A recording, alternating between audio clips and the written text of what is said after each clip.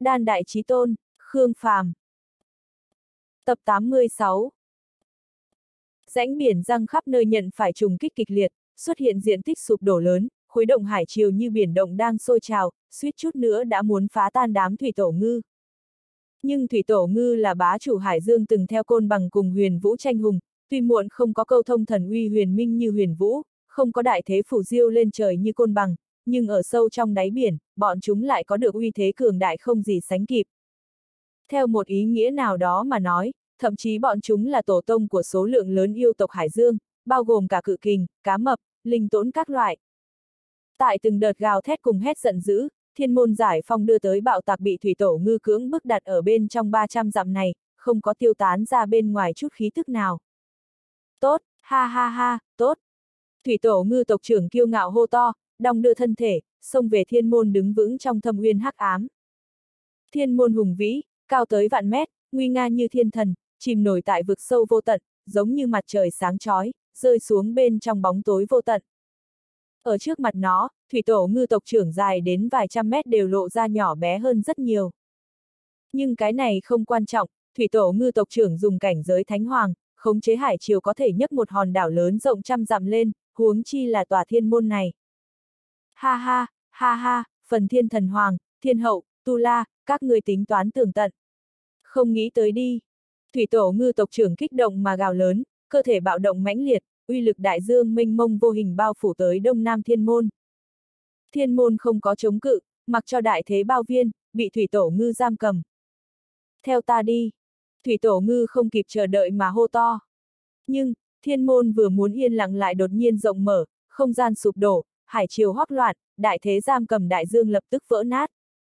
Khí tức sát phạt vô tận nương theo tiếng gào thét hùng vĩ phiêu miểu tại chiến trường mà đến, mãnh liệt lao ra, trùng kích thủy tổ ngư tộc trưởng. Sắc mặt của thủy tổ ngư tộc trưởng đột nhiên biến đổi, lập tức muốn thôn nạp đại dương, tiếp tục trấn áp. Giống. Một tiếng hổ gầm mang theo uy lực sát lục đến cực điểm, theo sát khí mãnh liệt cùng tiếng gầm liên miên, đột nhiên xông vào ánh mắt của thủy tổ ngư tộc trưởng. Một con mãnh hổ toàn thân như là bạch ngọc lấp lóe tinh quang, đạp tan hải triều, nhào về phía thủy tổ ngư tộc trưởng. Nơi này rõ ràng là đáy biển, nhưng những nơi mãnh hổ đi qua, hải triều bị đông kết, biến thành hòn đá, rơi xuống từng mảnh, nó thì đạp tan hòn đá, nhanh chóng vọt tới, tốc độ liên tục tăng vọt. Trên lưng mãnh hổ là một vị nữ tử lãnh diễm phong hoa tuyệt đại, ngọc thạch trên trán lưu chuyển cường quang, chiếu ánh khuôn mặt mỹ lệ lãnh tuấn của nàng. Tay nàng cầm chiến đao thật dài, mang theo một tiếng quát chói tai, chiến đao tranh minh, vạch ra một đường đao cương màu trắng, bổ vào trên đầu thủy tổ ngư tộc trưởng. Phốc phốc, đao cương nặng nề lại sắc bén, một kích đã lập tức bổ đầu thủy tổ ngư ra, nhưng trong này không có đổ máu, ngược lại nhanh chóng hóa đá, đồng thời giống như là nguyền rủa, lan tràn ra khắp toàn thân. Hóa đá, vị ương thiên vương. Thủy tổ ngư kêu lên đầy sợ hãi, toàn thân bạo động năng lượng hải triều, điên cuồng xua tan lực lượng hóa đá. Đây cũng không phải khí tức hóa đá bình thường, mà là ẩn chứa năng lượng khủng bố phong tuyệt huyết mạch, linh hồn, thậm chí giam cầm thời gian và không gian. Thủy tổ ngư điên cuồng xua tan, đồng thời điên cuồng nhấc thân thể vài trăm mét lên, hải triều lập tức bạo động, như giang hải lật đổ, mãnh liệt bị vén lui. Nhưng, vị ương thiên vương bạo tạc trong nháy mắt, đi ngang qua đại dương cuồn cuộn, giết tới trên đầu thủy tổ ngư, đôi mắt lưu chuyển cường quang, tinh thạch trên trán lấp lóe, ba mảnh cường quang giống như là cây giáo đâm vào trong đầu thủy tổ ngư. Trong hai mắt tuôn ra cường quang hóa đá huyết nhục hài cốt, kiềm chế năng lượng huyết mạch, cường quang tuôn ra trên trán thì hóa đá linh hồn. Đều thất thần làm gì, tới cứu ta. Thủy tổ ngư tộc trưởng kinh hồn dẫy ruộng, một lại đại thế kinh khủng của đại dương minh mông bộc phát từ trong thân thể, như là trong chớp mắt đã liền phóng xuất ra mấy trăm thậm chí gần nghìn dặm đại dương, trùng kích đến vị ương thiên vương.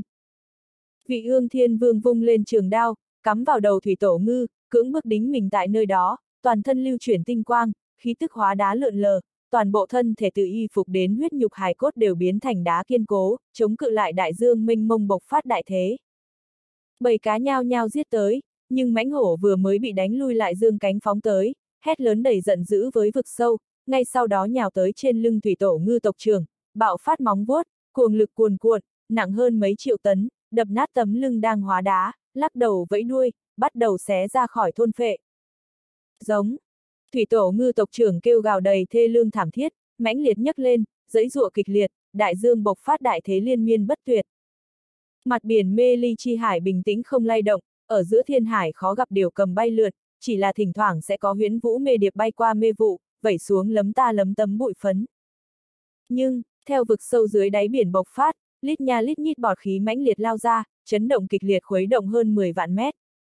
Mặt biển mê ly chi hải ở Trung Bắc Bộ dần dần nổi lên gợn sóng, sau đó càng ngày càng mãnh liệt, giống như là sôi trào, phạm vi từ mấy chục dặm mở rộng đến vài trăm dặm, lại đến mấy ngàn dặm. ầm ầm, mặt biển bạo động, thủy triều ngập trời, một con thủy tổ ngư to lớn hơn 300 mét nhảy lên, đại dương minh mông bạo động khuấy động cả đất trời, những nơi đi qua, mê vụ rung chuyển, mặt biển cuồn cuộn, thiên hải vì đó mà run rẩy. Nhưng ở trên lưng thủy tổ ngư lại có một nữ tử lãnh diễm đứng đấy, hai tay cầm đao, gắt gao cắm vào đầu thủy tổ ngư, trường đao phun trào khí tức hóa đá, như là đều hòa làm một thể cùng đầu lâu xương sống hải cốt của thủy tổ ngư. Tại phần lưng của thủy tổ ngư có một cái hang đá rách dưới, một con mãnh hổ đang điên cuồng nuốt gặm cắn, để lưng thủy tổ ngư vỡ vụn, bạch cốt bị đạp tan, bạch hổ phóng tới vị trí trái tim. Giống, giống giống. Thủy tổ ngư phát ra từng trận trận rên rỉ, kịch liệt dẫy giụa, điên cuồng phản kháng. Tại đại dương mênh mông này, nó vốn phải là kẻ tồn tại giống như chúa tể, nhưng giờ khắc này nó lại bi thảm chật vật, đau đến không muốn sống, đại thế đại dương không ngừng tràn vào thân thể, chống cự lại khí tức hóa đá xâm nhập, thân thể lại như là biến thành chiến trường, hai nguồn năng lượng va chạm mãnh liệt vào nhau, mang đến tổn thương thảm liệt, tăng lên nỗi đau đớn của nó. Số lượng lớn thủy tổ ngư theo sát sông ra khỏi mặt biển, muốn cứu vãn tộc trưởng, lại bị năng lượng bạo động của tộc trưởng khiến bọn chúng lật tung, căn bản không tới gần được. Tại phía nam mê ly chi hải, tinh không không mây, sóng biếc thâm thúy không gợn sóng. Một nữ tử Mỹ lệ xuất trần như tiên, ngạo thế đứng đó, dáng người nàng nhẹ nhàng, trên người mặc một bộ y phục màu tím đón gió tung bay, tóc dài chút xuống, tử sam như hoa, tóc dài như thác nước, nói không hết được vẻ mỹ lệ thanh nhã, cao quý tuyệt tục. Nàng lẳng lặng phiêu phù ở mặt biển, tĩnh mịch mà duy mỹ, như là hòa làm một thể cùng thiên hải minh mông. Chân ngọc đẹp đẽ kiều nộn ngẫu nhiên rơi xuống, tạo nên tầng tầng gợn sóng tại mặt biển xanh lam. Cặp đùi đẹp trắng noãn thon dài lóe lên lấm ta lấm tấm mê quang, lập lòe giống như kim cương, như ngôi sao mê người. Cơ thể thướt tha với đường cong lả lướt, hoàn mỹ đến không thể bắt bẻ, nhưng lại tự nhiên duy mỹ, như là tự nhiên mà thành, không có bất kỳ vết tích của tạo vật chủ điêu khắc nào cả. Trên trán và cái cổ trắng ngọc của nàng đều mang theo ngọc thạch óng ánh, vô cùng mỹ lệ, sặc sỡ lóa mắt, ánh sáng kia như là còn sống, như là ánh trăng để cho người ta sợ hãi thán phục. Con mắt của nàng nhạt tĩnh như biển, không có một gợn sóng, như là bất cứ sự vật gì giữa thế gian này đều không thể động đến tâm cảnh của nàng. Nàng, chính là thiên nghi nữ hoàng của tinh linh đế tộc. Một trong tam đại nữ hoàng của tinh linh đế tộc, cũng là đương kim nữ hoàng chấp trưởng tinh linh đế tộc. Thủy Trọng yêu quay ở xung quanh nàng trong hải dương, trong suốt không gợn sóng, mắt thường khó mà nhìn thấy nó tồn tại, ngay cả ý thức đều khó mà dò xét đến hình dáng, thậm chí là năng lượng của nó, cứ như nó chính là hải dương, hải dương chính là nó. Mặc dù thiên nghi nữ hoàng tôn trọng mê ly chi hải, không hy vọng đánh vỡ bình tĩnh nơi đó, nhưng Thủy Trọng Yêu vẫn lo lắng đám kia thủy tổ ngư làm việc bất lợi, cho nên từ đầu đến cuối đều đang tỉ mỉ cảm nhận hải vực minh mông ba động. Một khi có bất kỳ vấn đề nào thì sẽ lập tức xông vào mê ly chi hải, cưỡng đoạt đông nam thiên môn. Dù sao mục tiêu của bọn hắn rất rõ ràng, có thể bí mật mang đi thì không thể tốt hơn, nhưng nếu như nổi lên ngoài ý muốn thì cho dù có lật tung đại dương này cũng đều muốn mang đi. Tóm lại chính là không tiếc cái giá. Đông Nam Thiên Môn, đã thất lạc quá lâu, đây là thời điểm trở về tinh linh đại lục. Khi Đông Nam Thiên Môn ầm vang rộng mở, trùng kích vực sâu dưới đáy biển, oanh động răng khắp rãnh biển, khi toàn thể thủy tổ ngư bạo động, không quan tâm đảo loạn hải triều, mượn dẫn đại thế của đại dương minh mông, Thủy Trọc Yêu vẫn luôn đang cẩn thận cảm giác, đã nhận ra ba động vi diệu. Có ngoài ý muốn. Thủy Trọc Yêu lập tức giật mình. Đi thôi, chính chúng ta đi lấy. Thiên nghi nữ hoàng ung dung khẽ nói. Mê ly hải, đắc tội. Tại phương hướng ở mê ly chi hải khác, Khương Phàm đang mang theo bọn người giả an nhiên dẫn đầu đến đây. Thiên hậu thì phối hợp cùng Đông Hoàng Càn, Côn Bằng, cùng Huyền Vũ, dọc theo đáy biển ẩn núp theo vào. Giới chủ thế giới mới thì đang kéo dài khoảng cách, cố gắng giữ vững khoảng 10 vạn dặm. Dựa theo kế hoạch của bọn hắn, Cao Điệu mang Đông Nam Thiên Môn đi, sau khi gây nên oanh động thì vòng quanh tất cả hải vực một vòng, săn giết tất cả thần ma truy đuổi. Đông Nam Thiên Môn, ta tới đây. Khương Phàm lại không ẩn nấp, hắn nhấc lên liệt diễm ngập trời, phần diệt mê vụ nồng đậm, xông vào mê ly chi hải. Thiên hậu thì lén lút đi tại đáy biển. Giới chủ thế giới mới ở ngoài mê ly chi hải giám sát và chờ đợi. Hải dương bình tĩnh bị đánh phá, mê vụ quỷ dị gánh không được uy lực của thần viêm phần diệt, cứ thế mà liên miên tan rã. Khương Phàm lao vùn vụt không chút kiêng kỵ, hắn không chỉ muốn tìm Đông Nam Thiên Môn, càng phải bừng tỉnh chủ nhân mê ly, thái âm ngọc thố. Nơi này nhìn rất bình tĩnh, nói rõ tất cả đế tộc còn tuân thủ nghiêm ngặt, ứ ước định, không có mạo phạm nơi này. Nếu đã như thế, hắn cũng không cần phải khách khí, hắn muốn ngọc thố, càng phải có hoàng nê đài. Lúc này sâu trong hải dương, thủy tổ ngư tộc trưởng đang dẫy dụa lần sau cùng. Minh mông u quang chiếu thấu khí tức hóa đá, ba động quỷ dị khuấy động đại dương minh mông, giờ khắc này phóng thích cực hạn, nắm trong tay năng lượng khủng bố của hơn ba vạn dặm đại dương, cường thế đánh thẳng vào khí tức hóa đá trong thân thể. Nhưng, cơ thể chịu đủ ánh sáng căn bản không gánh được bạo động như thế này, răng rắc giòn vang, thân hình khổng lồ vài trăm mét ẩm vang vỡ vụn, biến thành hòn đá rách dưới, vẩy xuống thiên hải. Tần vị ương cưỡi trên mãnh hổ, hét dài một tiếng, ánh sáng hóa đá dọi khắp nơi, hàng vạn thủy tổ ngư toàn thể đều hóa đá, biến thành pho tượng nặng nề, đập ầm ầm rơi vào bên trong hải triều, đại dương bị bọn chúng khống chế triệt để mất kiểm soát, cuồn cuộn về bốn phương tám hướng. Một mảnh biển lật úp cả bầu trời tạo nên cảnh tượng khủng bố. Tần vị ương có chút ngẩng đầu, nhắm mắt lại. Tất cả thủy tổ ngư bị hóa đá vậy mà đều biến thành bụi, tiêu tán ở giữa thiên hải, cơ thể bị tiêu tán, linh hồn bị chôn vùi. Mà theo bọn chúng tiêu tán, huyết nhục thần hồn hay khí thức đều không ngừng liên tục hội tụ đến trong thân thể tần vị ương. Cơ thể yên lặng ngàn năm của tần vị ương nhanh chóng được khôi phục nguyên khí, trong đôi mắt dần dần sáng rực lên. Giống. Mãnh hổ gào thét, lay động thân thể oai hùng, tuyên cáo mình đã khôi phục. Tần vị ương vẫn ngắm nhìn hải dương đang dần dần bình phục ở xung quanh, lông mi giống như tụ lên một vòng mê mang. Mãnh hổ lao xuống, mang theo tần vị ương xông vào hải dương, móng vuốt mãnh liệt đập mạnh, dưới chân không ngừng xuất hiện hòn đá, để nó như đang phóng tới ở đất bằng, tốc độ càng lúc càng nhanh. Trong vực sâu mười mấy vạn mét trở xuống, Đông Nam Thiên Môn đã rộng mở, hải chiều mãnh liệt chảy ngược vào không gian, đánh thẳng vào tất cả tượng đá, bao phủ lấy sát khí cuồn cuộn. Một con quạ đen xuyên thẳng qua giữa hải chiều, tiến vào thiên môn, rơi xuống trên một tòa tượng đá. Toàn thân con quạ đen kịt, trên lông vũ trải rộng minh văn quỷ dị, ngẫu nhiên lóe lên u quang. Cửu u địa minh nha. Dị thú đặc hữu của mê ly chi hải, có thể tùy ý xuyên thẳng qua sinh tử lưỡng giới, lấy linh hồn và ký ức làm thức ăn. Quỷ dị mà khủng bố. Đông Nam Thiên Môn thức tỉnh, kinh động đến đàng U Minh và nhân gian xuyên thẳng qua nó. Giống. Mãnh hổ đi đến bên trong thiên môn, gầm thét với cửu U Địa Minh Nha. Cửu U Địa Minh Nha phát ra tiếng huyết dài, toàn thân lấp lóe minh quang, nó nhanh chóng dương cánh rời khỏi, không đối kháng cùng mãnh hổ. Tần vị ương đi đến trên đài cao, nhìn bị hải triều bao phủ không gian, ý thức có chút hoảng hốt, cũng có chút hứa mê mang. Dài đến ngàn năm phong cấm, để nàng như là mất phương hướng với chính mình. Trong đầu trống rỗng, ký ức mông lung không rõ ràng, ngay cả trận ác chiến vừa mới đột nhiên bộc phát, đều là kinh nghiệm thúc đẩy. Nhưng, khi nàng một lần nữa đứng ở trên đài cao, nhìn tượng đá sắp hàng chỉnh tề, nhìn bộ dáng quen thuộc ở xung quanh, ký ức bị phủ bụi giống như là như thủy triều mãnh liệt tràn vào, như là mấy chục năm trải qua trong khoảng thời gian ngắn lại lần nữa qua tới. Vẻ mặt của tần vị ương dần dần lãnh túc, ánh mắt lăng lệ, chậm rãi nắm chặt chiến đao trong tay. Nàng là người của vạn thế thần triều, vị ương thiên vương. Nàng là người canh giữ đông nam thiên môn. Nàng ở chỗ này chờ đợi thần hoàng trùng sinh, nàng ở ngay chỗ này chờ đợi tái thế để báo thù. Năm đó, sau khi đăng thiên kiều xảy ra khó khăn, thiên hậu đã quỳ lạy thần triều, cử hành đại điển tế trời, giúp thần hoàng chữa trị con đường luân hồi. Nàng thì phụng mệnh mang đông nam thiên môn đi, ẩn nấp đến thâm uyên hắc ám tại mê ly chi hải. Sở dĩ chọn nàng, là bởi vì thể chất đặc biệt của nàng, có thể thông qua bí thuật hóa đá phong ấn mình, cũng có thể phong ấn thuộc cấp. Nếu như chỉ là phong ấn thời gian rất ngắn, nàng có thể nhanh chóng khôi phục sinh cơ, khôi phục đỉnh phong, cũng có thể bảo trụ sinh mệnh, bảo trụ thực lực của những người bị phong ấn khác. Nếu như thời gian phong ấn dài đằng đẵng, không chỉ có người bị phong ấn khác sẽ có nguy hiểm tính mạng, ngay cả nàng cũng đều có khả năng vĩnh viễn ngủ say trong phong ấn của mình.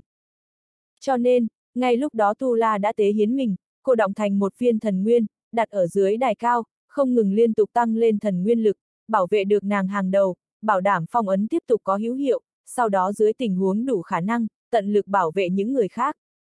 Tần vị ương bước xuống khỏi mãnh hổ, theo thứ tự đi qua mỗi một tượng đá. Xung quanh đã từng là những chiến tướng khai quốc, sau trận chiến đấu Đăng Thiên Kiều còn sót lại 36 vị, toàn bộ đều đang ngủ say tại nơi này. Những người khác thì là những tinh nhuệ may mắn còn sống sót sau trận chiến Đăng Thiên Kiều, tổng cộng có 102 triệu 276 vị. Mãnh hổ ở sau lưng tần vị ương, toàn thân trắng như tuyết, uy võ thần tuấn, nhìn như là bạch hổ, trên thực tế nó không phải yêu tộc, cũng không phải ma thú, mà là linh tộc. Thạch Linh Thạch Linh được thai ngén từ những ngọn núi cao lớn cổ lão ở tinh linh đại lục. Thậm chí nó có thể biến thành hình thái tùy ý, chỉ là tần vị ương ưa thích mãnh hổ, nó liền vĩnh viễn như ngừng lại mãnh hổ hình thái. Kết quả xấu nhất, phát sinh. Tần vị ương đi giữa những tượng đá mang y phục trắng, vẻ mặt bi thương, hai mắt mông lung. Đã từng hy vọng xa vời, là trong 300 năm thần hoàng có thể luân hồi trở về, nàng cũng có thể bảo đảm tất cả tượng đá đều có thể một lần nữa phục sinh, bình yên vô sự. Vượt qua 300 năm, hóa đá sẽ như nguyền rủa từ từ thẩm thấu từ trong ra ngoài, thời gian kéo dài càng lâu, hóa đá sẽ ăn mòn càng sâu. Tần Vị Ương không biết bây giờ đã là năm tháng nào, nhưng từ tình huống tượng đá đến xem, đa số đã hóa đá toàn thân, từ làn da đến huyết nhục, đến hài cốt, đến nội tạng, có một số thậm chí ngay cả linh hồn đều bị hóa đá. Đây là kết quả bết bát nhất, cũng là kết quả không nguyện ý nhìn thấy nhất. Bên ngoài thiên môn, hải triều cuồn cuộn, cường quang sáng chói. Một dòng sông màu đen không một tiếng động bình tĩnh chảy xuôi, không nhìn hải triều, không nhìn cường quang, như một vết nứt vực sâu uốn lượn tới. Nó rất bình tĩnh, không hề có một chút tiếng động nào, thậm chí không có cả một tầng gợn sóng, lại đen đến mức khiến người ta run sợ, cơ hồ muốn thôn phệ tinh thần cùng linh hồn của người ta. Mặt tần vị ương run lên, hơi nước ngưng trong hốc mắt đao thành hạt đá lăn xuống gương mặt, nàng nắm chặt trường đao trong tay, trong lúc bất chợt thả người dâng lên, bay lên nhấc lên, rơi xuống trên đài cao. Cũng chính là tại thời khắc này, dòng sông màu đen im ắng kia nhanh chóng uốn lượn, cùng lúc chạm tới đài cao. Một con ngọc thố toàn thân trắng như tuyết, nhìn dịu dàng ôn nhuận nhảy ra khỏi hắc hà, móng vuốt nhỏ đặt ở trên đài cao, có chút ngẩng đầu, nhìn về phía tần vị ương. Bầu không khí bỗng nhiên khẩn trương. Đôi mắt tần vị ương ngưng tụ, ý lạnh lấp lóe, trái tim lại thít chặt lên. Nơi này là mê ly chi hải, thân phận Ngọc Thố không cần nói cũng biết. Trong đôi mắt tinh hồng của Ngọc Thố lưu chuyển ý lạnh, miệng nói tiếng người. Các ngươi cũng dám giấu đông nam thiên môn đến mê ly chi hải ta, không hiểu quy củ. Tần vị ương nhấc ngang trường đao dài 3 mét, chỉ tới Ngọc Thố. Tiểu thố tử, người dịch chuyển móng vuốt khỏi đó. Tu la tới đều phải kiêng kỵ ta mấy phần, tần vị ương ngươi còn chưa đủ tư cách. Hắc thủy xung quanh ngọc thố nhúc nhích, dâng lên mấy sợi đen xiềng xích kỳ tính mịch, rằng co với trường đao của tần vị ương. Khí tức thái âm tràn ngập, như là ngay cả hư không đều muốn bị ăn mòn. Đông Nam Thiên Môn chỉ là tạm tồn tại ở đây. Không muốn huyên náo thiên hạ đều biết, ngũ phương đại lục mạo phạm, tốt nhất người khách khí một chút cho ta. Tần vị ương không sợ chút nào, mũi trường đao nhẹ nhàng đụng vào bệ đá, bệ đá phát ra tiếng tranh minh thanh thúy. Trong bệ đá cất giấu cái gì, có thể để cho tần vị ương ngươi ngàn năm không việc gì. Ngọc Thố nhìn chăm chú tần vị ương, nó biết tần vị ương là, nhân linh, có thể chất cả thế gian hiếm thấy, do nhân tộc linh tộc giao hợp mà thành, có thể chất cùng tuổi thọ khác hẳn với người bình thường, nhưng yên lặng ngàn năm, bình yên vô sự, cũng không phải đơn giản như vậy, huống chi. Nàng còn nắm trong tay quân đội khổng lồ như thế. Người ngươi nói phải kiêng kỵ ngươi mấy phần kia đang được mai táng ở bên trong. Ngươi mời hắn đi ra nhìn. Thật ra ngược lại ta cảm thấy rất hứng thú, hắn có bao nhiêu kiêng kỵ ngươi. Tu La bị vây ở côn lôn, không dám mạo phạm nhân gian. Cái này cũng là quy củ. Các ngươi làm việc, có thể không cố kỵ gì, không hiểu quy củ, nhưng hắn. U Minh địa ngục và thiên khải chiến trường sẽ để cho hắn hiểu được kết quả của việc phá hư quy củ. Có người đã nói với ta một lời ngụy biện, tốt nhất và xấu nhất khi sáng tạo lịch sử, người bình thường sinh sôi chủng tộc. Ngươi tính loại nào, thành thành thật thật là người bình thường tuân thủ nghiêm ngặt quy củ. Cũng không thấy ngươi sáng tạo bao nhiêu chủng tộc, tốt nhất, hay là xấu nhất. Ngươi ngoại trừ trông coi mấy chục vạn dặm hải vực của mê ly chi hải, cũng không thấy sáng tạo lịch sử gì. Ta cảnh cáo ngươi, tiểu thố tử, thu hồi móng vuốt đi, mang theo thái âm ác thủy của ngươi rời khỏi thiên môn, trở lại chỗ ở, coi như cái gì đều không có xảy ra. Nếu không, ta có thể để mê ly chi hải ngươi, trong vòng mấy tháng ngắn ngủi bị thiên hạ chú ý. Tần vị ương với ngôn ngữ cường thế, mũi đao chậm rãi đâm vào mặt đá, từng sợi uy lực hóa đá thuận trường đao, thấm vào bệ đá. Thái âm ngọc thố không sợ tần vị ương, càng không sợ tu la. Nhưng, mặc dù nó cô độc sống ở mê ly chi hải này, lại biết thế cục thế giới bên ngoài đang lâm vào kịch biến trước nay chưa từng có. Phần thiên thần hoàng đang điên cuồng chuẩn bị chiến đấu, nếu như biết được Đông Nam Thiên Môn xảy ra chuyện ngoài ý muốn, chỉ sợ hắn thực sự sẽ giết tới. Mang theo thiên môn cút ra khỏi mê ly chi hải, chuyển cáo phần thiên thần hoàng và thiên hậu. Chuyện lần này, ta nhịn, nhưng đừng lại trêu chọc mê ly chi hải. Nếu không, đại chiến thương huyền nửa năm sau, bọn hắn sẽ nhìn thấy ta. Bọn họ, đều trở về.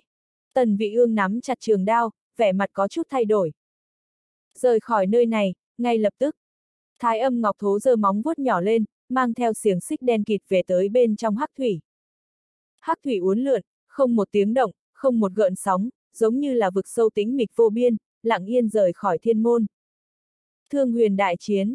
Tần vị ương vẫn ngắm nhìn tượng đá xung quanh, phất tay đóng lại thiên môn, nhanh chóng rời khỏi vực sâu dưới đáy biển, nhưng đi không bao xa, đột nhiên phát hiện sâu trong đáy biển mờ tối, thái âm ngọc thố kia lại còn gục ở chỗ này, hắc thủy vờn ở xung quanh, một đầu tiếp lấy một đầu phân nhánh, kéo dài hơn 10 dặm. Hắc hà chảy xuôi, tĩnh mịch như muốn ăn mòn linh hồn người ta. Là ai tỉnh ngươi lại? Thái âm ngọc thố lạnh lẽo nói nhỏ. Thủy tổ ngư. Tần vị ương cưỡi thạch hổ đi ra khỏi thiên môn, chú ý tới một viên bảo vật giống như ngọc thạch lơ lửng ở trước mặt thái âm ngọc thố, đang tỏa ra ánh sáng lộng lẫy mà mê người, hải chiều xung quanh đều giống như bị tỏa sáng ra linh trí, vòng quanh ngọc thạch. Đây là, huyền hoàng mẫu thạch, trong thiên hạ, chỉ có tinh linh đại lục mới có. Nó không nên xuất hiện ở chỗ này. Thái âm ngọc thố ngóng nhìn đáy biển thâm thúy, có loại dự cảm không tốt. Đó là của ta. Tần vị ương nói. Của ngươi. Cái này không nhiều rõ ràng sao. Thủy tổ ngư phát hiện thiên môn, giấu giếm người hồi báo cho tinh linh đế tộc, tinh linh đế tộc cho nó một viên huyền hoàng mẫu thạch làm tiền thù lao. Thủy tổ ngư, bán ta làm điều kiện, đạt được huyền hoàng mẫu thạch. Ta giết thủy tổ ngư, tương đương với việc ta sẽ đích thân giao thiên môn đến trên tay tinh linh đế tộc, cho nên, tiền thù lao đương nhiên thuộc về ta. Tần vị ương cưỡi mãnh hổ, tới gần phía trước. Ngươi sẽ giao thiên môn cho tinh linh đế tộc. Vấn đề thời gian mà thôi. Lấy đi, rời khỏi nơi này. Càng nhanh càng tốt. Bây giờ Thái âm Ngọc Thố chỉ hy vọng hỗn loạn sẽ rời khỏi mê ly chi hải, nếu không chắc chắn sẽ khiến cho khắp thiên hạ chú ý, bình tĩnh và cân bằng mà nó đau khổ duy trì, sẽ bị đánh vỡ một cách tàn khốc. Đến lúc đó, tứ đại đế tộc xung quanh đều mạo phạm mê ly chi hải. Tần vị ương vung đao nhấc ngọc thạch lên, một tay nắm chặt, cưỡi thạch hổ liền muốn rời khỏi. Nhưng, không còn kịp rồi. Phía trước, hải chiều cuồn cuộn, một loại ba động quỷ dị lại rõ ràng khuấy động đáy biển, trùng kích đến tần vị ương, cũng kích thích thái âm ngọc thố. Tần vị ương nắm chặt trường đao, sẵn sàng trận địa. Thái âm ngọc thố lắc đầu, khống chế thái âm ác thủy lan tràn bốn phương tám hướng, khuếch tán ra một loại trí âm trí tả lĩnh vực. Không lâu sau đó, một con ác thú hơi mở xuất hiện ở phía trước cách đó không xa, nó bộ dáng vặn vẹo, không có hình dáng chân thực, nhưng thủy triều tại đáy biển lại đang nhanh chóng lui tán, xuất hiện một cái khu vực chân không. Bên trong lấp lóe tinh mang, khí thức tự nhiên lưu chuyển, một nữ tử mỹ lệ như tranh vẽ xuất hiện ở trước mặt bọn hắn. Nàng ôn nhuận yêu nhã, tươi mát tịnh lệ, da thịt kiều nộn như ngọc, dung nhan tuyệt lệ hoàn mỹ, trong đôi mắt sáng rực của nàng như có tinh thần đang lóe lên, như kim cương đang phát sáng. Thái âm thiên hoàng, mạo muội, ta nhận lời thủy tổ ngư đến mê ly chi hải thu hồi đồ của tinh linh đảo chúng ta. Vị ương, muội muội của ta, đã lâu không gặp. Phải chăng thiên môn có thể vật về với chủ? Cái câu muội muội này của nữ hoàng, tần vị ương ta không đảm đương nổi. Các ngươi tới rất khéo, ta đang chuẩn bị giao thiên môn cho các ngươi. Tần vị ương nhìn về phía thiên nghi nữ hoàng, ánh mắt hiện lên mấy phần phức tạp, nhưng rất nhanh đã biến mất, nàng càng thêm để ý bên trong hải triều xung quanh là một thứ vô hình vô chất, biết đó là thủy trọng yêu, cực kỳ nguy hiểm trong tinh linh đế tộc. Vất vả. Thiên nghi nữ hoàng ôn nhuận như ngọc, nhấc tay ngọc tinh tế kiều nộn lên, hướng tần vị ương. Đồ là của các ngươi, đương nhiên nên trả lại các ngươi. Nhưng đồ không phải ta mang đi, ta chỉ là lâm thời trông giữ. Như vậy đi, các ngươi về tinh linh đế tộc chờ trước, ta giao thiên môn cho người năm đó kia, do hắn tự mình đưa đến chỗ các ngươi, như thế nào? Vị ương, nơi này là mê ly chi hải, những chuyện khác không cần ta nhiều lời. Đưa đồ cho ta, đối với chuyện năm đó, nhường nhịn lớn nhất của ta chính là chuyện cũ sẽ bỏ qua. Thiên nghi nữ hoàng nhìn tần vị ương, mặt ngoài tay ngọc nở rộ tinh mang tươi mát, đầu ngón tay khinh động, nhìn như dịu dàng, lại tràn ngập ra một loại uy thế to lớn. Mặc kệ các người muốn giải quyết chuyện này thế nào, rời khỏi nơi này trước. Tần vị ương, ta cũng nhắc nhở ngươi, tốt nhất ngươi nên để vật về với chủ, không nên chống cự. Nếu không, Thái âm Ngọc Thố xua đuổi bọn hắn, cũng cảnh cáo Tần Vị Ương. Tinh linh đế tộc mặc dù không thích tranh đấu, nhưng không có nghĩa bọn hắn sẽ mặc cho người khác khi nhục, nếu không tất cả đế tộc tuyệt đối không có phần kiêng kỵ riêng của mình. Tần Vị Ương vẫn mang theo ánh mắt hiên tĩnh, nhưng nội tâm thì đang bắt đầu tính toán. Trận thức tỉnh ngoài ý muốn này đối với nàng mà nói quá đột ngột, hoàn toàn không biết rõ tình huống, mà đi ra đã đứng trước ba tôn thần linh rằng co, cũng mang cho nàng uy hiếp cực lớn, nhưng nàng biết thiên môn là tuyệt đối không thể nào giao cho tinh linh đế tộc, chí ít không thể đưa ngay bây giờ. Vị ương, đừng ép ta. Thiên nghi nữ hoàng nhắc nhở lần nữa, thanh âm bình tĩnh mà dịu dàng, nhưng trong ánh mắt giá lạnh lại mang theo cảnh cáo rõ ràng. Ngươi không cho, ta chỉ có thể tự mình đến lấy. Chờ một lát, một trăm ngàn tinh binh thần triều của chúng ta đều ở bên trong, ta cần di chuyển toàn bộ bọn họ đi ra. Tần vị ương cưỡi ma hổ đi đến thiên môn, bước lên tòa đài cao kia. Đài cao nhìn như điểm tướng đài, nhưng thật ra là tòa tế đàn, là hạch tâm cả tòa pháp trận, nối liền với tất cả tượng đá. Bên trong, còn có thần nguyên của Tu La. Một khi bừng tỉnh thần nguyên, Tu La nhất định sẽ từ côn lôn tới. Nhưng, nàng không biết tình huống của Tu La, càng không biết tình huống tại địa ngục, mà giống như Thái âm Ngọc Thố nói như vậy, quỷ giới không được can thiệp chuyện nhân gian, nếu không thế chắc chắn sẽ bị điên cuồng trấn áp. Cho nên, không phải vạn lần bất đắc dĩ, Tần Vị Ương tuyệt đối không hy vọng ép buộc Tu La vượt qua sinh tử mà tới đây. Huống chi, bây giờ bọn hắn là gặp phải ba tôn thần linh. Một là Thái âm yêu thần, sớm tại thời điểm năm đó bọn hắn mai táng thiên môn đã hơn 3.000 tuổi. Một là thiên nghi nữ hoàng, một trong tam hoàng của tinh linh đế tộc, thể chất tinh linh đặc biệt để nàng có thực lực kinh khủng áp đảo phía trên thần ma. Một là thủy trọng yêu, tại sâu trong hải dương minh mông này, thực lực của chúng không thể nghi ngờ có thể bạo tăng. Thái âm ngọc thố khống chế thái âm ác thủy, chậm rãi chạy tới thiên môn. Nó là quyết không cho phép mê ly chi hải phát sinh náo động, nếu như tần vị ương muốn làm việc ngốc, nó cũng sẽ không để ý gì mà ra tay độc ác. Thiên nghi nữ hoàng thần tình lạnh nhạt, nhưng trên đầu ngón tay lại có tinh mang nhảy vọt, cũng đã bắt đầu tích xúc năng lượng. Bầu không khí khẩn trương, bên trong khẩn trương lại tràn ngập kiềm chế.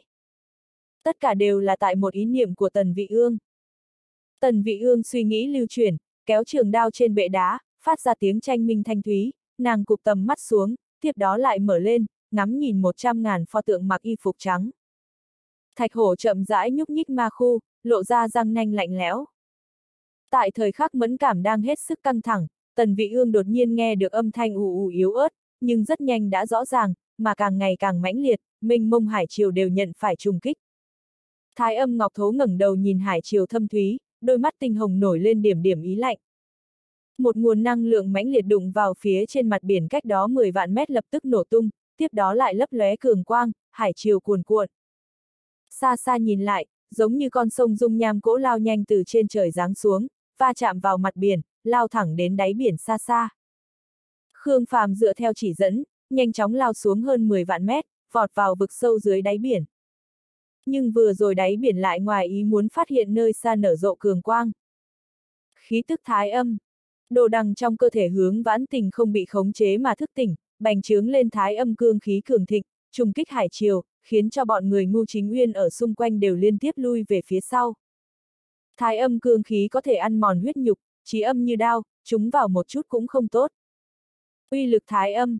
Thái dương đồ đằng trong cơ thể tặc điều cũng nhận kích thích, toàn thân lưu chuyển cường quang, trong chốc lát bộc phát ra minh mông cường quang, dọi khắp hắc ám. Khương Phàm đảo ý thức qua vực sâu đáy biển, phát hiện phế tích sụp đổ, mặt hắn biến sắc, mang theo đám người thẳng đến mảnh ánh sáng xa xa kia.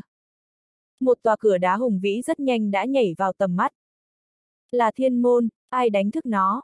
Khương Phàm tăng vào tốc độ, liệt diễm toàn thân cuồn cuộn, lăng thiên thuật được bộc phát, trùng kích hải triều, vỡ nát không gian, mấy cái lấp lóe đắc liền xuất hiện ở đỉnh thiên môn, phần thiên chiến đao tới tay, đôi mắt lạnh thấu xương liếc nhìn toàn trường.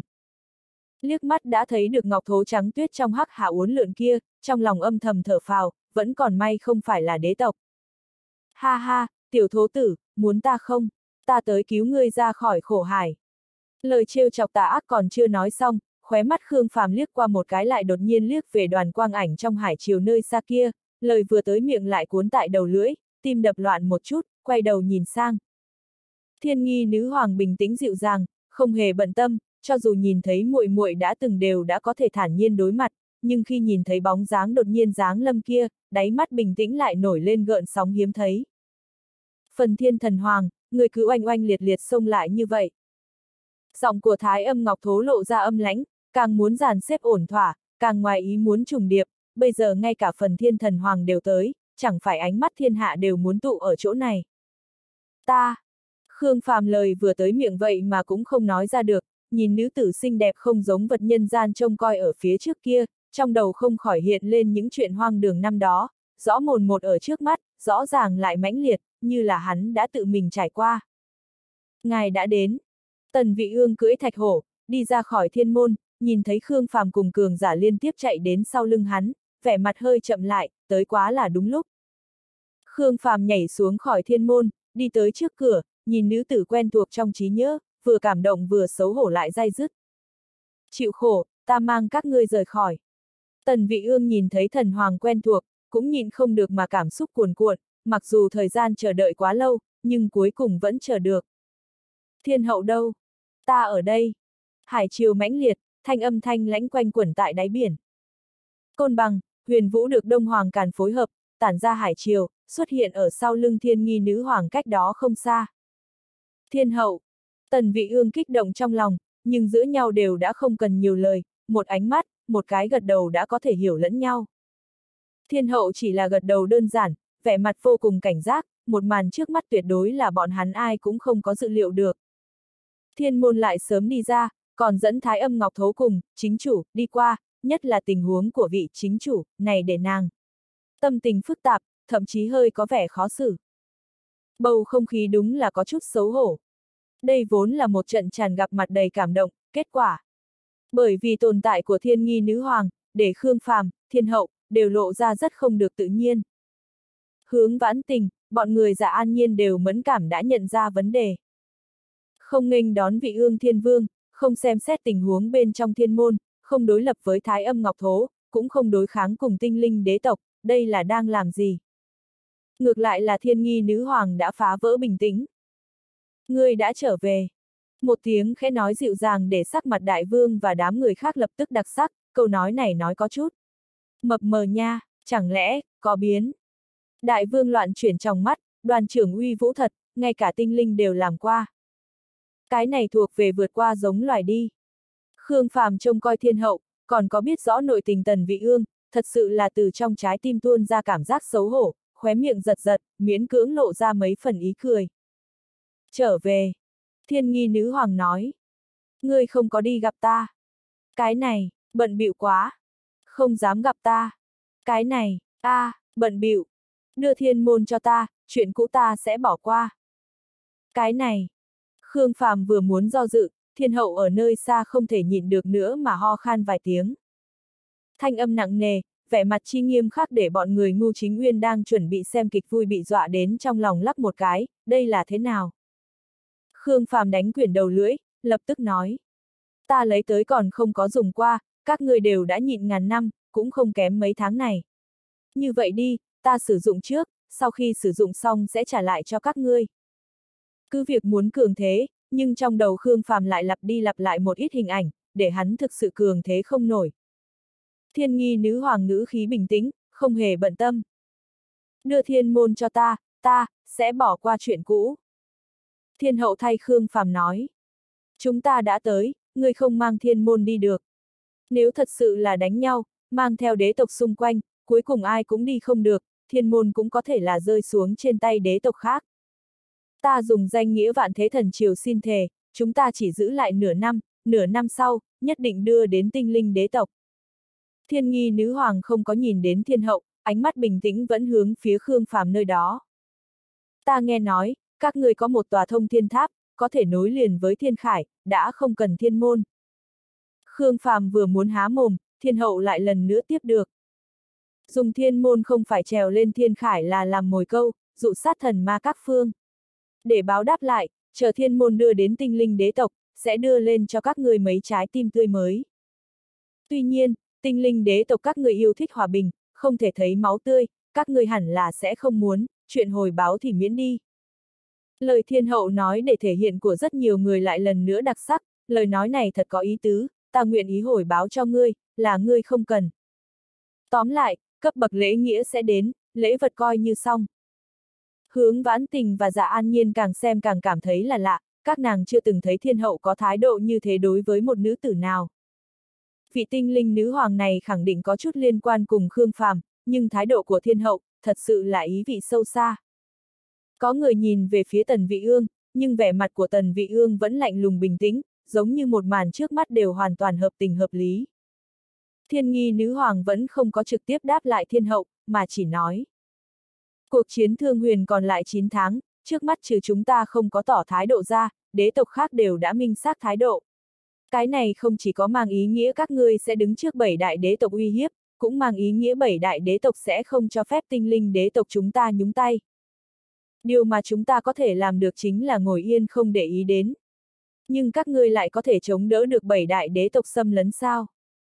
Bảy đại đế tộc, cùng hoàng tộc, hoàng đạo, thậm chí là thần tộc mà bọn hắn khống chế, là bách tộc thiên khải với ý nghĩa chân chính. Sau khi côn lôn đến kỳ hạn đế ước, trong một năm rưỡi ngắn ngủi, mỗi đại lục chỉ cần lại bồi dưỡng hai thần tôn, đó chính là trọn vẹn 14 người, là trên cơ sở vốn có thêm 14 người nữa. Chỉ cần mỗi đại lục lại bồi dưỡng năm thánh hoàng, đó chính là 35 người. Càng đừng đề cập thánh vương, thánh linh. Một một đại lục lại còn là đại lục đế tộc khống chế, nếu như thật sự phát lực, trong thời gian ngắn bồi dưỡng hai thần tôn, năm hoàng, cũng không phải quá khó khăn. Nếu thực sự làm không được, đế quân đều có thể dùng đế huyết. Thế nhưng các ngươi thì sao? Đừng nói bồi dưỡng thần tôn, chính là bồi dưỡng một thánh hoàng đều phải dùng mệnh các ngươi chém giết để lấy tài nguyên. Các ngươi nhìn đã rất mạnh mẽ, nhưng so sánh với bọn hắn, các ngươi kém rất rất nhiều. Các ngươi là đang dẫm vào vết xe đổ năm đó, thậm chí so năm đó càng không chịu nổi. Bởi vì diệt trừ các ngươi chỉ là món ăn khai vị cho cuộc chiến thương huyền, bữa tiệc thật sự là giữa đế tộc cạnh tranh chém giết nhau. Thiên nghi nữ hoàng thâm tình ngắm nhìn Khương Phàm, má ngọc xinh đẹp nổi lên vẻ thương yêu. Trong sinh mệnh của ngươi, không nên chỉ có giết chóc, kết thúc của ngươi kiếp trước hay kiếp này, càng không nên đều là bi tình. Vẻ mặt thiên hậu lạnh lùng, ngắt lời nói. Nói nhiều như vậy, các ngươi đã dùng hoàng nê đài chưa? Không cần thì đừng lãng phí, chúng ta vừa vặn thiếu một cái. Thiên nghi nữ hoàng nói. Nếu muốn gặp lần nữa, ta vẫn tặng cho ngươi câu nói năm đó. Chiến tranh, chưa chắc là phương pháp duy nhất giải quyết chuyện, tinh linh đại lục cũng nguyện ý vì thương huyền mưu cầu hòa bình. Khương Phàm than khẽ. Các ngươi trở về đi, để thiên môn lại cho ta. Nửa năm sau, nó sẽ xuất hiện ở tinh linh đại lục. Ta, vĩnh viễn hữu hiệu, thận trọng cân nhắc. Thiên nghi nữ hoàng rốt cuộc cũng nhìn về hướng thiên hậu, khẽ vuốt cằm, bước đi nhẹ nhàng, chậm rãi lui lại. Nàng chào hỏi cùng thiên hậu, thiên hậu lại nhìn về hướng Khương Phàm. Khương Phàm chú ý tới sự lăng lệ trong ánh mắt thiên hậu, lúng túng nhấc nhấc tay. Thiên nghi. Nói. Thiên nghi thoáng ngừng chân. Cái kia, hoàng nê đài còn cần không? Mượn mấy ngày. Dùng. Thiên nghi nữ hoàng có chút đưa tay, bọt khí vỡ tan, hải triều mãnh liệt che mất nàng, sau đó. Biến mất không còn bóng dáng ở trước mặt mọi người. Người đâu, tinh linh còn có thể vượt qua không gian. Tiêu phượng ngô kinh hãi, tranh thủ thời gian hỏi Đông Hoàng Lăng Tuyệt ở bên cạnh. Không phải không gian, là thủy nguyên lực. Vẻ mặt của Đông Hoàng Lăng Tuyệt có chút hoảng hốt, đẹp thật, quá đẹp, tinh linh thật sự là quá đẹp. Xung quanh nàng có loại sinh vật thần bí, mang nàng đi. Ngũ hành thủy nguyên, trong cơ thể Thương Hàn Nguyệt bắt được một nguồn thủy nguyên lực mãnh liệt đến kinh khủng. Đi thật rồi sao? Phượng Bảo Nam dò xét bốn chỗ. Hẳn là đi rồi. Cơ lăng huyên nhún nhún vai, liếc nhìn Khương Phàm, rốt cuộc kiếp trước gia hỏa này thiếu bao nhiêu nợ phong lưu. Chẳng lẽ ngoại trừ trinh chiến bốn chỗ, lúc rảnh rỗi thì chính là thông đồng nữ hài tử ở khắp nơi. Cái này là thuộc về yêu thích nghiệp dư. Đừng nhìn nữa, đi thôi. Thiên hậu lạnh lùng một câu, không tiếp tục để ý tới Khương Phàm, ngược lại nói với Thái âm Ngọc Thố. Còn nhận ra được ta không? Năm đó chúng ta đã gặp mặt. Mang theo thiên môn, rời khỏi mê ly chi hải. Các ngươi tùy tiện muốn náo thế nào thì náo, nhưng không cần liên lụy đến mê ly chi hải. Khi Thái âm Ngọc Thố đang nói chuyện, nó liếc mắt nhìn Khương Phàm, Thiên Hậu, Kim Ô cùng hướng vãn tình. Một kẻ là Thái Dương Kim Ô, một kẻ lại có khí thức Thái âm, kiếp này phần thiên thần hoàng thật sự chiêu không ít thuộc cấp tốt. Khương Phàm nói, năm đó tới, chúng ta chỉ là mời ngươi gia nhập, ngươi có thể tiếp nhận, cũng có thể từ chối. Nhưng, đảo mắt đã ngàn năm, ngươi hẳn phải biết phương thức xử sự của chúng ta kiếp này và tiền thế đã hoàn toàn thay đổi, cho nên lần này tới, không còn là mời, mà là chấm dứt hậu hoạn. Ngươi có hai cái lựa chọn, một là giao hoàng nê đài ra, cùng chúng ta rời khỏi, người lấy khế ước thú quy thuận thiên hậu, theo chúng ta nghênh chiến thiên hạ. Cái thứ hai, thái âm ngọc thố từ đây tuyệt tích. Đáy mắt thái âm ngọc thố lấp lóe huyết quang. Tốt thay cho phần thiên thần hoàng bá đạo, người cho rằng có thể giết ta ở chỗ này.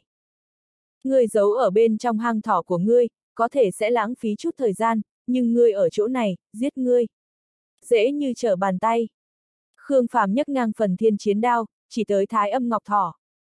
Tiếp trước, thái âm ngọc thố chính là khế ước thú mà thiên hậu kỳ vọng nhất, bọn hắn cũng đã vô số lần muốn mang con thỏ thâm tàng mê ly chi hải này, kết quả nó lại kiên trì tử thủ mê ly chi hải, từ đầu đến cuối không chịu đồng ý.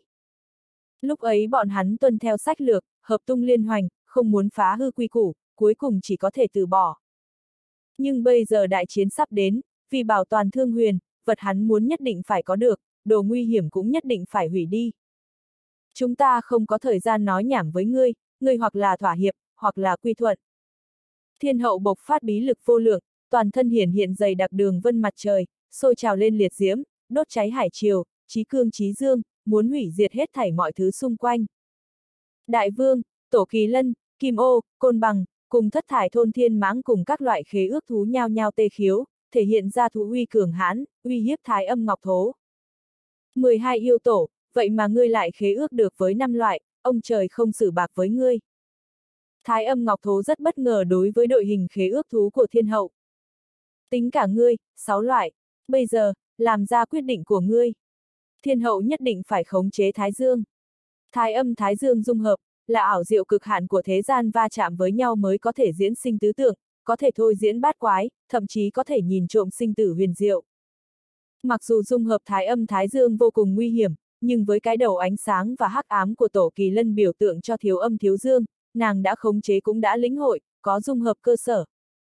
Huống chi, thái âm ngọc thố là yêu thần, một khi khế ước, đối với cảnh giới cùng với huyết mạch của nàng mà nói chính là một sự đả kích cường liệt, thực lực nhất định có thể thực chất tăng lên. Khương Phàm bức bách nói. Thái âm ngọc thố, người ở chỗ này ổ mấy ngàn năm, nên di chuyển rồi. Nếu không nữa thì giống loài người đây thật sự muốn tuyệt tích. Tặc điều cười hắc hắc nói. Cam chịu số phận đi, tiểu thố thố. Nếu như người thật muốn phản kháng, đã sớm khai chiến, bây giờ do dự nói rõ trong lòng không nguyện ý chết, chẳng qua là ngượng ngùng trực tiếp thỏa hiệp mà thôi. Đại vương Vỗ Hải Triều, nói. Đều là thần linh, coi trọng mặt mũi như vậy làm gì? Không cần khẩn trương, không cần lo lắng, chúng ta đây là một đại gia đình yêu, hắc hắc. Ca ca sẽ yêu thương ngươi. Ánh mắt thái âm ngọc thố lạnh lẽo, khí tức thái âm chảy xuôi bên trong hắc thủy. Thận trọng cân nhắc. Khương Phàm, Thiên Hậu và tất cả đều toát ra sát ý mãnh liệt.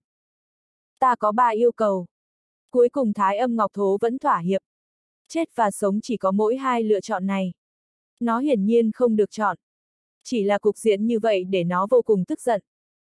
Trước tiên nói tới nghe một chút. Đầu tiên, không được đụng thái âm hắc hà của ta, nơi đó có hai ngọc thỏ chỉ tộc ta có. Thứ hai, thời gian đầu ta không xuất hiện ở trước mặt người ngoài, cho đến thời kỳ sau trong chiến tranh thương huyền, tại thời điểm nhất định phải ta lộ diện, ta sẽ xuất hiện. Như thế này là tận lực không liên lụy chiến tranh đến mê ly chi hải. Thứ ba, thiên môn không được xuất hiện từ nơi này, đi đường vòng đến hải vực khác tái dẫn lên oanh động, bảo đảm mê ly chi hải an bình. Hoàng nê đài tại mê ly chi hải đâu? Thứ mà Khương Phàm càng mong đợi chính là cái này. Ta muốn giữ lại. Thiên hạ, tổng cộng có 19 tòa nê đài, ta có chủ nê đài, tên là Phong Thần Đài, còn lại 18 tòa là Thụ Phong Đài. Đợi 10 tòa nê đài ủng hộ, ta sẽ có thể khống chế toàn bộ sinh tử của các chủ nhân nê đài. Ngươi để lại cho Ngọc Thố khác, liền mang ý nghĩa giao sinh tử cho ta. Các ngươi đạt được vài tòa rồi. Thái âm Ngọc Thố kinh dị, Phong Thần Đài. Cái tên thật bá đạo. Tính cả tòa này của ngươi, hết thảy 6 tòa. Khương Phàm rất chờ mong có thể trước khi Thương Huyền bắt đầu đại chiến sẽ tập hợp đủ 10 tòa, như thế thì ngày đầu tiên khai chiến, là hắn có thể để 8 vị thần ma xâm lấn bị mất mạng tại chỗ. Nhưng, chỉ sợ chỉ có thể tưởng tượng thôi. Huống chi phong thần đài cho tin tức là 10 tòa trở lên, số lượng càng nhiều, cơ hội có thể khống chế phong thần đài càng lớn. Sau khi thái âm ngọc thố do dự mãi, nó vẫn thỏa hiệp. Hắc thủy sau lưng im ắng cuồn cuộn, một tòa hoàng nê đài màu vàng rực rỡ chậm rãi dâng lên, thần uy trước đó bị ngăn cách bây giờ lại tràn ngập dưới đáy biển. Ngô Chính Uyên. Khương Phàm trực tiếp điểm tên. Ta. Ngô Chính Uyên chấn động tinh thần mãnh liệt, toàn thân nổi lên sóng nhiệt nóng hổi. Thế giới hỗn độn, Hoàng Nê Đài, đây là cơ hội duy nhất để hỗn độn chiến khu các ngươi trở lại đỉnh phong, nắm chắc cho tốt. Khương Phàm có rất nhiều lựa chọn, nhưng Ngô Chính Uyên không thể nghi ngờ là người thích hợp nhất bây giờ, thế giới hỗn độn với năng lượng hỗn độn đặc biệt phối hợp với khí tức huyền hoàng trong Hoàng Nê Đài, thần nguyên lực, đủ để cho hắn trùng kích thần cảnh trong thời gian ngắn nhất.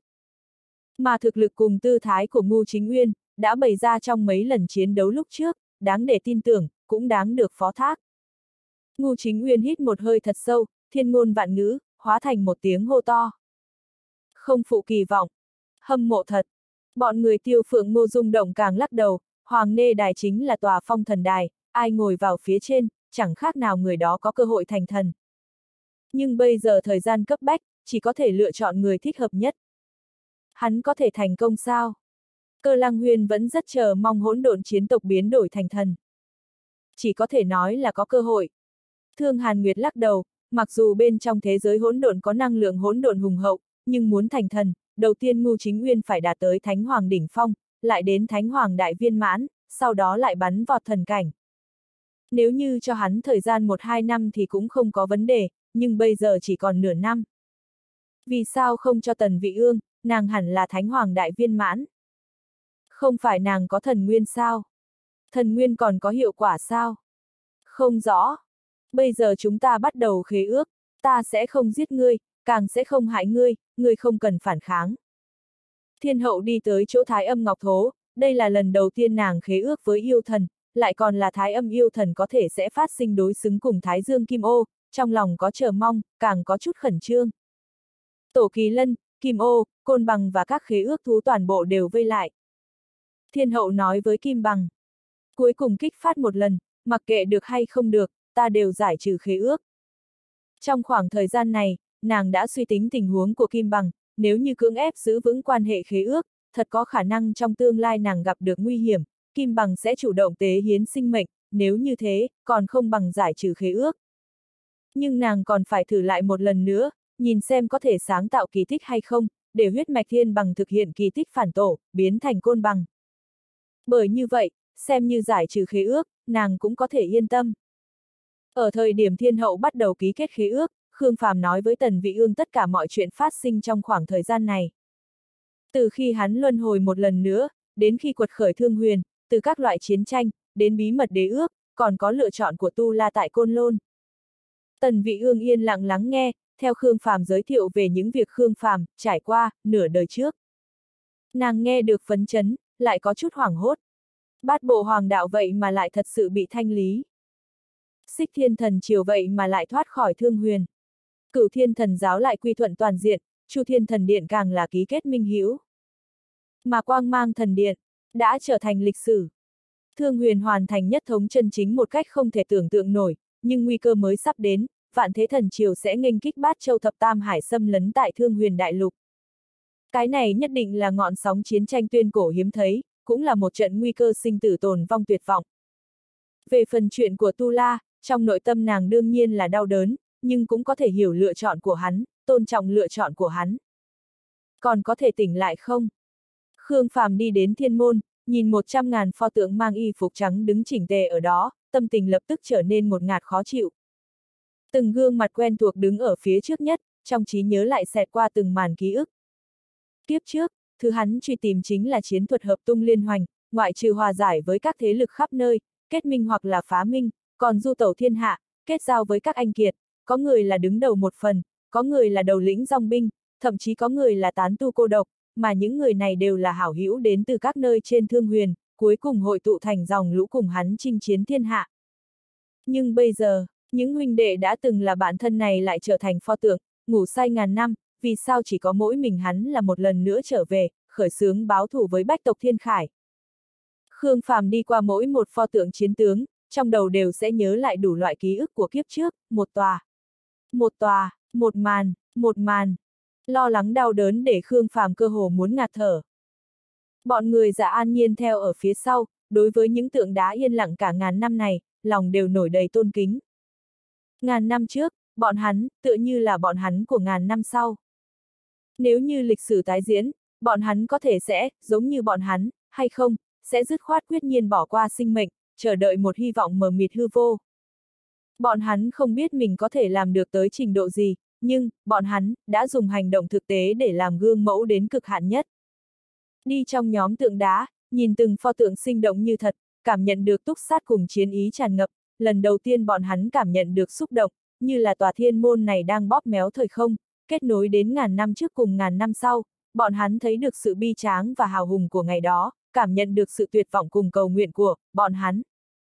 Bọn hắn cũng lần đầu tiên thật sự hiểu được tại sao Thiên Hậu và Khương Phàm lại chấp nhất với báo thù, bởi vì họ đã gánh chịu thật rất rất nhiều. Chu Thanh Thọ đứng trước một pho tượng, vẻ mặt phức tạp. Tiêu Phượng Ngô đi tới, nhìn pho tượng, lại nhìn Chu Thanh Thọ. Các ngươi, dáng dấp, giống như. Chu Thanh Thọ nghiêm túc khó có được, thì thào khẽ nói. Đúng vậy, giống như, giống như. Còn có hy vọng thức tỉnh không? Khương Phàm đứng ở trước ba pho tượng, hắn kiềm nén không được nữa, nước mắt cứ tràn đầy hốc mắt. Vương Tranh, Thành Bành, Thác Bạt Vân. Cận vệ trung thành nhất kiếp trước, cũng là ba vị trong ngũ đại chiến nô. Bọn hắn đều từng là người được giải cứu ra từ bên trong nô đãi tràng, cũng đều là những người đi theo Khương Phàm sớm nhất. Bọn hắn từ đầu đến cuối vẫn luôn làm bạn ở bên cạnh Khương Phàm, trung thành tuyệt đối, không oán trách không hối hận. Bọn hắn sống mà đi ra thiên khải chiến trường, lại dứt khoát tế dâng cho Đông Nam Thiên Môn. Trong tất cả pho tượng, bọn hắn, là những người quỳ duy nhất. Bọn hắn, hai tay dâng bả vai, dùng sức cúi đầu, như là đang thành tín cầu nguyện. Tần vị ương nhẹ giọng thở dài, nói. Thời gian quá lâu, phong ấn đã thấm vào linh hồn, rất nhiều người ngay cả linh hồn cũng đều bị hóa đá. Khương Phàm nói. Có hy vọng để rút linh hồn đi ra hay không? Ta tái tạo thân thể cho bọn hắn. Tần vị ương lắc đầu nói. Linh hồn bọn hắn nhận phải xâm nhập, rời khỏi thạch thể thì sẽ lập tức tiêu tán. Khương Phàm nhắm mắt lại, nói. Nếu như cưỡng ép tỉnh lại, bọn hắn có thể còn sống bao lâu? Tần Vị Ương nói. Cái này khó mà nói được, ngài muốn làm gì? Khương Phàm khẽ nói. Ta muốn một ngày nào đó trong tương lai, chính miệng nói một tiếng. Thương huyền nhất thống, vạn thế vĩnh xương với bọn hắn. Để bọn hắn an giấc, để bọn hắn trùng nhập luân hồi, cảm nhận thương huyền an bình. Tần vị ương yên lặng nhìn tượng đá, khẽ nhếch môi, muốn nói cái gì đó, nhưng lại trong lúc trần chờ mà trầm mặc xuống. Thật lâu, năng lượng thần nguyên còn lại bao nhiêu? Khương Phàm từ trong đau đớn khôi phục lại, bảo đảm tất cả tượng đá dần dần chuyển rời đến thông thiên tháp. Còn lại khoảng một phần ba. Tần Vị Ương có thể mang theo 100.000 tướng sĩ kiên trì đến bây giờ, toàn do thần nguyên không ngừng tiếp tục dùng thần lực tẩm bổ, nhưng dài đến ngàn năm tiêu hao, đã để thần nguyên vô cùng suy yếu. Ý nguyện của Tu La, muội cũng đã rõ ràng, chuẩn bị dung hợp thần nguyên đi. Một phần ba thần nguyên, hẳn là có thể để cho muội sông thần linh cảnh, nếu như không thành công, phía sau lại tìm đến Hoàng Nê Đài. Khương Phàm kiếp trước không dám nói nhất định có thể tạo nên tân thần, dù là thể chất nhân linh hiếm thấy như Tần Vị Ương, nhưng chỉ cần có Hoàng Nê Đài là có thể biến không thể thành có thể. Ta vừa mới đạt được một thần vật, huyền hoàng mẫu thạch của tinh linh đế tộc. Nó hẳn là có thể kích phát tiềm lực của ta, lại phối hợp với thần nguyên. Vẫn phải có hy vọng. Phụ thân của tần vị ương kỳ thật chính là, thạch hổ, mà nàng cưỡi, nhưng mẫu thân của nàng lại là một con người. Linh tộc cùng nhân tộc kết hợp bình thường mà nói không thể nào kéo dài ra sinh mệnh, nhưng vẫn phát sinh kỳ tích, nàng đã ra đời. Vì thai ngén nàng, mẫu thân của nàng đã dâng hiến sinh mệnh. Nàng bị coi là dị loại, bị phỉ nhổ và đuổi đi, suýt nữa chết hiểu là thiên nghi nữ hoàng bảo vệ nàng, cũng bồi dưỡng nàng lớn lên. Nhưng cuối cùng nàng vẫn không chịu được chỉ trích ở nơi đó, nàng mang theo phụ thân rời khỏi tinh linh đại lục, đi đến thương huyền xa xôi. Cũng là tại thương huyền, nàng gặp được tình yêu của nàng, cũng gặp được sự nghiệp to lớn, để nàng nguyện ý hy sinh. Huyền hoàng mẫu thạch là bảo vật đặc hữu của tinh linh đại lục, đối với linh tộc mà nói, nó có thể được xưng là thần vật tuyệt đối, có công dụng kỳ diệu vô tận, bình thường đều là tinh linh trong đế thành mới có tư cách hưởng dụng. Cảnh giới của nàng bây giờ là thánh hoàng đại viên mãn, nếu như có thể dùng huyền hoàng mẫu thạch kích phát tiềm lực linh tộc trong cơ thể, lại dùng thần nguyên mà tu la đặc biệt lại cực kỳ bao dung kích phát tiềm lực nhân tộc, nàng thật có hy vọng xông vào thần linh cảnh. Thời gian cấp bách, bây giờ muội liền vào thông thiên tháp bế quan. Không kém một hai tháng này, ta muốn bồi tiếp mọi người cùng hành động. Tần vị ương nhìn về phía bọn người dạ an nhiên. Đây đều là thuộc cấp thần hoàng kiếp này mời chào, số lượng thánh vương và thánh hoàng để cho nàng kinh ngạc, nàng rất muốn nhìn một chút xem thực lực của bọn hắn như thế nào. Khương Phàm đều triệu tập bọn người dạ an nhiên lại, nói. Tản ra hành động, ba người một tổ, săn bắt huyễn vụ mê điệp cùng cửu u địa minh nha. Huyễn vụ mê điệp sinh hoạt tại thiên hải, chiếm cứ trên một ít hòn đảo bí ẩn, mê vụ của bọn chúng có thể chế tạo ảo giác, còn có thể vặn vẹo thời gian, thời điểm bắt, ngàn vạn lần phải cẩn thận, mà phải là còn sống. Cửu U địa minh nha sinh tồn ở nơi vực sâu dưới đáy biển, lấy linh hồn làm thức ăn, sẽ còn hút ký ức, khi bắt, chết hay sống không cần lo, chúng ta muốn là thú nguyên của bọn chúng. Nghe nói có thể tẩm bổ linh hồn, đề cao ngộ tính, còn có thể luyện dược. Chúng ta bắt huyễn vụ mê điệp. Tặc điểu và đại vương là kẻ đầu tiên hô to, Chu Thanh Thọ còn không có kịp phản ứng thì đã bị cưỡng ép kéo đi. Chúng ta lùng bắt cửu u địa minh nha. Khương Quỳ, Khương Diễm còn có triệu thời Việt, xông vào vực sâu đáy biển. Bọn người giả an nhiên cũng lựa chọn mục tiêu, liên tiếp hành động. Tần vị ương cũng cưỡi thạch hổ rời khỏi, ngủ say quá lâu, trước tiên cần làm nóng người, rèn luyện năng lực ứng biến. Mê ly chi hải có rất nhiều huyễn vụ mê điệp, trải rộng trên các tầng mây mù và hòn đảo. Tuy nói bá chủ vùng biển này là thái âm ngọc thố, nhưng càng giống như là thế giới của huyễn vụ mê điệp. Bọn chúng sinh tồn ở chỗ này, sinh sôi ở chỗ này, bện ra mộng ảo vô tận ở chỗ này. Đội ngũ tản ra lùng bắt đều biết rõ mê vụ đáng sợ, tất cả không ngừng phóng thích ra năng lượng cường thịnh, xua tan mê vụ, thác hải mà đi. Thứ này phải bắt thế nào? Bọn chúng có thể ảnh hưởng thời gian cơ mà. Đại vương không ngừng nhấc lên gợn sóng, giữ vững trăm dặm hải vực xung quanh sạch sẽ trong trẻo. Bọn chúng có thể ảnh hưởng thời gian, chẳng phải là nói. Khả năng tại thời điểm gặp phải chúng ta, sẽ lập tức ngưng kết thời gian, nhanh chóng biến mất. Cứ như vậy, chúng ta không biết chút nào, chẳng phải mãi mãi cũng tìm không thấy bọn chúng. Chu Thanh Thọ ngồi ở trên lưng đại vương, nhìn xung quanh hải dương. Bọn chúng còn có thể vây khốn thánh hoàng chúng ta. Một hai con rất khó, mấy trăm con thì sao? Lại nói, bọn hắn có thể vặn vẹo thời gian, không chỉ là ngưng kết, còn có thể ngược dòng. Đầu đều chuyển đứng lên, suy nghĩ biện pháp. Không thể nào đọa thanh danh đoàn cướp bóc chúng ta được, nhất định phải bắt được nhiều nhất. Đại vương muốn bằng vào hải dương rung động, cảm nhận tình huống xung quanh, nhưng mê vụ có thể ảnh hưởng thời gian, bóp méo loại cảm giác kia, phạm vi luôn luôn cực hạn trong 100 dặm này. Nếu như thứ này có thể nghịch chuyển thời gian, có thể dài bao nhiêu? Tặc điều chăm chú suy nghĩ. Còn dài bao nhiêu, dù là chỉ là một giây thì cũng có thể để khi chúng ta nhìn đến, trong nháy mắt trở lại một giây trước đó, sau đó trước khi chúng ta phát hiện, bọn chúng đã biến mất không còn bóng dáng. Một con phát hiện chúng ta, sau khi rút lui liền có thể đưa tới càng nhiều, sau đó lít nha lít nhít chật ních cả thiên hải, phong tỏa, chỉ dẫn chúng ta, để cho chúng ta bất chi bất giác rời khỏi mê ly chi hải. Chu Thanh Thọ bực tức, bỗng nhiên cảm giác bắt những vật này cũng không phải là việc dễ làm, còn không bằng bắt cửu u địa minh nha. Đại vương, ngươi đang đi hướng nào vậy? Tặc điều đột nhiên hỏi. Tùy tiện đi chứ sao? Tại sao ta cảm giác cảnh tượng xung quanh chúng ta vẫn chưa từng thay đổi? Không bình thường sao? Mê ly chi hải lớn mấy chục vạn dặm, đảo chỉ có trăm cái, người đi mấy ngàn dặm cũng đều không nhìn thấy rất bình thường. Chúng ta rời khỏi bao lâu? Mới một hồi. Ngươi dừng lại trước đã. Thế nào? Trừng to mắt mà nhìn, ta hoài nghi. Tặc điểu vòng vo con mắt một lát, nó bạo phát liệt diễm ngập trời mà không có dấu hiệu nào, tuôn ra trăm dặm, chật ních không gian, cường quang dọi khắp mê vụ, nhiệt độ cao vặn vẹo cả trên trời dưới biển, ầm ầm tiếng vang, cửu luân mặt trời liên tiếp dâng lên, nghiền ép về bốn phương tám hướng.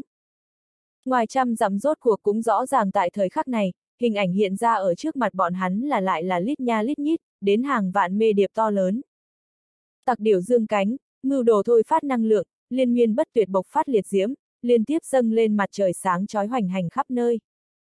Mê điệp khổng lồ, mỗi con đều có khoảng trăm mét, xinh đẹp lộng lẫy, giống như tinh linh, bọn chúng như đang du tẩu trong thời gian, tùy tiện tránh né thế công mãnh liệt, nhưng tặc điều tấn công quá mạnh, liệt diễm cuồn cuộn, trải rộng ra mênh mông mấy trăm dặm, cho dù mê điệp vặn vẹo thời gian, cũng trốn không thoát khỏi phạm vi bị đốt cháy, từng tiếng kêu rít thê lương thảm thiết, liên miên bị đốt thành cho bụi. T, chúng ta bị tập trung vào. Chu Thanh Thọ hít vào từng ngụm khí lạnh. Còn đứng ngây đó làm gì, đây không phải là tới rồi sao? Thủy Lao, vây khốn bọn chúng, không, đừng, dùng hải chiều cuồng đập, đập choáng bọn chúng, nhanh nhanh nhanh. Tặc điểu hô to, đồng thời tản ra liệt diễm. ầm ầm, đại vương gào thét, một nguồn ba động khủng bố khuấy động hải vực minh mông, mặt biển sôi trào giống như nổ tung, thủy triều vọt lên ngập trời, liên miên bất tuyệt cuồng kích thiên hải, vô tình đánh thẳng vào huyễn vụ mê điệp đang kinh hoàng. Mặc dù huyễn vụ mê điệp có thể thao túng thời gian, khi thì ngược dòng, khi thì ngưng kết, nhưng bọn chúng thật không chịu nổi trùng kích hỗn loạn liên tục mà lại không ngừng, không có kết cấu gì, cứ thế mà liên miên rơi xuống.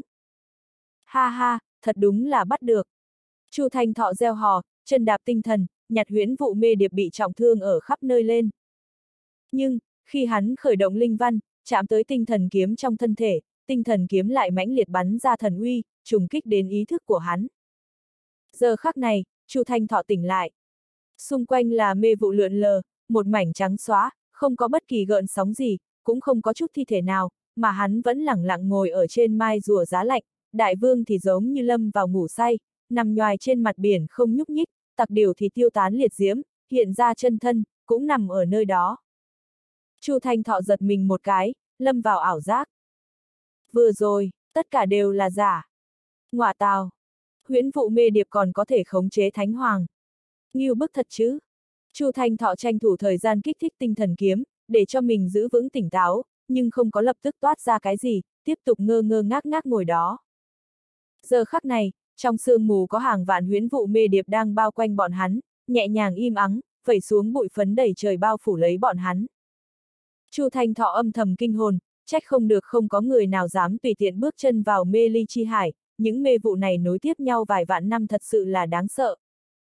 Trước đó tới, Khương Phàm đã lấy liệt diễm đốt cháy, hoành hành không trở ngại, bọn hắn còn cảm giác rất nhẹ nhàng, không nghĩ tới khi tự mình đi ra lại liền bị ảnh hưởng.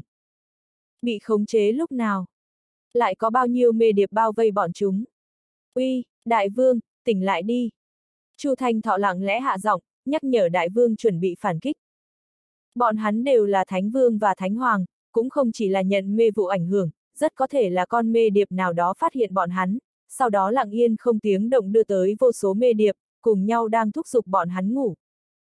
Nếu như thế này, nếu đại vương tỉnh táo, hoàn toàn có thể giống trong mộng cảnh của hắn như thế, nhấc lên hải triều cuồng loạn, đập choáng bọn chúng. Đại vương! Chu Thanh Thọ thoáng cất cao giọng, kết quả bên cạnh truyền đến một tiếng nói nhỏ. Chớ quấy giày. Sao? Chu Thanh Thọ cúi đầu, lặng lẽ liếc mắt nhìn tặc điểu ở bên cạnh. Chớ quấy giày. Tặc điểu cố ý vặn vẹo thân dưới, toàn thân nổi lên ánh lửa, bộ dáng giống như là muốn thức tỉnh. Giống. Đại vương đong đưa cái đầu, phát ra tiếng tiếng giống trầm thấp, chiến khu khổng lồ hơn 500 mét như cũng muốn tỉnh lại. Hai tên xảo quyệt bọn chúng đã sớm tỉnh, nhưng vẫn luôn đã giả vờ ngủ, ngẫu nhiên lại làm bộ muốn thức tỉnh, kích thích huyến vụ mê điệp chào hỏi càng nhiều đồng bạn tới, khống chế. Chu Thanh Thọ phiền muộn một trận, hai tên gia hỏa này quá không trượng nghĩa. Tiểu quai quai, tiếp tục tới, tiếp tục tới. Đại vương trừng mắt lên, mê mẩn trừng trừng, lại nhắm lại, diễn rất giống như chuyện là như vậy. Đừng nóng vội, đừng nóng vội, ổn định. Tặc điều, thì thào nói nhỏ, nhắc nhở đại vương đừng sao động, muốn dẫn tới nhiều một chút. Trước đó bọn chúng cũng nhận ảnh hưởng, mặc dù thời gian không phải rất dài, nhưng đường đường là thánh hoàng lại bất trí bất giác lâm vào huyễn cảnh, thật không thể tin hơn, nói rõ bọn huyễn vụ mê điệp này xác thực đáng để bắt. Chiến khu hơn 500 mét của đại vương giống như một hòn đảo màu đen, lẳng lặng lơ lửng ở trên mặt biển, chìm chìm nổi nổi, tạo nên tầng tầng gợn sóng. Nhưng xung quanh, mê vụ càng ngày càng đậm hơn, vẩy xuống bụi mịn đầy trời, giống như là trắng tuyết mênh mang, bao trùm thân thể khổng lồ mà nặng nề của nó. Huyễn vụ mê điệp phát ra sóng âm yếu ớt, sóng âm nghe không được, nhưng lại có thể ảnh hưởng ý thức, hàng vạn sóng âm liên miên bất tuyệt thẩm thấu vào, để đại vương làm bộ hôn mê đều suýt nữa đã hôn mê thật, thậm chí hoài nghi có phải mình tại thời khắc nào đó lại lâm vào mộng cảnh hay không. Một ngày, hai ngày, ba ngày. Bọn hắn kiên nhẫn chờ đợi, hấp dẫn càng nhiều huyễn vụ mê điệp tới, cũng đang tiêu hao năng lượng của huyễn vụ mê điệp. Mấy ngày, đại vương phát ra tiếng gầm nhẹ hàm hồ. Năm ngày, tặc điều đều sắp không kiên trì nổi, tần suất ý thức hoảng hốt càng lúc càng nhanh. Nên tới hầu như đều tới rồi. Đại vương bắt đầu chuẩn bị. Vậy còn thất thần làm gì? Tặc điều giật giật lấy. Đại vương, hung hăng đánh. Khả năng bọn chúng sẽ thay đổi thời gian, trở lại vài giây đồng hồ trước khi ngươi bộc phát, sau đó rút lui toàn bộ, ngươi nhất định phải khuếch trương phạm vi đến đủ lớn. Chu Thanh Thọ kích thích tinh thần thần kiếm, nhắc nhở đại vương. Một, hai, ba, đi bắt bướm. Đại vương đột nhiên ngẩng đầu, phát ra tiếng gào thét thật lớn, cuồn cuộn sóng âm, khuấy động đất trời, một loại ba động khủng bố khuấy động hải dương, mặt biển mênh mông mấy trăm đến hơn ngàn dặm nổ tung trong nháy mắt, nhấc lên sóng lớn che trời, cuồng kích bốn phương tám hướng.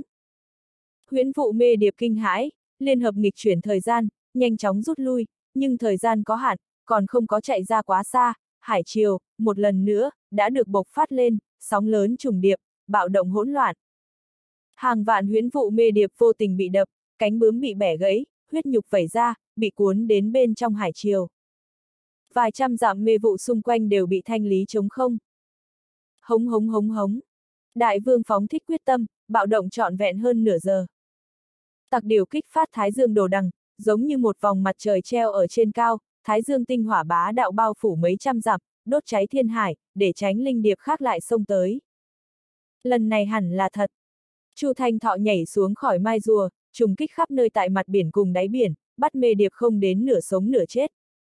Cùng lúc đó, Đông Hoàng Càn du tẩu ở trong hư không phát hiện một hòn đảo ở sâu trong mê vụ. Hòn đảo có phạm vi cực lớn, phía trên có núi cao tú lệ, có rừng rậm thanh thúy tươi tốt, có dòng suối uốn lượn, có sông lớn lao nhanh, phía trên không có yêu thú khác, chỉ có hổ điệp đếm mãi không hết, ngoại trừ huyễn vụ mê điệp ra thì còn có rất nhiều những chủng loại yêu điệp khác. Đông Hoàng càn vòng quanh hòn đảo quan sát một lúc, sau đó bắt đầu bện hư không mê tổ, bao phủ cả hòn đảo nhỏ không một tiếng động. Biện pháp của hắn đơn giản lại thô bạo, chính là ném cả hòn đảo nhỏ tới trước mặt Khương Phàm. Về phần giải quyết như thế nào, xử lý như thế nào, để Khương Phàm tự mình nhìn mà xử lý.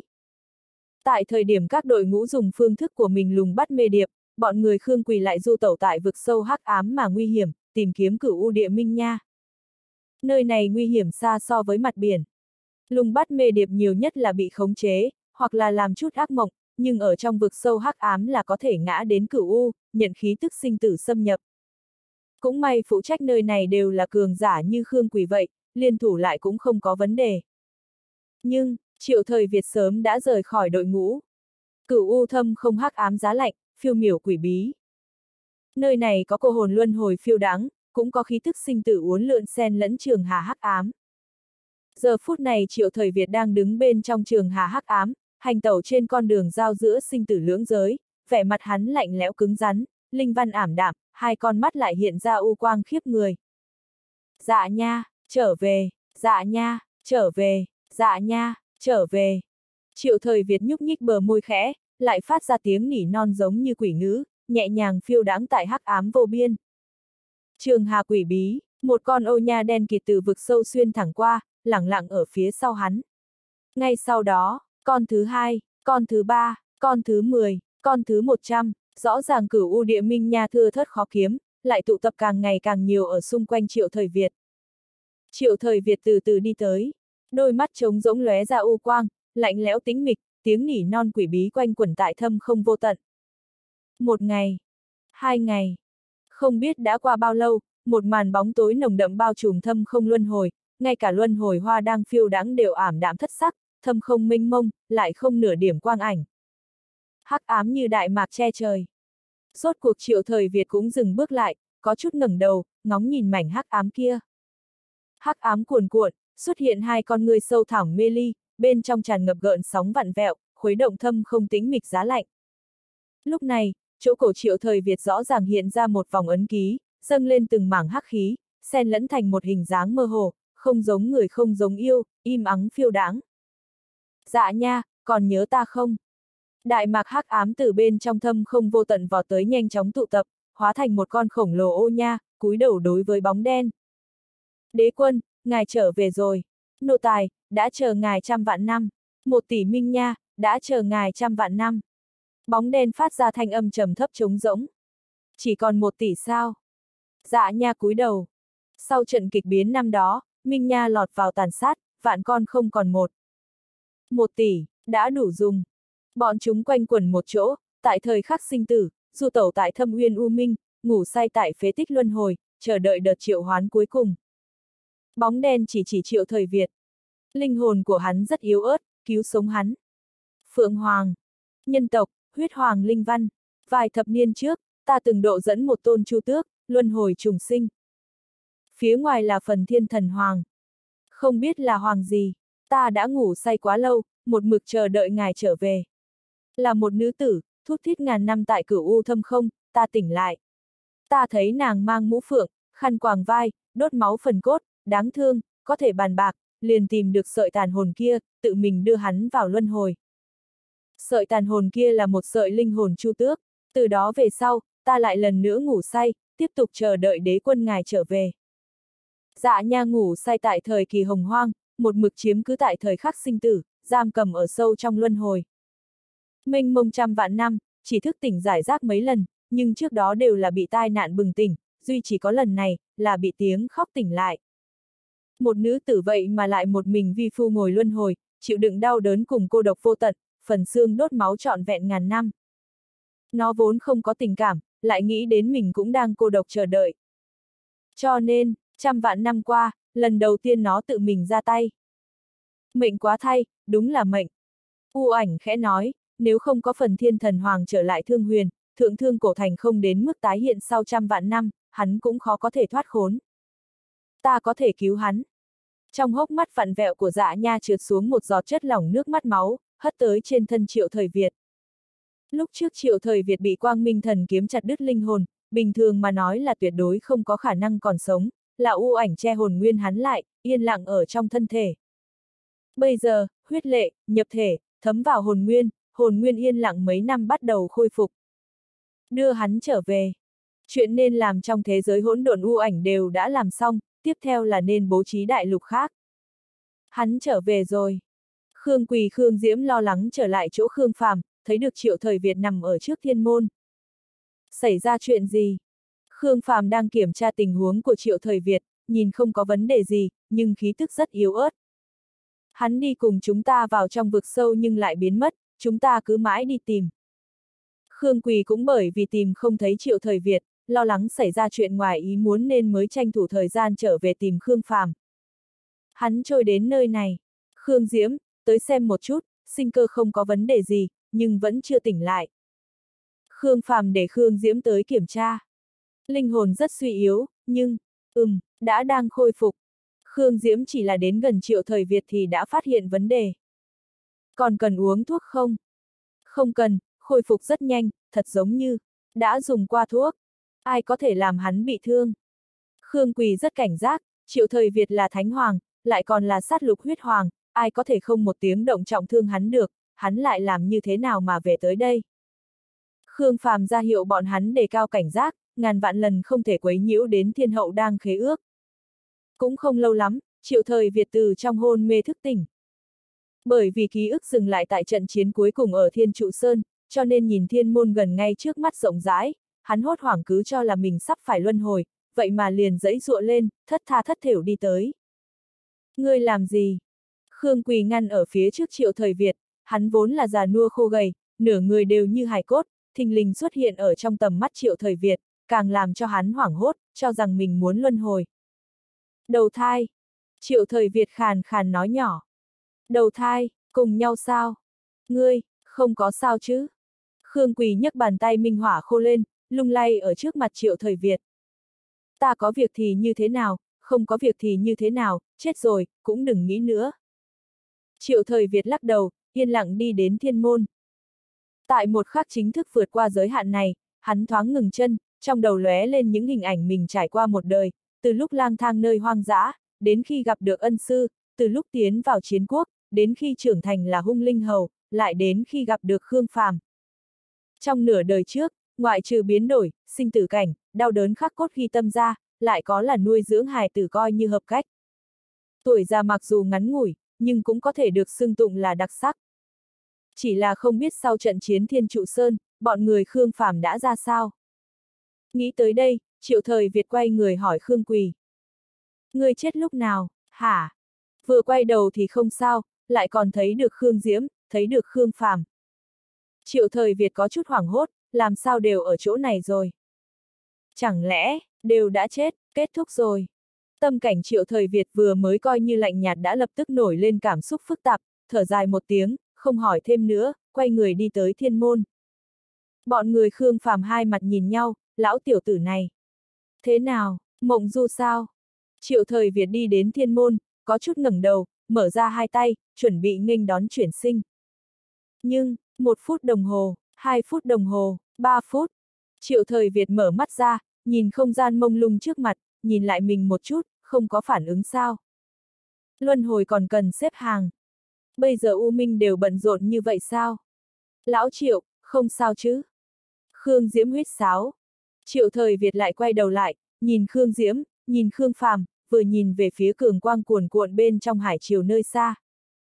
Ở trong đó có bóng dáng các loại cự thú ẩn hiện, có kỳ lân chín đầu, có đằng xà dương cánh gầm thét, có kim ô tỏa cường quang minh mông, có kim hống uy phong lẫm liệt, còn có thôn thiên cự mãng quay quanh, huyết sư mở mắt trên chán, kim bằng dương cánh che trời.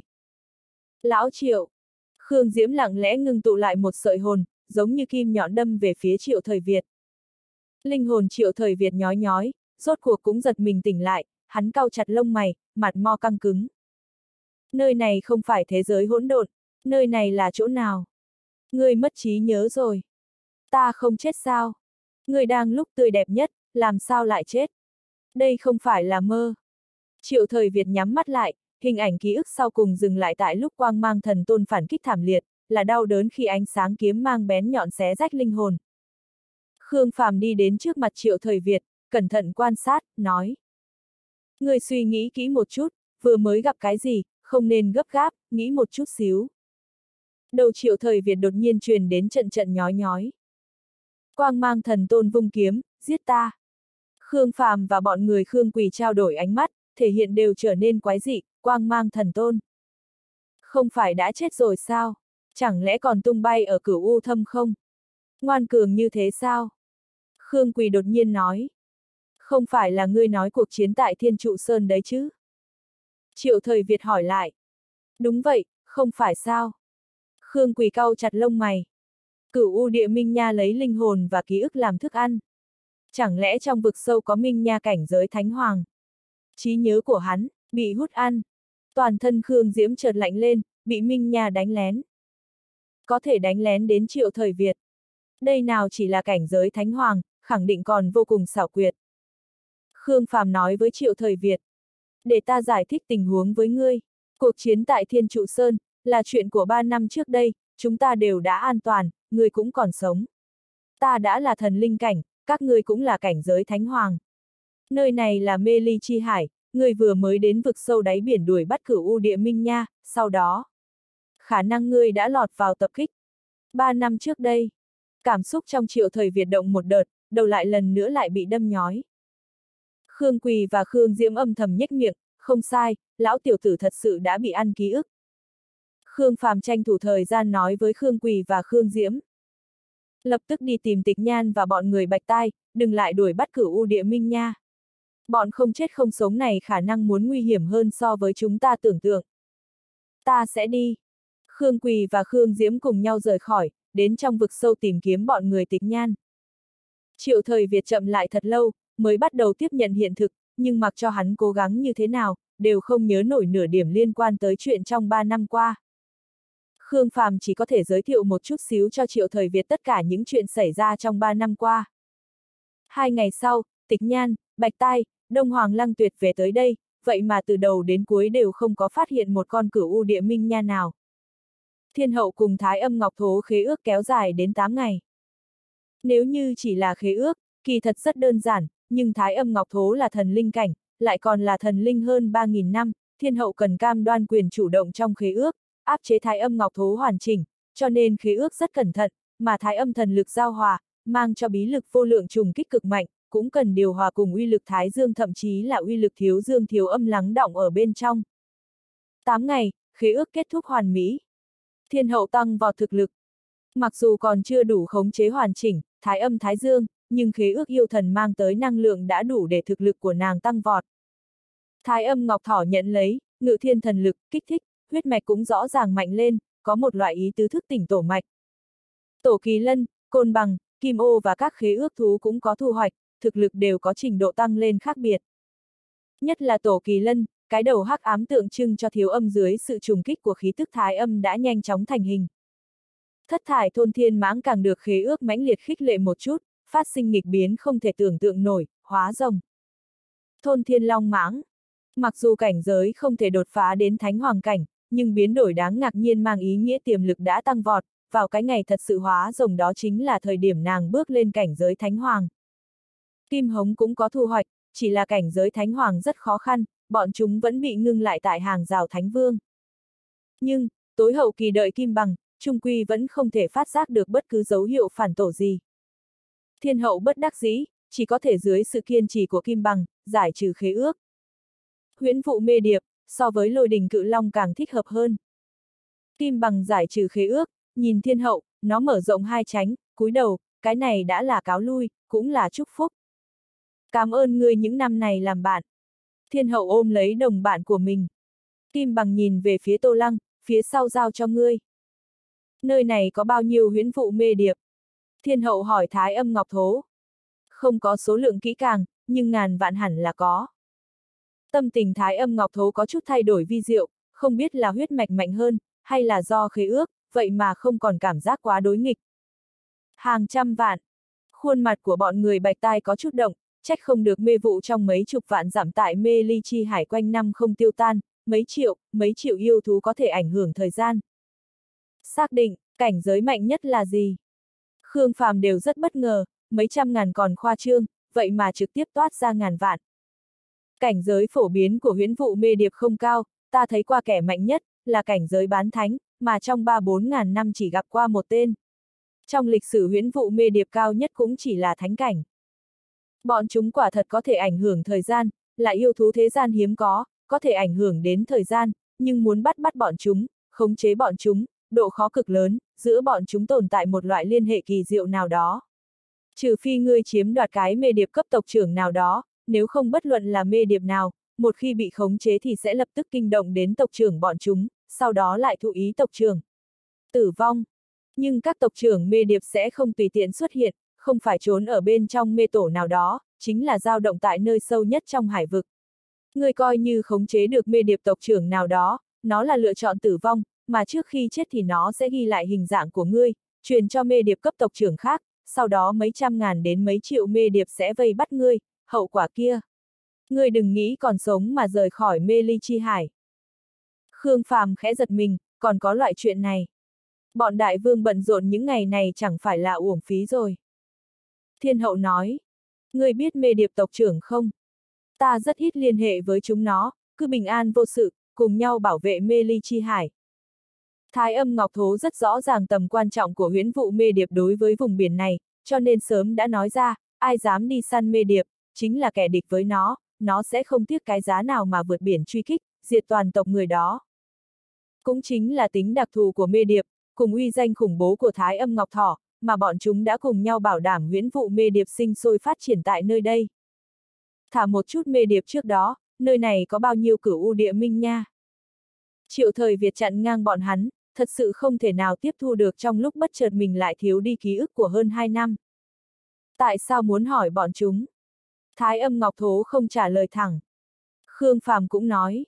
Liên quan tới lời đồn trong mê ly chi hải, ngoại trừ mà biển sâu nhất, vực sâu nguy hiểm nhất, chính là bốn loại yêu thú, thái âm yêu thần ngươi, huyễn vụ mê điệp trải rộng thiên hải, thủy tổ ngư thống trị đáy biển, còn có cửu u địa minh nha rời rạc tại thời khắc sinh tử. Trong bốn loại yêu thú, hiếm thấy nhất, quỷ dị nhất chính là cửu u địa minh nha, đồng thời cũng là không được coi trọng nhất. Nhưng ngay trước đây không lâu, thánh hoàng của chúng ta mê thất trong vực sâu, sau khi trở về đã mất đi ký ức của gần 3 năm. Có thể làm cho thánh hoàng mê thất, cái này giống như không phải cửu u địa minh nha mà ta biết có thể làm được.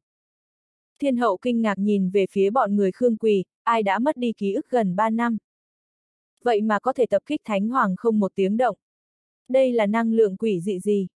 Loại tồn tại kinh khủng giống thánh hoàng này có thể thống ngự mấy chục vạn dặm sơn hà, cho dù là thần tôn muốn tùy tiện khống chế đều rất khó làm được. Thái âm ngọc thố trầm mặc hồi lâu, tựa như là đang lo lắng cái gì đó. Khương Phàm nói, người đều phải rời khỏi, còn có cái gì không thể nói. Không phải ta không muốn nói, là không biết nên nói như thế nào. Cửu U địa minh nha rất thần bí, xuyên thẳng qua sinh tử lưỡng giới, không chết không sống, cũng không chủ động xuất hiện, ngay cả ta đều không có gặp bao nhiêu lần. Tuy nhiên, quên là thời gian nào, có chừng mấy trăm năm, lúc ấy Thiên Khải cùng U Minh bộc phát qua một trận kịch chiến, ta muốn nhìn thấy tình huống, nên đã thông qua vực sâu sông vào U Minh, nhưng lần đó ta lại thấy được một màn để cho ta hồi hộp. Thái âm Ngọc Thố lắc đầu, như là lòng còn sợ hãi đối với hình ảnh ngay lúc đó. Cái gì? Khương Phàm và Thiên Hậu cũng hơi nhíu mày, thứ gì lại có thể kinh đến loại yêu thần trí âm trí tà như Thái âm Ngọc Thỏ này. Ta thấy được Minh Nha nhìn không thấy bờ, xoay quanh tại cửu u thâm không, giống như là một cái vòng xoáy kinh khủng, đang yên lặng hấp thu cái gì đó. Ở sâu trong vòng xoáy kia, chỉ ít có ba con ta chưa thấy qua. Là quả đen giống như là Minh Nha, nhưng lại không phải Minh Nha. Bọn chúng chỉ là nhìn ta một chút từ xa xa, vậy mà trí nhớ của ta tại một khắc kia đã rối loạn, cũng may cảnh giới của ta đủ mạnh, kịp thời lui ra khỏi thâm không. Sau khi nói xong, Thái âm Ngọc Thỏ vẫn lắc đầu, bởi vì hình ảnh kia mặc dù xoay quanh không tiêu tan, lại mông lung phiêu miểu, đến mức đến bây giờ nó đều không phải là rất xác định mình thật đã nhìn thấy, đã trải qua, hay chỉ là một trận ảo giác. Khương Phàm và bọn người thiên hậu trao đổi ánh mắt với nhau, Minh Nha nhìn không thấy bờ. Chẳng lẽ đám không chết không sống kia chiếm cứ trong luân hồi sinh sôi vô hạn? Thái âm Ngọc Thố nói. Mê ly chi hải có thể giữ vững bình tĩnh đến bây giờ, không chỉ là ta uy hiếp, cũng không chỉ là đại lục bốn phía tìm kiếm cân bằng, mà là nơi này xác thực có rất nhiều tồn tại quỷ dị. Không lâu sau đó, đám đại vương trở về, vẻ mặt uể oải, thể hiện xấu hổ. Bọn hắn xác thực đều đã bắt được không ít huyến vụ mê điệp, nhưng trên đường trở về mới phát hiện, đều chết hết. Khương Phàm liên tục trấn an, miễn cho mấy vị, đạo tặc, đoàn cướp bóc này sinh ra hoài nghi đối với năng lực chuyên nghiệp của mình. Cho đến khi Đông Hoàng Càn trở về. Có thu hoạch không? Khương Phàm hỏi. Không nhìn ra được sao, hai tay trống trơn. Đại vương rất phiền muộn, uổng phí thời gian vài ngày. Ta chưa bắt được huyễn vụ mê điệp. Đông Hoàng Càn lắc đầu. Ngươi nhìn xem, không gian đụng phải thời gian cũng là uổng công.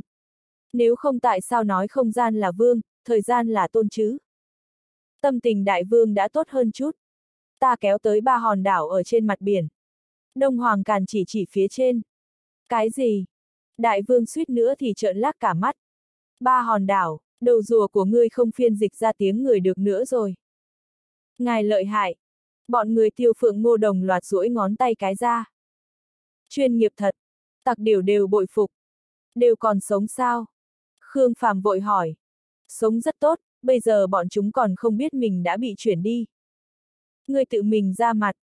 Thiên hậu nhìn về hướng thái âm ngọc thố.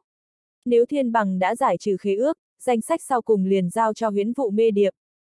Kiếp này nàng muốn truy tìm lực lượng cực hạn, cực hạn đến mức nghiền ép đến vấn đề chúng thần. Côn bằng có thể thống ngự đại dương, kim hống có thể đọ sức với thiên long, tổ kỳ lân có thể trưởng tự nhiên, đằng xà bộc phát tốc độ cực hạn, kim ô cùng ngọc thỏ, thái âm thái dương, thôn thiên mãng bắt đầu hóa rồng, có thể nuốt luyện vạn vật, huyết sư có thể câu thông u minh. Tương đương với thông qua năng lượng yêu thú, nắm trong tay các loại cực hạn thế gian, nếu như lại có thời gian, thì tương đương với việc tạo thành bí thuật, bế hoàn, hoàn mỹ. Nàng nhất định đánh đầu thắng đó, không sợ thiên hạ. Thiên đạo truyền thừa. Nàng không cần. Hoàng nê đài. Nàng không cần. Nàng muốn đi con đường của mình, chứng minh tên mình. Nàng không cần bất cứ cái gì cái gọi là ban ân. Thái âm Ngọc Thố nhắc nhở thiên hậu. Thời gian không phải dễ khống chế như vậy, bí lực vô lượng của ngươi đã diễn biến ra quá nhiều năng lượng, nếu như lại rót vào một loại sức mạnh phi phàm đến cấm kỵ, hậu quả đó. Hoặc là bí lực vô lượng sụp đổ, tạo thành tổn thương chí mạng cho ngươi, hoặc là ngươi sẽ xúc động thiên phạt, mang theo kiếp nạn, thật giống như năm đó phần thiên thần hoàng, bị buộc lên trời chứng đạo. Khương Phàm không có nhiều lời, làm phu thế, hắn biết rõ thiên hậu liên tục khống chế các loại năng lượng là tồn tại tai họa ngầm, giống như kiếp trước còn có thể tiếp nhận, nhưng kiếp này nàng đều là khống chế lực lượng kinh khủng với cấp bậc yêu tổ, bây giờ lại dung hợp thái âm thái dương, thiếu âm thiếu dương, đã có thể xưng là nghịch thiên. Nhưng Khương Phàm càng tin tưởng tiềm lực của thiên hậu. Ngự thiên linh văn chính là linh văn từ thời kỳ hồng hoang đều không có ghi lại, từ hồng hoang đến nay càng chưa từng xuất hiện, linh văn như thế này ai cũng không rõ ràng cực hạn thật sự ở nơi nào. Mà thiên hậu có kinh nghiệm của kiếp trước, cảm ngộ cùng khống chế đối với bí lực vô lượng kiếp này cũng sẽ càng sâu càng mạnh. Huống chi, hắn không ngăn cản được lựa chọn của thiên hậu, nhất là dưới cục diện nguy cơ trước mắt. Về phần thiên phạt, nếu quả thật có một ngày như vậy, hắn nguyện ý dắt tay thiên hậu, cùng nhau lên trời. Thái âm Ngọc Thố nói, nếu ngươi đã kiên trì, ta sẽ nỗ lực hết sức. Nếu như phía trên có tộc trưởng, ta sẽ tận lực thuyết phục tộc trưởng khế ước cùng ta. Nếu như mê điệp tộc trưởng không đồng ý, tùy tiện cho ta một con huyễn vụ mê điệp. Thiên hậu chỉ cần lĩnh hội bí lực thời gian, dù chỉ là có thể ảnh hưởng đến 10 giây đồng hồ, thậm chí 5-3 giây cũng đầy đủ. Các ngươi chờ đấy, không nên tới gần, do ta thương lượng. Thái âm ngọc thố rời khỏi đáy biển, đi đến hòn đảo trên mặt biển. Nhưng trước khi trồi lên mặt biển, thái âm ngọc thố chợt ngừng lại, yên lặng nằm nhòi tĩnh mịch đen kịt hắc thủy bên trong. Mấy ngày nay biến cố đối với bình tĩnh đã quen như nó mà nói, có loại cảm giác hoảng hốt không chân thực. Nó lại bị khế ước. Nó lại muốn rời khỏi mê ly chi hải rồi. Nó lại muốn bước vào vòng xoáy chiến tranh thương huyền, lại còn nghênh kích về phía kia. Tâm tình thái âm ngọc thố phức tạp, thậm chí nó chờ mong tất cả mọi chuyện nó đang trải qua bây giờ cũng chỉ là huyễn vụ mê điệp tạo một trận huyễn cảnh cho nó mà thôi. Cuối cùng, thái âm ngọc thố lắc đầu, thái âm thủy chảy ngang, không đợi Đông Hoàng Càn tự mình động thủ, liền hủ thực không gian, tùy tiện đả thông phong ấn, leo lên một hòn đảo bên trái.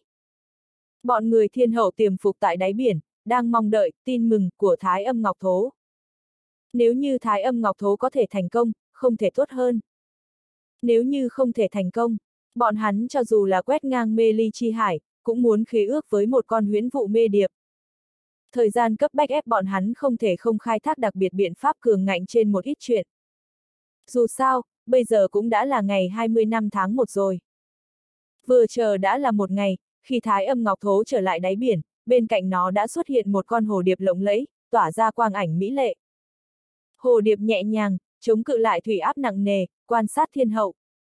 Chỉ là cái thứ đồ chơi này có hình thể quá lớn, cự ly xa nhìn coi như mỹ lệ, khoảng cách gần nhìn lại làm cho trong lòng người run rẩy. Thái âm Ngọc Thố nhìn thiên hậu nói. Nó không phải tộc trưởng, nhưng một là một mê điệp với huyết mạch thuần chủng. Mê điệp có hai yêu cầu, đầu tiên, người không được mang huyễn vụ mê điệp xuất hiện ở trước mặt bất cứ người ngoài nào, bọn chúng không hy vọng rước lấy phiền phức cho tộc đàn. Nếu như người muốn mạnh mẽ dẫn nó xuất hiện, hoặc là nó phát giác được có nguy hiểm bại lộ, sẽ trực tiếp kết thúc bản thân. Cho dù người khế ước mạnh hơn, tộc trưởng cũng có thể thao túng sinh tử của nó. Thứ hai, nếu như, mặc dù khả năng không lớn, nhưng là nếu như, người có thể còn sống sót, phải cho nó tự do. Ta tiếp nhận. Thiên hậu không có chút do dự gì. Chỉ cần có thể đạt được lực lượng của huyễn vụ mê điệp, điều kiện gì cũng đều có thể tiếp nhận. Ta đề nghị ngươi không nên khế ước ngay bây giờ. Lực lượng thời gian là loại lực lượng cấm kỵ, cực ít xuất hiện ở trên thân sinh linh bây giờ. Cho dù xuất hiện, cũng chỉ là ảnh hưởng có hạn, cảnh giới có hạn, truyền thừa càng là khó khăn. Tình huống giống như loại huyễn vụ mê điệp này có thể sinh sôi thành đàn, từ hồng hoang đến nay, vẻn vẹn chỉ có lệ này. Nếu như người vọng tưởng khống chế, đầu tiên cần làm tốt đầy đủ chuẩn bị, ví dụ như thật sự dung hội xuyên suốt thái âm thái dương, thiếu âm thiếu dương, từ bên trong đó tìm hiểu ra đạo lý âm dương lưỡng nghi, thôi diễn bát quái cản khôn huyền diệu, sau đó lại rót vào lực lượng thời gian. Mặc dù thái âm ngọc thố lạnh lùng nhưng đề nghị vẫn rất đúng trọng tâm.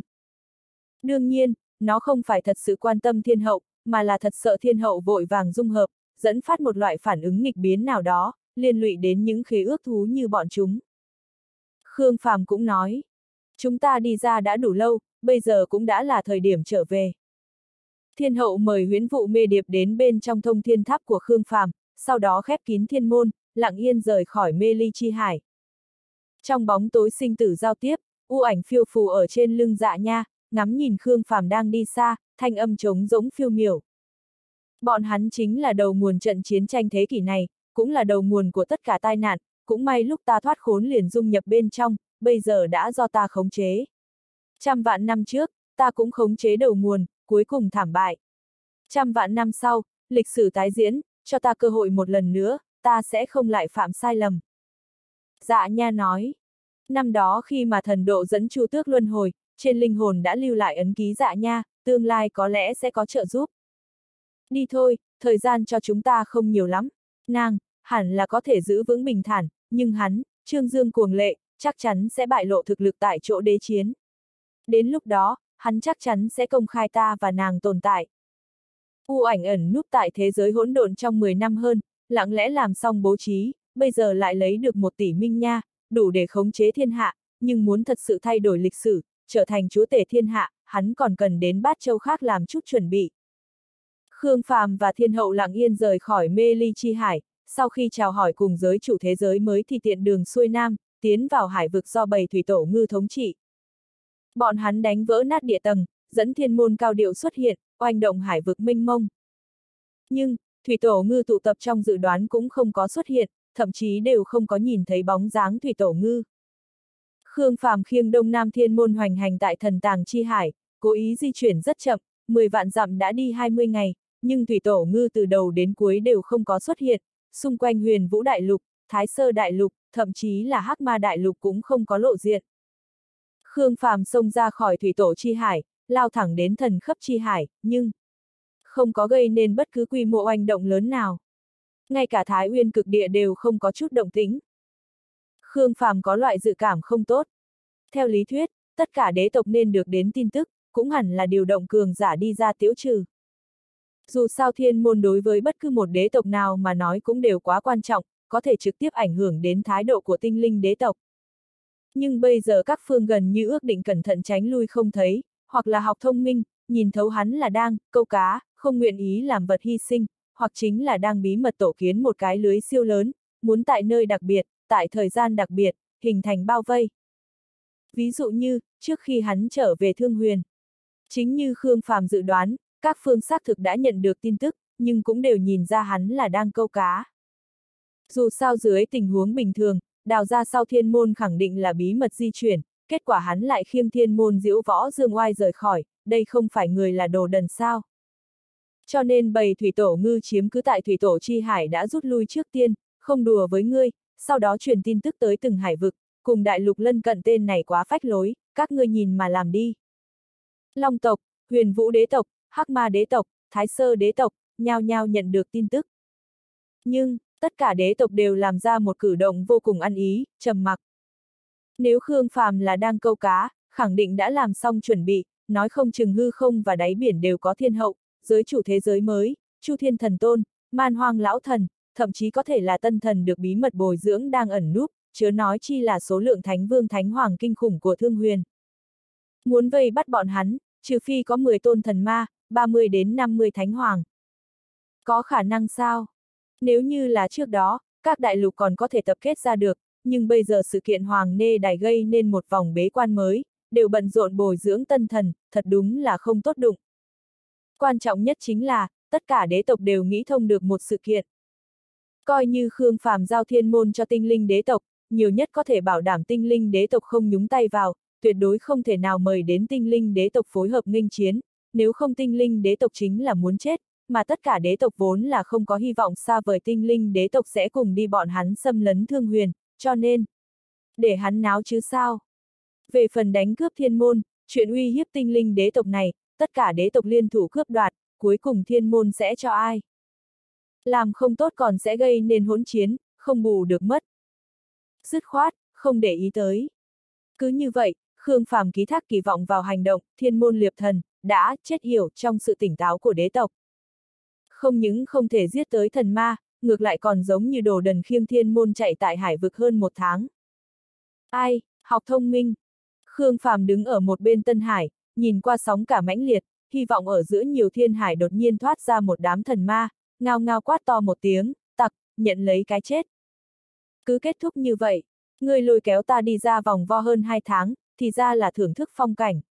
Đại chiến sắp đến, ngươi thật sự là thật có nhã hứng nhỉ. Giới chủ quẳng xuống câu nói, ngồi lân trùng hư không tiến vào thương huyền. Ai, thất sách, không thể săn được thần ma, còn mạnh lên thế nào? Khương Phàm cười khổ lắc đầu, bây giờ còn muốn trèo lên thiên khải liệp thần, chỉ sợ không còn kịp rồi. Mà từ tình huống trước mắt đến xem, chỉ sợ tất cả hoàng thành thiên khải đều đã đề phòng cao độ, không có thần tọa chấn, cũng không có thần vật. Không thể nào cứ tính như vậy. Thiên hậu nhăn chặt mày, đi ra hai ba tháng, ngay cả giọt máu thần cũng đều không có cướp được, thật sự không thể nào tiếp nhận. Cũng không đủ tài nguyên thần vật, bọn hắn căn bản không thể tạo nên tân thần trong thời gian ngắn, ngay cả Đông Hoàng như ảnh, Lý Dần, Dương Biện, cổ thần những người kia cũng đều, gào khóc đòi ăn, chờ thần vật kích thích, bảo đảm trùng kích thần cảnh trước khi đại chiến tháng 9 tiến đến. Nàng và Khương Phàm cũng cần đầy đủ tài nguyên để trở nên càng mạnh. Thiên môn kích thích bất động, tập kích thiên khải cũng sẽ không có thu hoạch. Bây giờ đã tháng 2, còn lại hơn 6 tháng thì sẽ đến đại chiến. Sau khi nói xong, bờ môi Khương Phàm có chút động mấy lần. Hình miệng phía sau hắn kia. Tiêu phượng ngô lặng lẽ đụng đụng cơ lăng huyên. Cơ lăng huyên thản nhiên nói. Mẫu thân nhà hắn. Khóe mắt tiêu phượng ngô rút rút. Quấy giày. Khương Phàm dương dương cái đầu, nhắm lại mắt, lại hỏi ở hai bên. Ai có biện pháp tốt, có thể dẫn đế tộc ra đánh một trầu. Dù là một cái cũng được. Đám người trao đổi ánh mắt, nhún vai, không ngớt cửa đều dẫn không ra, đế tộc là quyết tâm muốn chờ thương huyền khai chiến lại giải quyết triệt để bọn hắn. Nếu không, đại vương đảo tròn mắt, hơi có vẻ lo lắng. Đám người đồng loạt nhìn sang, lòng sinh chờ mong, cái con rùa xảo quyệt này lại có chủ ý ngu ngốc gì đó rồi. Đại vương ho nhẹ một tiếng. Người lại tự sát một lần nữa là được rồi. Đám người tập hợp đủ ngạt thở, suýt chút nữa đã nội thương.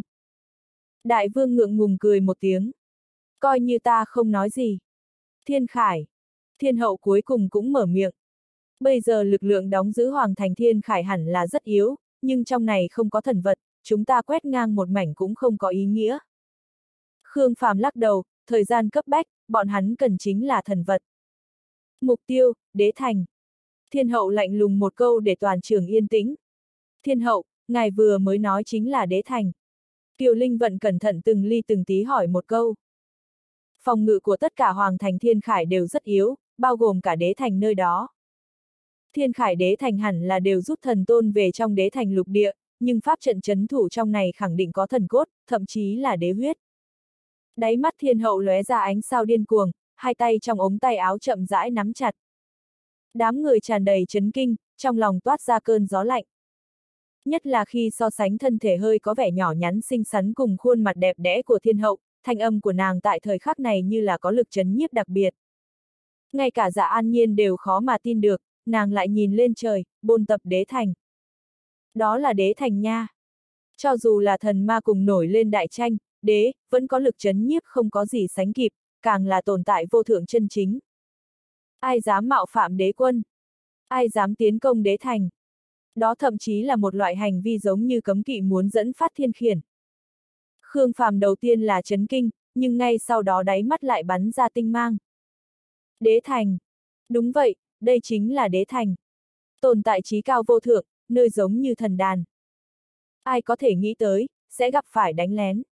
Mà, pháp trận nơi đó khẳng định vô cùng cường hãn, bên trong sẽ trải rộng nhiều loại bảo vật, đương nhiên bao gồm cả thần vật, mà còn là thần vật không phải tầm thường. Đầu tiên chờ chút đã. Hai người các ngươi chờ ta một chút. Đại vương, cho bọn hắn chút nước, tỉnh táo lại. Đông Hoàng càng nhìn thấy mắt Khương Phàm lóe ánh sáng thì đã biết lại phải, phụ sướng phu tùy. Bên trong đế thành khẳng định có thần vật, không những có thần vật, còn có thể có đế huyết, nhưng pháp trận phòng ngự trong này có thể xưng là tuyệt trận thế gian, phối hợp với thần cốt cùng đế huyết, có thể bảo đảm cho dù không có thần linh chấn thủ, cũng có thể kiên cố không gì sánh được. Đây chỉ là một mình nó. Điểm thứ hai, xung quanh đế thành đều có hoàng thành bảo vệ, muốn bôn tập đế thành, đầu tiên là phải vượt qua Hoàng Thành. Chỉ cần Hoàng Thành bừng tỉnh, đế thành khẳng định khởi động phòng ngự toàn diện, chờ chúng ta đi qua, nơi đó đã sẵn sàng trận địa đón quân địch. Điểm thứ ba, cũng là điểm quan trọng nhất, đế thành thiên khải cùng đế thành lục địa đều kiến tạo thiên môn ở gần đó. Một khi bất kỳ bên nào nhận tập kích, một phương khác đều có thể gấp rút tiếp viện trong thời gian ngắn nhất. Nếu như đế quân đích thân tới, chúng ta sẽ bị một mẻ hốt gọn. Khương Phàm và Thiên Hậu đều không có để ý tới, suy nghĩ trong đầu nhanh chóng vận chuyển, phán đoán hành động có khả thi hay không. Xung quanh đế thành xác thực có hoàng thành bảo vệ, nhưng phòng ngự trong này đã giảm bớt, mà nếu như càn khôn đại táng của Khương Phàm được phát huy đến cực hạn, thì trong thời gian ngắn nhất hoàn toàn có thể mai táng cả dãy núi, hoàng thành, đế thành, tất cả đều đặt vào phạm vi đả kích. Về phần thiên môn, đúng là gần đế thành. Nhưng cái này là gần, không phải cách 3 hay 5 mét, mà là chỗ dãy núi ngoài đế thành. Dù sao thiên môn cũng là con đường để tất cả hoàng đạo cùng nhau ra vào, không thể đưa vào trong đế thành được, nếu chẳng may gặp phải nguy hiểm, chẳng phải là có thể, nội bộ nở hoa. Cũng sẽ không đưa tới một nơi quá xa, bảo đảm thời điểm nổi lên ngoài ý muốn có thể kịp thời trợ giúp, cho nên là sẽ ở chỗ dãy núi ngoài đế thành. Lúc mà bọn hắn khởi xướng tấn công, thậm chí là táng diệt dãy núi, chỉ cần đông hoàng tộc liên thủ giam cầm không gian xung quanh thiên môn thì có thể ngăn cách trùng kích do bạo tạc đưa tới. Mặc dù vẫn có khả năng kinh động đến lục địa phía dưới, nhưng trùng kích yếu ớt không thể để nơi đó sẽ trực tiếp hoài nghi đế thành bị tập kích, cũng không thể tùy tiện nghĩ tới nơi đó. Cứ như vậy, chờ nơi đó kịp phản ứng, thông báo đến đế thành lục địa, đế quân lại thức tỉnh, đăng lâm thiên khải, thì cần phải mất một thời gian. Chỉ cần bọn hắn có thể giải quyết đế thành trong một thời gian đó thì có thể toàn thân trở ra. Đông Hoàng càn trợn mắt một cái, được, hai người này khẳng định phải hành động. Thiên hậu nói, còn lại hơn 6 tháng, nếu như muốn lấy được thần vật, thì cần trừ lại 3-4 tháng luyện hóa hấp thu, chúng ta còn cần sớm một tháng, cũng chính là tháng 8 cần làm bố trí chiến tranh sau cùng, cho nên, trong một tháng nhất định phải đạt được thần vật, mà còn cần phải đủ nhiều thần vật. Mặc dù bôn tập đế thành mạo hiểm, nhưng bây giờ đây chính là cơ hội duy nhất mà chúng ta có thể nghĩ tới.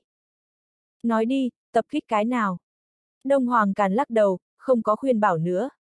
Đầu tiên chúng ta cần xác định đế quân xác thực không ở thiên khải đế thành mới có thể bôn tập. Nếu như đế quân tại đế thành, chúng ta một đầu đụng tới.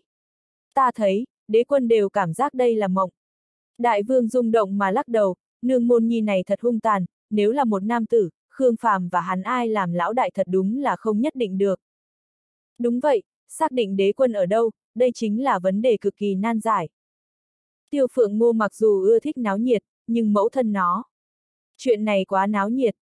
Dùng thiên môn trao đổi tin tức cùng tinh linh đế tộc, giữa đế quân đều có phản ứng vi diệu. Tinh linh đế quân tương đối có thể tin, chỉ cần nàng nói đế quân nào đang ở đại lục, vậy khẳng định là đang ở đại lục, nếu như nàng nói đế quân nào đang tại thiên khải, khẳng định là tại thiên khải. Cái này, tốt thôi. Tiêu phượng ngô nhún nhún vai, cứ cho là rất khó, không nghĩ tới lại dễ dàng như vậy. Bọn đại vương cũng nhún nhún vai, cũng không có cách nào, nữ tử xử lý được nhiều chuyện nha. Các ngươi trở về thế giới hỗn độn làm chuẩn bị, ta xử lý xong sẽ lập tức trở về, việc này không nên chậm trễ. Khương Phàm chào hỏi Đông Hoàng Càn cùng Đông Hoàng Toại và các không võ mang theo thiên môn, theo hắn tiến về sinh mệnh thần điện.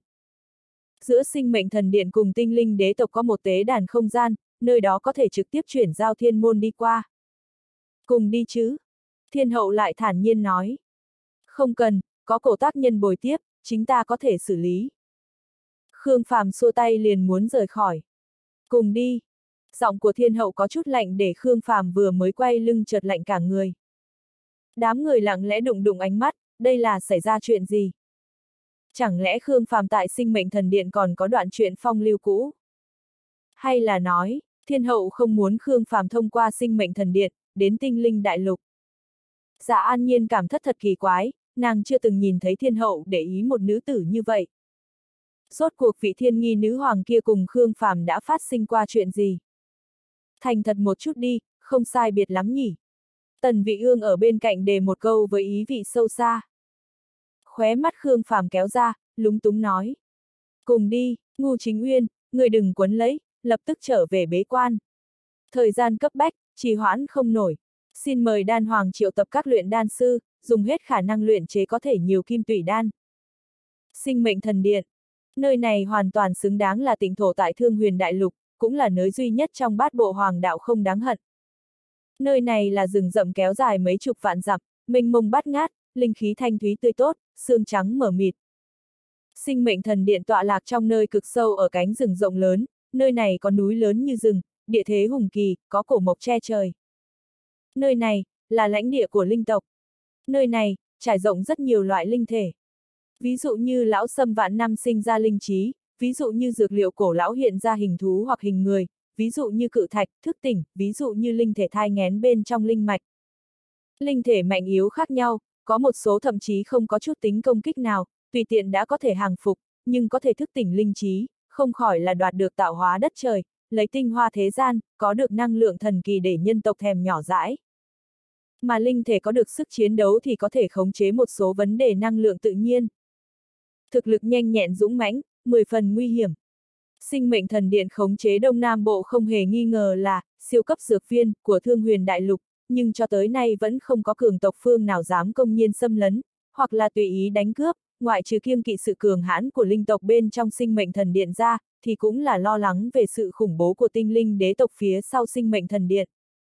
Năm đó Khương Phàm gặp phải qua một trận ngoài ý muốn, trọng thương ngã gục, chính là xông vào biển rừng này điên cuồng thôn phệ dược liệu, trở về từ cõi chết bảo vệ tính mệnh, nhưng cũng bị sinh mệnh thần điện bắt được, nhốt hơn nửa năm. Lần này Khương Phàm vừa mới xông vào Đông Nam Bộ không lâu thì đã bị một ít thụ yêu bên trong rừng rậm tươi tốt phát giác. Thụ yêu có thể điều khiển rừng rậm, lặng yên không tiếng động truyền lại tin tức, dễ cây dưới mặt đất càng là giống mạng nhện răng ở khắp nơi, cũng có thể tùy tiện truyền lại tin tức. Càng ngày càng nhiều thụ yêu bắt đầu cảnh giác, càng ngày càng nhiều linh thể bắt đầu tập kết. Khi Khương Phàm vượt qua hơn 10 vạn dặm, đến trước sinh mệnh thần điện ở sâu trong nhất trong biển rừng, nơi này đã sẵn sàng trận địa đón quân địch. Bên ngoài sinh mệnh thần điện do 18 tòa cự nhạc che trời bảo vệ, bọn chúng không chỉ có nguy nga hùng vĩ, đột ngột nhảy lên mấy vạn mét, xuyên thẳng qua mây xanh, cũng đều có được linh trí. Bọn chúng tựa như 18 siêu cấp chiến binh, bảo vệ thần điện. Mà thần điện thì là do mấy chục thông thiên thụ yêu sen lẫn thành, mỗi một thụ yêu đều thẳng tới trời cao, trực chỉ đỉnh cửu thiên, lít nha lít nhít trà cây sen lẫn thành cung điện nguyên thủy nhưng lại tinh xảo phức tạp. Điện chủ sinh mệnh thần điện là một gốc thiên bảo thánh thụ. Đây là một loại linh thụ đặc biệt do thương thiên chiếu cố, nhưng cũng bị thương thiên nguyền rủa. Linh quả của thiên bảo thánh thụ có được rất nhiều hiệu quả kỳ diệu, ví dụ như điểm hóa linh trí vạn vật, ví dụ như kích phát tiềm lực sinh mệnh, ví dụ như tái tạo tam hồn thất phách, thậm chí có thể nghịch chuyển luân hồi. Điều thật sự để nó vang danh thiên hạ chính là, thiên bảo thánh thụ có được một quả giống như trái tim, có thể không ngừng hấp thu tinh hoa nhật nguyệt, linh túy trời đất, lặp đi lặp lại thăng hoa và nội luyện, cuối cùng ký kết ra trái tim thiên bảo. Hiệu quả trực tiếp của trái tim thiên bảo chính là, thần hóa, có thể làm cho thánh hoàng lột xác ra thần tính, chính là thánh hoàng đại viên mãn. Nếu như cường giả thánh hoàng đại viên mãn đạt được trái tim thiên bảo, cũng sẽ có 2-3 phần cơ hội đột phá đến thần linh cảnh. Cho nên thiên bảo thánh thụ từ xưa đến nay đều được xem như tuyệt thế bảo thụ, nhưng, thiên bảo thánh thụ có thể kích phát khác tiềm lực thánh hoàng, lại vĩnh viễn không thể nào khiến mình thành thần, đây chính là cái gọi là nguyền rùa. Lúc Khương Phàm đến nơi này, thiên bảo thánh thụ đã đứng ở trước điện, chờ đợi Khương Phàm. Nó cũng không tính là cao lớn, bộ dáng mười mấy thước so với những đại thụ ở sung nó lại khiến nó lộ ra cực kỳ tinh xảo, nhưng toàn bộ linh tộc trong rừng rậm đa số đều là do nó điểm hóa thành, tương đương với việc nó chính là mẫu thân của tất cả linh tộc, cho nên địa vị của nó là tôn quý không gì sánh được. Số lượng lớn thạch linh, thụ yêu, hà linh hay các loại linh thể đều chiếm cứ ở xung quanh cự nhạc cùng trong rừng cây tươi tốt, ngay cả 18 ngọn núi cao đều thức tỉnh, mở ra con mắt. Ngươi nhìn lại xem, bọn chúng là, người. Khương Phàm hỏi cổ tác nhân ở bên cạnh. Không đúng, khi ta tới. Không phải như vậy. Cổ tác nhân kỳ quái gãi gãi đầu. Phần thiên thần hoàng, nếu như ngài là vì chuyển giao thiên môn mà đến, chúng ta hoan nghênh, nếu như có mục đích khác, còn xin tôn trọng thân phận trung lập của chúng ta, không nên làm khó. Thân cảnh cùng trà cây của thiên bảo thánh thụ đều vô cùng tươi mát kiều nột, giống như là vừa mới thai ngén mầm cây, phía trên treo tám linh quả biểu tượng cho các hiệu dụng khác nhau. Khương Phàm không có trực tiếp trả lời mà nhắm mắt lại, điều giải trạng thái một chút. Sư phụ nói, đến nơi đây là nhập hàng. Cho nên, trước hết từ bỏ mặt. Phần thiên thần hoàng. Thiên bảo thánh thụ cảnh giác, tên này muốn làm gì? Gặp mặt lão bằng hữu không cần câu nệ như vậy chứ. Khương Phàm đột nhiên cởi mở cười một tiếng, không nhìn đám linh thể đang khẩn trương kia, hắn thả người nhảy xuống khỏi hỏa vân, đi tới trước mặt thiên bảo thánh thụ, tiện tay lay lấy mấy viên linh quả ở phía trước. Mọc không tệ lắm, có thành thục không, gặp mặt lão bằng hữu đưa lễ gặp mặt nha. Thiên bảo thánh thụ tức giận, lại nhịn được. Tinh linh đế tộc truyền đến tin tức, chỉ cần ngươi chịu chuyển giao thiên môn, chúng ta giữ vững tôn trọng lớn nhất đối với ngài. Nhưng, nếu như ngài có ý đồ khác, tinh linh đế tộc không thể nhiều lần nhường nhịn. Khương Phàm đụng chút cái này, gõ gõ cái kia, không để ý tới chút nào, lại nói. Quả nào là điểm hóa linh trí? Thiên bảo thánh thụ rất tức giận, nghiêm túc nói. Phần thiên thần hoàng, xin ngài tự trọng. Khương Phàm hạ giọng nói. Ta có một gốc vạn độc huyết long. Thiên bảo thánh thụ lập tức có phản ứng, thanh âm cũng theo đó thấp đi một chút. Ngài nói chính là vạn độc huyết long. Ta khó mà nói là một trăm ngàn năm, nhưng mấy vạn năm là khẳng định, nhận long khí của hồng hoang thiên long kích phát, mọc vô cùng tốt. Ngài xác định là vạn độc huyết long. Ta đã điều tra, ngàn lần chính xác. Ta còn có một gốc cửu khiếu thông linh thụ, sống mấy trăm ngàn năm. T. Cửu khiếu thông linh thụ. Một cửu khiếu thông linh quả để cho một sợi tàn hồn của ân sư ta có thể trùng sinh. Chính là vị ân sư mà ta công khai kia, luyện đan sư thánh hoàng cảnh. Ngài, ngài, ngài lấy được từ chỗ nào? Thật sự là cửu khiếu. Thiên bảo thánh thụ rất kinh ngạc, đó chính là thụ yêu tồn tại trong truyền thuyết, là thụ yêu nổi danh tồn tại ở thời đại hồng hoang cùng nó. Thế giới mới đó, nơi đó mai táng tại đáy biển thời gian vô tận, số lượng lớn bảo thụ tùy ý trưởng thành. Ta dùng mấy viên thông linh quả, điểm hóa vạn độc huyết long, đáng tiếc không thành công, ngươi cho ta một quẻ viên, ta thử lại lần nữa. Khương Phàm còn không có dùng thông linh quả, nếu như có thể lừa dối một quả nơi này, phối hợp với thông linh quả nói không chừng sẽ có hiệu quả. Ngài điên rồi, ngài cũng đã biết một khi vạn độc huyết long điểm hóa ra linh trí, sẽ có nhiều khủng bố. Đó là độc hại vạn dặm, không có một ngọn cỏ. Thứ ta muốn chính là hiệu quả này, đế tộc đều muốn tới hủy nhà ta, đào mộ phần của ta, ta còn không thể nôn bọn hắn một mặt độc. Bạn cũ, ta trùng sinh đến nay đều không có đến làm phiền ngươi, nhanh lên, cho ta một quả đi. Thiên bảo thánh thụ đột nhiên nghiêm túc lên. Phần thiên thần hoàng, xin ngài làm rõ ràng, chúng ta từ lúc nào đã làm bằng hữu. Dựa theo luân lý đạo đức của nhân tộc các ngươi để tính, chúng ta nên tính là kẻ thù. Dựa theo luân lý của nhân tộc chúng ta, đó là ân oán của người chết, ta đã chết qua một lần, ân oán xóa bỏ. Khương Phàm cười bắt lấy một viên linh quả. Viên này, trên cành cây của thiên bảo thánh thụ ngưng kết ra hai con mắt xanh mơn mởn, nhìn chừng chừng Khương Phàm. Ta cho ngươi một viên, ngươi có thể đi không? Vĩnh viễn đừng có lại trở về. Khương Phàm tươi cười. Không thể nào. Thiên bảo thánh thụ liếc mắt nhìn thánh vương thánh hoàng ô áp trên bầu trời, chịu đựng khuất nhục nói. Ta không muốn lại có liên lụy với ngài, ngài muốn cái gì thì lấy cái đó, lấy xong thì thả thiên môn xuống, lập tức rời khỏi. Thái độ này của ngươi để cho ta, ai? Khương Phàm tiếc nuối lắc đầu, lấy ra một cái quyển sách bằng da từ trong thông thiên tháp. Ngươi an bài một chút, giả bộ hàng một chút. Thiên bảo thánh thụ cúi đầu xem xét, trên quyển sách to lớn viết lít nha lít nhít tên của mấy trăm loại dược liệu, dù là nó tâm tính ổn định, cũng thiếu chút đã chửi ầm lên. Phần thiên thần hoàng, người tới nơi này tiến hóa. Thật sự không có cách nào cả, đều sắp không có cơm ăn rồi, nhà ngươi đại nghiệp lớn, cứu tế, cứu tế đi. Những thứ này, những thứ này, ngươi là muốn đào rỗng sinh mệnh thần điện sao? Ngươi lấy cái gì trao đổi? Ra mặt. Thiên bảo thánh thụ dơ trà cây lên, đụng đụng tán cây, một động tác quái dị lấy tay nâng chán, chậm một lát sau. Phần thiên thần hoàng, ta biết bây giờ sinh mệnh thần điện không đủ để khiêu chiến ngươi. Nhưng, sinh mệnh thần điện đại biểu cho tinh linh đế tộc, nếu như ngươi tùy ý làm bậy. Sự tha thứ của tinh linh đế tộc là có giới hạn. Khương Phàm tiến đến trước mặt nó, thấp giọng nói. Bên trong thế giới hỗn độn nuôi mấy vạn người, năng lượng mà Thánh Vương Thánh Hoàng tiêu hao là một con số trên trời, ta đây, là nghèo thật. Ta muốn dùng thiên môn câu cá tại hải vực, kết quả không có câu được, ta đây, là gấp thật. Hôm nay ta tới đây, cũng là nói rõ ta thật không biết xấu hổ. Ngươi không vừa lòng ta, ta cũng chỉ có thể cứng rắn đoạt, dù sao ta cũng là không thể nào tay không mà quay về. Ngươi chịu chút ủy khuất, chủ động cho ta, dù sao qua mấy ngàn năm, đổ lại mọc ra. Thuận tiện, những dược liệu này coi như là đầu tư cho ta, nếu như ta có thể thắng, tương lai khẳng định bảo đảm địa vị tuyệt đối của sinh mệnh thần điện tại Thương Huyền. Thiên bảo thánh thụ rất tức giận, nhưng càng bất đắc dĩ. Đường đường là thần hoàng, vậy mà lại nói mình không biết xấu hổ, vén tay áo lên muốn cứng rắn đoạt, đây thật sự là... Thực sự là, quá không biết xấu hổ. Khương Phàm nhìn chằm chằm đôi mắt nhỏ ở gần ngay trước mắt. Hôm nay ta không đạt mục đích thì sẽ thật sự không đi. Tốt nhất ngươi nên phối hợp chút, ta sẽ cố gắng cầm ít chút, người muốn chọc tới ta, ta thật sự sẽ lột sạch sẽ ngươi.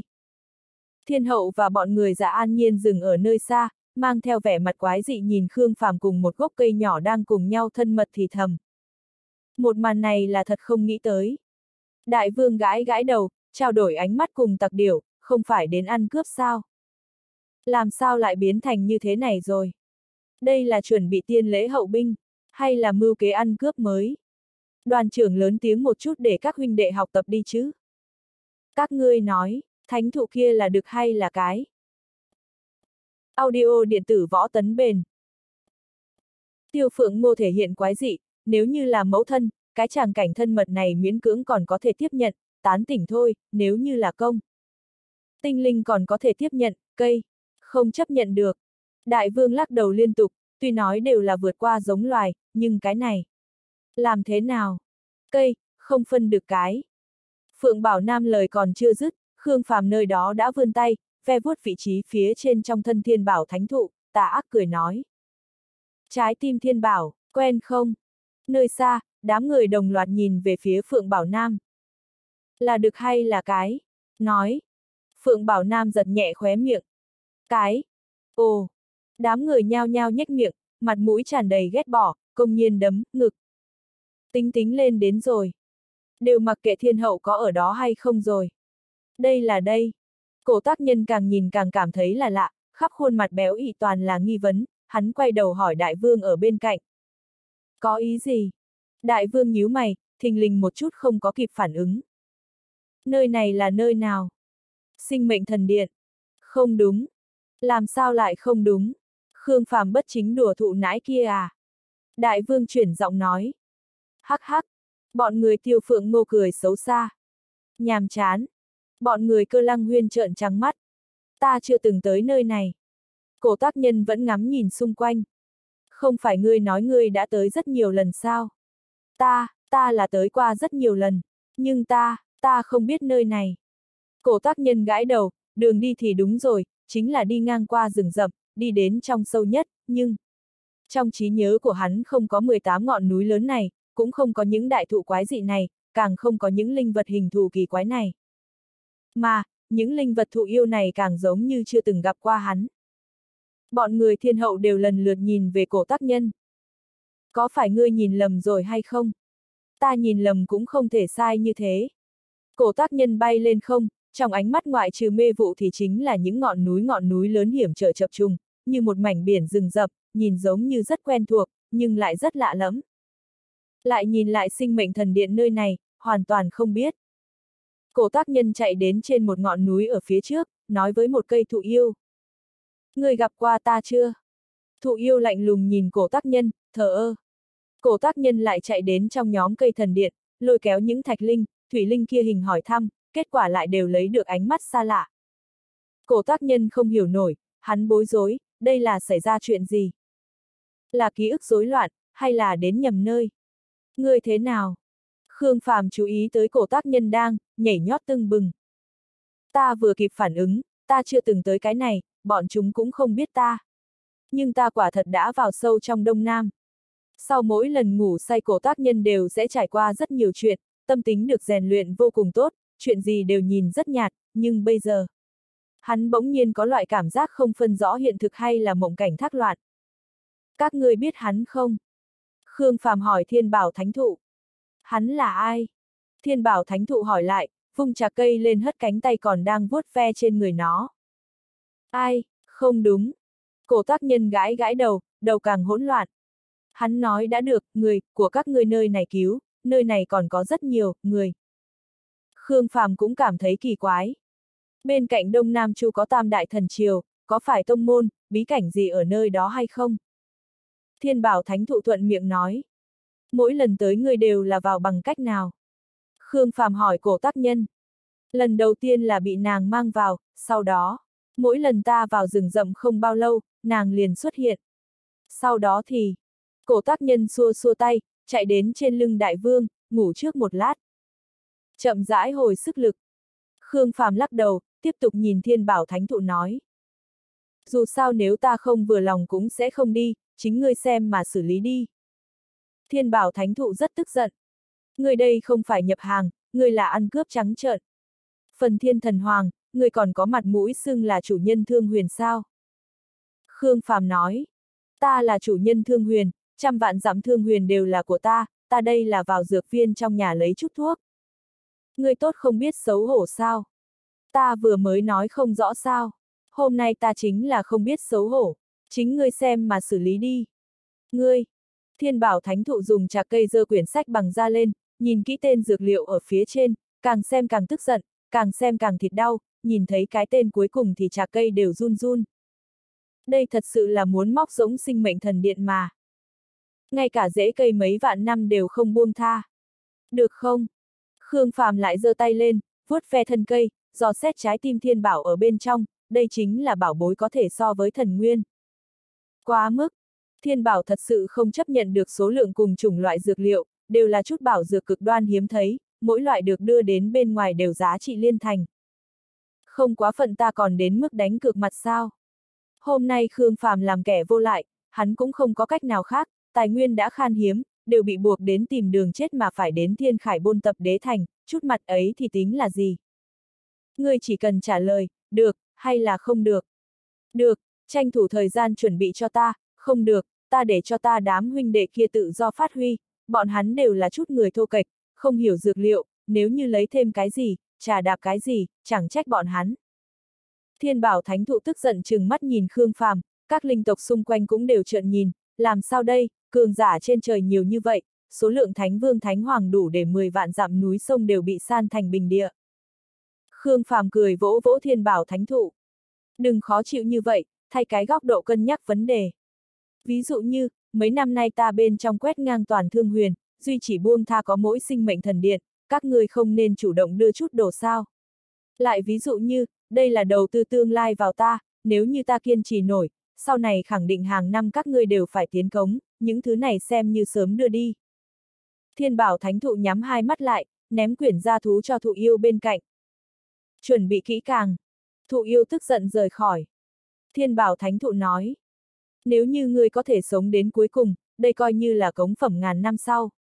Nếu như ngươi chết, xem như cống phẩm viếng mồ mả cho ngươi. Tốt tốt tốt. Khương Phàm tiếp tục vuốt ve thân cây. Không có chín. Thiên bảo thánh thụ vùng trà cây lên hất tay hắn ra. Chín mấy phần rồi. Khương Phàm tay lại ấn đi lên. Ngươi tới chậm, ta vừa dùng. Cho ai dùng? Không đến lượt ngươi quản. Đáng tiếc. Khương Phàm tiếc nuối hạ tay xuống, nhìn trái phải một cái, đột nhiên nói. Nàng ở đâu? Giọng của thiên bảo thánh thụ khẽ biến. Ai? Khương Phàm cười khẽ. Đừng xem ta là đồ đần. Cổ tác nhân nói ở chỗ này gặp được một nữ tử xinh đẹp không giống loài người, là nữ tử kia vẫn luôn trợ giúp hắn, khuyên bảo hắn. Người, có thể có tư cách bồi dưỡng thánh hoàng, khẳng định không phải là, linh, của sinh mệnh thần điện các ngươi. Thiên bảo thánh thụ cố gắng bình tĩnh phủ định. Ta chưa từng gặp qua hắn, cũng không biết nữ tử hắn nói là ai. Khương Phàm đe dọa nhìn thiên bảo thánh thụ. Thật không biết. Thiên bảo thánh thụ thoáng dịch chuyển hai cái, con mắt khỏi. Thật không biết. Khương Phàm nói. Ngươi là không biết, hay là không dám biết. Nói đi, là vị nữ hoàng nào của tinh linh đế tộc tự tiện giáng lâm thương huyền đại lục. Tinh linh, nha, đúng, không đúng, không phải. Đế tộc tuân thủ quy củ nhất, không thể tự mình làm chuyện mạo phạm. Không thừa nhận, được rồi, ta cũng không truy cứu. Nhưng muốn ta giao ra thiên môn, tinh linh đế tộc cần thỏa mãn một yêu cầu của ta. Phần thiên thần hoàng, không nên quá phận, thiên môn vốn là của tinh linh đế tộc, lẽ ra ngươi nên trả lại, tinh linh đế tộc không có tìm ngươi tính nợ đã rất rộng rãi, ngươi còn muốn đề cập yêu cầu với bọn họ. Ngươi cứ dựa theo lời ta nói mà đi chuyển lời, có đồng ý hay không, chính bọn hắn làm quyết định. Yêu cầu gì? Bắc Thái đế quân, tại Thiên Khải, hay tại lục địa? Thiên bảo thánh thụ an tĩnh, hai cái con mắt xanh mơn mởn nhìn chừng chừng Khương Phàm. Khương Phàm chỉ chỉ tới tế đàn không gian ở phía xa. Người đi hỏi, ta chờ. Thiên bảo thánh thụ đối mặt hồi lâu với Khương Phàm, ung dung một câu. Người có thể còn sống, thật sự là thương thiên mở mắt. Khương Phàm lắc lắc ngón tay. Đi nhanh về nhanh. Chờ một chút. Thiên hậu đột nhiên gọi lại. Còn có chuyện gì? Hoàng Nê Đài. Thiên hậu nhắc nhở Khương Phàm. Đúng rồi, còn có Hoàng Nê Đài. Khương Phàm nhìn Thiên Bảo Thánh Thụ nói. Bên trong tinh linh đế tộc có một tòa Hoàng Nê Đài, người mời tới cho ta. Cứ nói ta là vì tốt cho bọn hắn, vật kia không phải bảo bối, là sát khí. Thiên hạ tổng cộng có 18 tòa Hoàng Nê Đài, còn có một tòa chủ Nê Đài. Chủ Nê Đài khống chế khác tất cả Nê Đài, bao gồm cả sinh cùng tử. Chủ Nê Đài đang trong ở tay của ta, ta muốn tại chiến tranh bộc phát ngày đầu tiên, hạ đạt sát thần lệnh. Thiên bảo thánh thụ, kinh ngạc, nhìn Khương Phàm. Ánh mắt Khương Phàm run lên, nhìn chằm chằm thiên bảo thánh thụ. Thế nào, người biết Hoàng Nê Đài, nơi này cũng có một tòa. Không có, chỗ ta đây không có Hoàng Nê Đài gì cả, ta chỉ là không thể tin được, người có thể lấy Nê Đài sát thần. Thiên bảo thánh thụ tranh thủ thời gian hoàn hồn, biến mất trong ánh mắt kinh hoàng. Có thể giết hay không, đại chiến thương huyền bắt đầu sẽ biết. Người cứ việc truyền cho ta, bọn hắn hoặc là không cần, hoặc là cho ta mượn dùng, nếu như ta có thể bảo trụ thương huyền, tương lai nhất định có thâm tạ. Khương Phàm đưa tay, ra hiệu thiên bảo thánh thụ mau chóng đi thông bẩm. Thiên bảo thánh thụ ngắm nhìn Khương Phàm, thật sâu, sau đó leo lên tế đàn không gian, chạy tới đế thành của tinh linh đế tộc. Khương Phàm phất phất tay đối bọn đại vương đang đứng ở trên trời. Đừng câu lấy, tản ra nhìn, phong cảnh ở sinh mệnh thần điện vẫn rất không tệ. Hiểu rõ. Đại vương, tặc điểu vọt ra ngoài trước tiên. Các ngươi a, à, quá rõ ràng, phải chú ý phân tắc, phải chú ý hình tượng, chúng ta cũng không phải thổ phỉ. Chu Thanh Thọ đong đưa cây quạt, thoải mái nhàn nhã đi tới cánh rừng, nhưng khi chuyển tới trong bóng tối, trong chốc lát, vèo cái đã biến mất không còn tăm hơi, vắt chân lên cổ liền xông ra ngoài. Của ta, của ta, đều là của ta. Bọn hắn thực sự là, ai, quá dã man. Bọn người kiều linh vận đều là người đứng đắn được thế gia đứng đắn bồi dưỡng, thật sự rất im lặng. Rừng rậm bình tĩnh rất nhanh đã bị đánh vỡ. Linh tộc một mực sinh sống trong an bình hài hòa chưa từng gặp qua thổ phỉ như thế này dã man, nói một chút không nghe, đánh một chút thì không lại, cuối cùng ngoại trừ dương mắt nhìn thì chính là trước khi thổ phỉ phát hiện, một ít linh bảo đã trốn đi. Thiên hậu thì đứng ở trên lưng tổ kỳ lân, yên lặng chờ đợi thiên bảo thánh thụ đáp lại. Chọn lựa đế thành đầu tiên, không thể nghi ngờ chính là Bắc Thái. Đã có ân oán kiếp trước, cũng là kỳ vọng nơi đó có thể có đế tử, hoặc là hài tử của Lý Dần. Nếu như Bắc Thái đế quân ở tại Thiên Khải đế thành, lựa chọn thứ hai của bọn hắn là Thái Sơ Đại Lục. Phật môn rút lui, để Thái Sơ Đại Lục xuất hiện khủng hoảng, với tư cách chủ nhân, tất nhiên Bắc Thái đế tộc sẽ điều số lượng lớn cường giả đi trấn an khắp nơi, cứ như vậy phòng ngự tại đế thành khẳng định vô cùng yếu kém. Nhưng chính là bởi vì nơi đó yếu kém, bọn hắn lo lắng khả năng thiên quân đại thần tôn tỏa chấn nơi đó, cho nên, nơi đó chỉ là lựa chọn thứ hai. Một ngày ngắn ngủi sau đó, thiên bảo thánh thụ đã vượt qua không gian trở về. Khương Phàm ngồi xếp bằng ở chỗ kia, đang vận dụng Sơn Hà Đại Táng, cảm ngộ năng lượng đặc thù trong rừng rậm minh mông, tìm kiếm một ít bảo vật, sau đó chỉ dẫn đám đại vương, tẩy sạch. Hắn cũng không nghĩ tới, Sơn Hà Đại Táng còn có thể dùng như thế. Người đang làm gì? Thiên bảo thánh thụ mẫn cảm phát giác không khí xung quanh không đúng lắm. Đi về phía nam, hơn 1.700 dặm, dưới mặt đất hơn 1.000 mét. Khương Phàm thấp giọng một câu với bên cạnh, trong hư không, Đông Hoàng Lăng tuyệt biến mất trong nháy mắt. Người đang làm gì? Giọng của thiên bảo thánh thụ đột nhiên đề cao. Đi về phía nam. Hơn 1.700 dặm. Dưới mặt đất một mét. Đây không phải là vị trí hầm đá trong lòng đất à.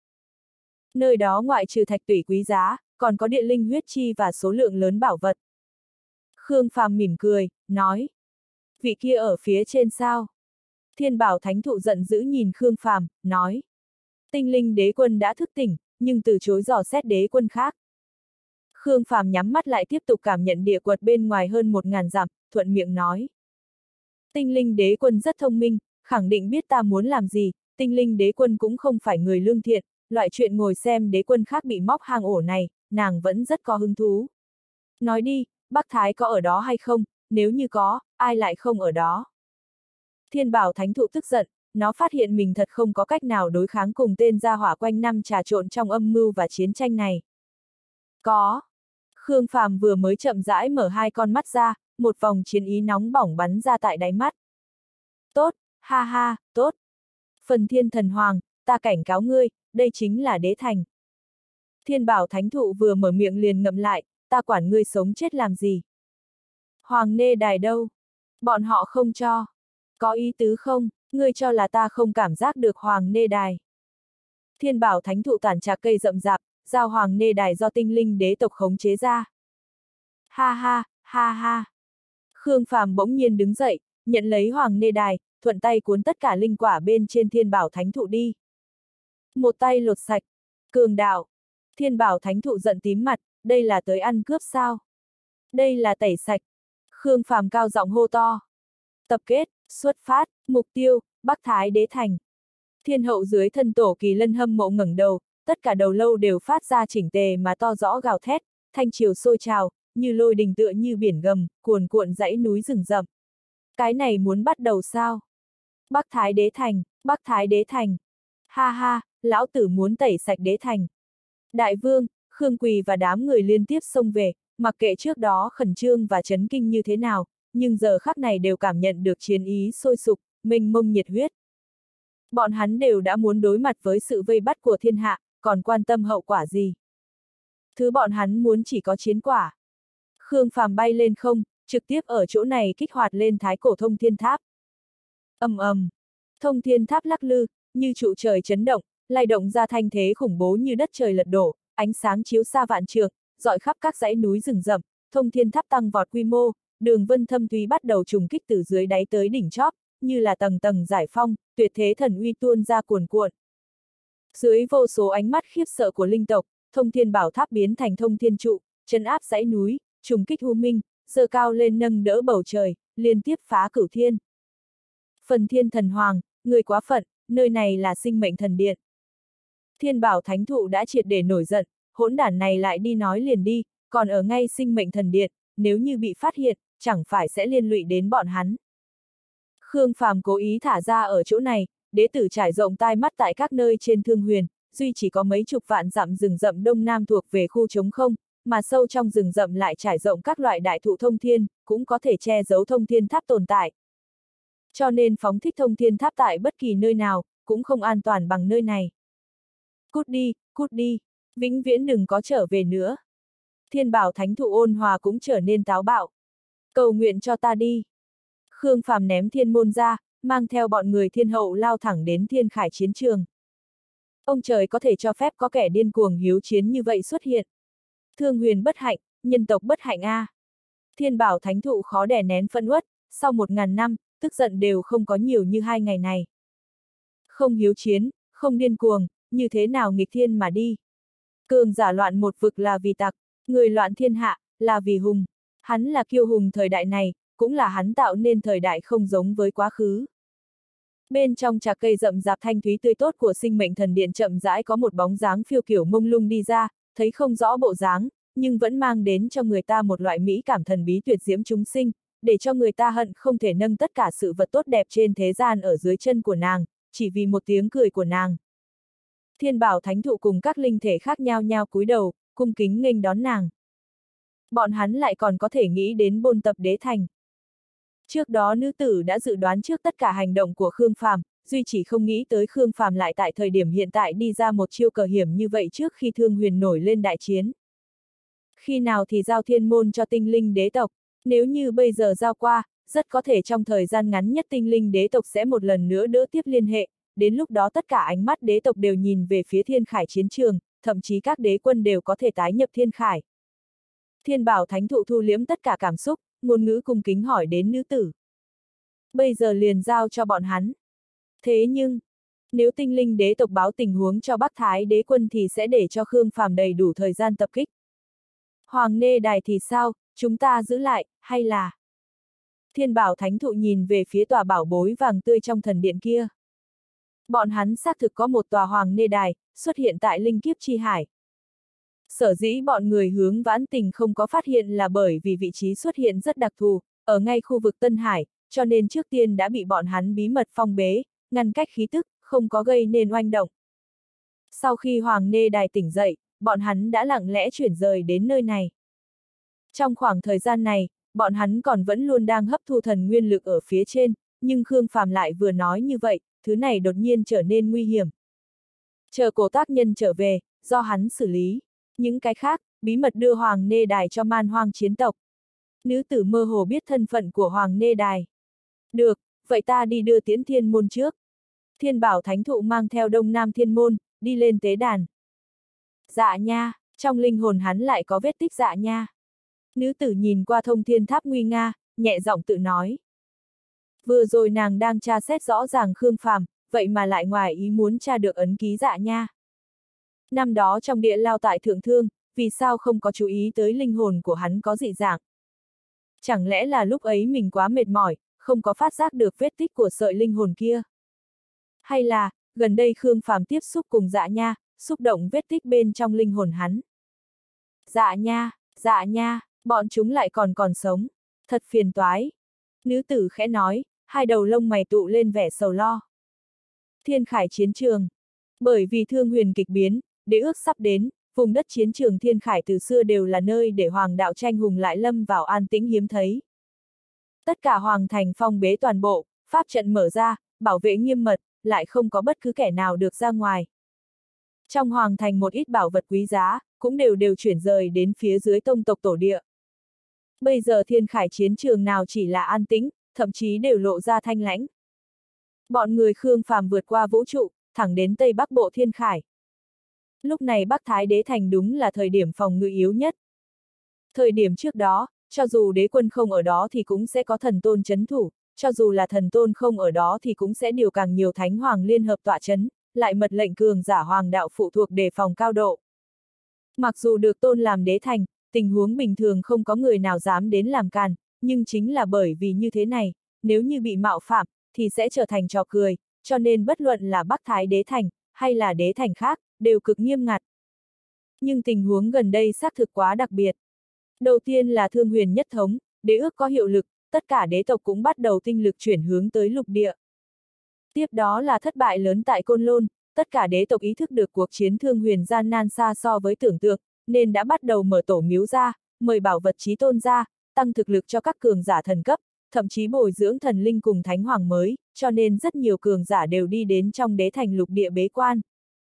Vì thời điểm đại chiến thương huyền có thể thống nhất hành động, đế tộc điều động số lượng lớn tộc lão tiến về hoàng đạo phụ thuộc tại lục địa, cùng với hoàng đạo khác, thậm chí là hoàng tộc, bắt đầu bí mật liên hệ, uy hiếp lợi dụng. Lại sau đó, hoàng nê đài kinh hiện thiên hạ, dẫn phát tranh đoạt điên cuồng, kềm chế rất nhiều tinh lực, đế thành nhao nhao đều lần nữa lựa chọn một vị thánh hoàng, lấy hoàng nê đài phụ trợ, trùng kích thần cảnh. Còn có sự kiện Phật môn tiếp tục gây nên chấn động, Khương Phàm lại khiêng thiên môn phách lối đi câu cá, lại hấp dẫn tinh lực. Với vô số sự kích thích, bên trong đế tộc bế quan thì bế quan, bận rộn thì bận rộn, thống lĩnh chấn thủ đế thành phía trên thiên khải lại liên tiếp bị điều đi, phòng ngự vừa giảm lại vừa mỏng, ngay cả bảo vệ xung quanh hoàng thành cũng bị mất đi vẻ náo nhiệt thường ngày. Có lẽ ngay cả Bắc Thái đế tộc cũng không có ý thức được, giờ phút này bên trong đế thành thiên khải vậy mà lại chỉ có ba vị thánh vương đang tọa chấn. Trước đó còn có một vị thánh hoàng, một thời gian trước cũng tự tiện rời khỏi thiên khải, về tới lục địa phía dưới. Bởi vì đại chiến thương huyền sắp đến, trước đó tranh nhau chấn giữ thiên khải ngược lại thành hậu phương to lớn, ai bị ở lại phía trên, thì tương đương với việc bị cô lập, chỉ có ở lục địa cố gắng tranh thủ mới có thể đạt được bảo vật trong tổ từ, thậm chí là thần vật như hoàng nê đài. Cho nên, vị thánh hoàng kia đã vụng trộm rời khỏi. Ngay cả thiên mệnh thần triều, nguyên thủy thần điện, tinh thúc thần cung, tam đại thế lực phụ thuộc trong hoàng thành cũng đều chỉ có hai vị thánh vương tọa chấn. Bởi vì thánh hoàng là phải làm lực lượng xuất trinh tầng cao nhất vào thương huyền, không thể nào lại lưu thủ thiên khải. Kỷ nguyên năm 20, ngày 21 tháng 2, bọn người Khương Phàm vượt qua hư không trăm vạn dặm thiên khải, vào tới Tây Bắc Thiên Khuyết Sơn Mạch. Nơi này kéo dài hơn 2.000 dặm, bị đế quân khắc lên dấu vết, bố trí pháp trận, cưỡng ép chân áp, không nhận hoàn cảnh quỷ bí của thiên khải ảnh hưởng thay đổi. Có thể nói, hơn 2.000 dặm thiên khuyết sơn mạch càng giống như là một tòa pháo đài. Đế thành độc bá sâu trong 300 dặm, thiên mệnh thần triều, nguyên thủy thần điện, tinh túc thần cung, ở riêng ba khu biên giới tại các dãy núi, hoàng thành sở thuộc đều chiếm chừng trăm dặm. Tây Bắc Thiên Môn thì lơ lửng tại một nơi phía đông thiên khuyết sơn mạch cách đó 200 dặm. Sau khi Đông Hoàng Càn, Đông Hoàng Toại, Đông Hoàng Lăng Tuyệt, bí mật chu sát cường giả chấn thủ thiên môn, bắt đầu liên thủ ký kết bình chướng không gian, không hy vọng xa vời hoàn toàn che đậy, nhưng phải tận lực chống lại năng lượng trùng kích. Khương Phàm kiên nhẫn chờ đợi bọn hắn chuẩn bị, nửa ngày sau, hắn kích phát, bản thân, trong tâm hải. Một bản thân thức tỉnh, mình mông huyết khí cùng hồn uy cuồn cuộn khắp toàn thân, trùng kích huyết nhục hải cốt, khuấy động khí hải. Cảnh giới của Khương Phàm đã vô cùng vững chắc, còn cao hơn tại cuộc chiến côn lôn lúc trước rất nhiều, bản thân được kích phát, lập tức khiến cho thực lực tăng vọt. Ngay sau đó là bản thân thứ hai, vị thứ ba. Chiến khu thẳng tắp của Khương Phàm kịch liệt phồng lên, giống như là sóng cả cuồn cuộn nhúc nhích nhấc lên, nhanh tới mức mắt Trần cũng có thể nhìn thấy, giống như là tất cả tế bào đều muốn nổ tung, nhưng ba động khủng bố phun trào, cảnh giới tăng vọt khí tức, đã rõ ràng chạm tới thần linh đỉnh phong. Tất cả bọn hắn đều cảm nhận được một loại áp bách hít thở không thông, không gian xung quanh Khương Phàm đều giống như muốn chôn vùi sụp đổ, không gian truyền ra tiếng tạch tạch trầm muộn. Khương Phàm tiếp tục kích phát, bản thân thứ bảy, thứ tám, huyết khí như đại dương khuấy động toàn thân, mang cho huyết nhục hài cốt áp bách giống như phá hủy, cơ thể Khương Phàm thân động ra tàn ảnh, như là tám bản thân muốn tránh thoát khỏi người hắn, nổ tung tại thiên khải, lại bị tầng tầng áp chế, trở về đến thân thể Khương Phàm. Cảnh giới của Khương Phàm tại thời khắc này đã cường thế đột phá hàng rào, chân chính đạt tới thần linh đỉnh phong. Lấy thần linh đỉnh phong, xin mời ý chỉ thương thiên. Phải chăng có thể có uy lực bán đế? Khương Phàm thì thào một câu, bị năng lượng bạo động trùng kích ý thức bay ra ngoài cơ thể, tiêu tán ở giữa đất trời mênh mông. Đầu tiên là chạm đến địa tầng, tiếp đó là hòa vào thế gian, sau đó thăng hoa tới vũ trụ, phạm vi 10 vạn giảm, cùng vũ trụ thâm thúy, đều như là đặt vào ý thức khống chế. Khương Phàm rất nhanh đã nhận ra vấn đề. Địa tầng tại thiên khải chiến trường kiên cố xa so với thế giới phía dưới, mà lại còn có vô số linh mạch răng khắp nơi, ý vị này nếu Sơn Hà Đại Táng bộc phát thì uy lực sẽ viễn siêu hơn thế giới phía dưới. Mà thiên khuyết Sơn tương đương với một pháo đài chiến tranh, trong dãy núi rừng rậm tràn ngập lít nha lít nhít tinh thạch, đó cũng là năng lượng. Đây vốn là duy trì ổn định và chống cự trùng kích, giờ phút này lại thành thuốc nổ. Càng đặc biệt hơn là nhật nguyệt tinh thần đại táng, bởi vì thiên khải chiến trường ở vào đỉnh cửu thiên, càng trực tiếp tiếp xúc với vũ trụ thâm không, đến mức thời điểm Khương Phàm cảm ngộ, có thể rõ ràng mãnh liệt chạm tới bọn hắn hơn. Thứ phát hiện này để Khương Phàm phấn chấn không thôi, thì ra thực lực của hắn tại thiên khải có thể càng mạnh hơn. Khương Phàm không do dự nữa, dù bên trong đế thành có thần, trận siêu cấp đại táng này cũng có thể chấn vỡ bình chướng. Bọn người thiên hậu nhanh chóng tản ra, giữ vững khoảng cách an toàn, cũng đều khẩn trương, sẵn sàng trận địa đón quân địch. Nơi đó trung quy vẫn là đế thành, ai cũng không biết cụ thể bây giờ trình độ phòng ngự là gì, càng không biết bạo động có thể trực tiếp chạm đến đế thành phía dưới hay không, cho nên, trong thời gian ngắn bọn hắn nhất định phải bắt lấy, sau đó lại nhanh chóng rút lui. Dựa theo kế hoạch của thiên hậu, bọn hắn có 15 phút tập kích, 3 phút càn quét, tổng cộng tuyệt đối không thể vượt qua 20 phút. ầm ầm, theo Khương Phàm phóng thích, 10 vạn dặm sông núi đột nhiên xuất hiện ba động kịch liệt, không gian nổi lên gợn sóng, ngôi sao sâu trong vũ trụ cùng nhật nguyệt đều như là bắt đầu ù ù chuyển động. Một loại tôn uy vô thượng, một nguồn thiên thế phiêu miểu, tại thời khắc này tràn ngập tại thiên khải rộng lớn, không chỉ có 10 vạn dặm có chỗ xúc động, mà tất cả hoàn thành bên ngoài 10 vạn dặm đều có chỗ phát giác. Tại biên giới thiên khuyết sơn mạch, bình chướng của thiên mệnh hoàng thành dẫn đầu bắt được nguồn năng lượng bất thường, trong chốc lát đã bộc phát lên cường quang, dọi khắp các dãy núi rừng rậm. Chấn thủ trong hoàng thành kinh động, lập tức bay lên không xem xét tình huống. Chuẩn bị. Chấn thủ hoàng thành lên tiếng hô to, truyền lệnh toàn thành đề phòng. Nhưng, một tiếng, chuẩn bị, quanh quẩn tại nơi đây, như hoang lôi rơi xuống đất, giống như thiên âm minh mông, để chấn thủ bên trong thiên mệnh hoàng thành đều sửng sốt một chút, đây là giọng của ta. Không đúng. Là thanh âm ở bên ngoài. Là ai? Ai đang gieo hò? Lại đang chuẩn bị cái gì? Nhìn nơi đó. Thủ vệ cửa thành kêu lên đầy sợ hãi, chỉ về phía xa phương đông.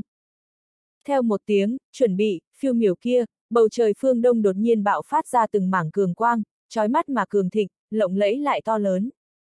Có liệt diễm nhấc lên, minh hoàng dương cánh, có yêu hỏa sôi trào, yêu hoàng thét dài, càng có đại dương minh mông bạo động, mặt trời hoành không. Từng luồng từng luồng uy lực và năng lượng cuồn cuộn khắp đất trời, từng thân ảnh nhìn thấy mà giật mình, thiên mệnh hoàng thành yên tĩnh, tiếp đó đã dẫn phát chấn động mãnh liệt. Phượng Hoàng, Huyền Vũ, Kim Ô, yêu tộc liên quân, là vạn thế thần triều, đó là vạn thế thần triều. Đội ngũ của vạn thế thần triều. Thiên mệnh chấn thủ hít một ngụm khí lạnh, tê cả ra đầu, không phải nói Khương Phàm đang câu cá tại hải vực sao? Tại sao lại ở chỗ này? Toàn thành đề phòng, tử thủ. Liên hệ đế thành, vạn thế đột kích. Thiên mệnh chấn thủ vừa mới phát ra la lên, trước đó vì diệu chấn động đột nhiên kịch liệt, sơn hà sụp đổ, không gian vỡ vụn, nhật nguyệt tinh thần tại hắc ám vô tận bên trong bạo động hoành hành, rơi xuống tàn lụi, nổ tung hủy diệt.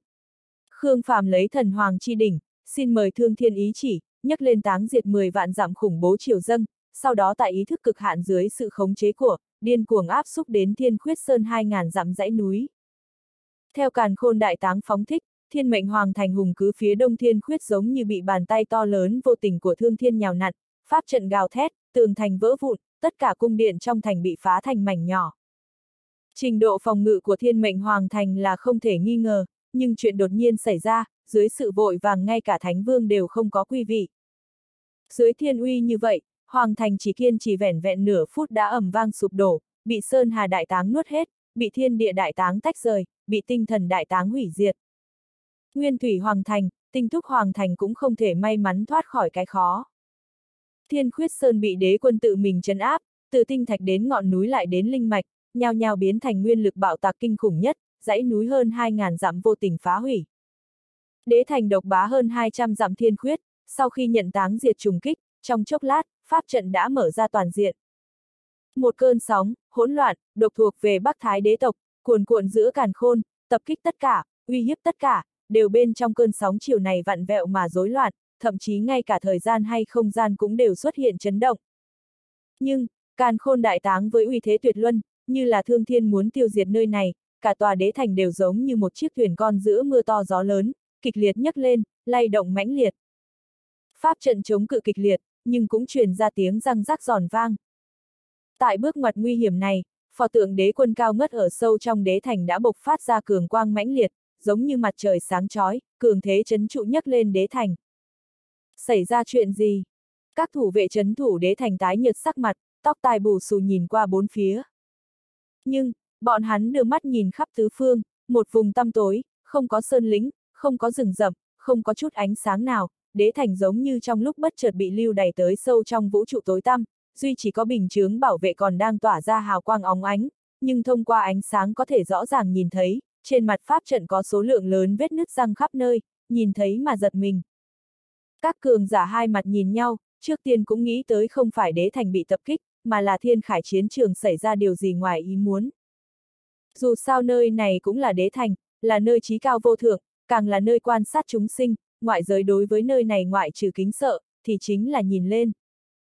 Nhưng, đều đứng lên cho ta, chấn thủ pháp trận, thông báo đế thành, địch tập, địch tập, là vạn thế thần chiều tới, trừ bọn hắn, ai dám đến đế thành làm càn. Phần thiên thần hoàng lại tới thiên khải, không có ai biết sao. Ba vị thánh vương chấn thủ liên tiếp hành động, điên cuồng phóng tới tế đàn. Nhưng, khi sóng chiều đại táng bình phục, trong chốc lát, thiên hậu và đám người đang vận sức chờ phát động nhau nhau bạo phát. Thiên hậu nhấc lên bí lực vô lượng, hiện ra đằng xà lăng thuật, minh mông cường quang sen lẫn thành hư ảnh đằng xà, như là cây giáo màu vàng thẳng tắp, xuyên qua hư vô, không nhìn ngăn trở, tốc độ nhanh chóng đủ để chống lại vượt qua không gian.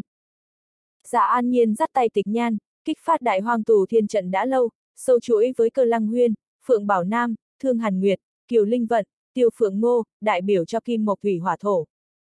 Bây giờ đại hoang tù thiên trận không thể nghi ngờ là cao hơn những gì đã từng suy nghĩ, trong thân thể của bọn người cơ lăng huyên không chỉ có đại hoang ấn do hỗn độn cự long lưu lại, càng có được linh nguyên ngũ hành của thần thụ thế giới, thời khắc này mãnh liệt bộc phát, bọn hắn lấy pháp trận tái hiện thần uy tuyệt thế của hỗn độn cự long. Cự long hét lớn đầy giận dữ, như là một cái thế giới hình rồng dài đến 10 vạn mét, cường quang mãnh liệt, hỗn độn cuồn cuộn, hoành hành trong không gian hư vô. Khương Quỳ, Khương qua cùng toàn thể Thánh Vương Thánh Hoàng phát huy ra uy thế kinh khủng, lần theo chỉ dẫn của thiên hậu, phóng tới bên trong bóng tối vô tận, lao thẳng đến ở ngoài đế thành ngàn dặm.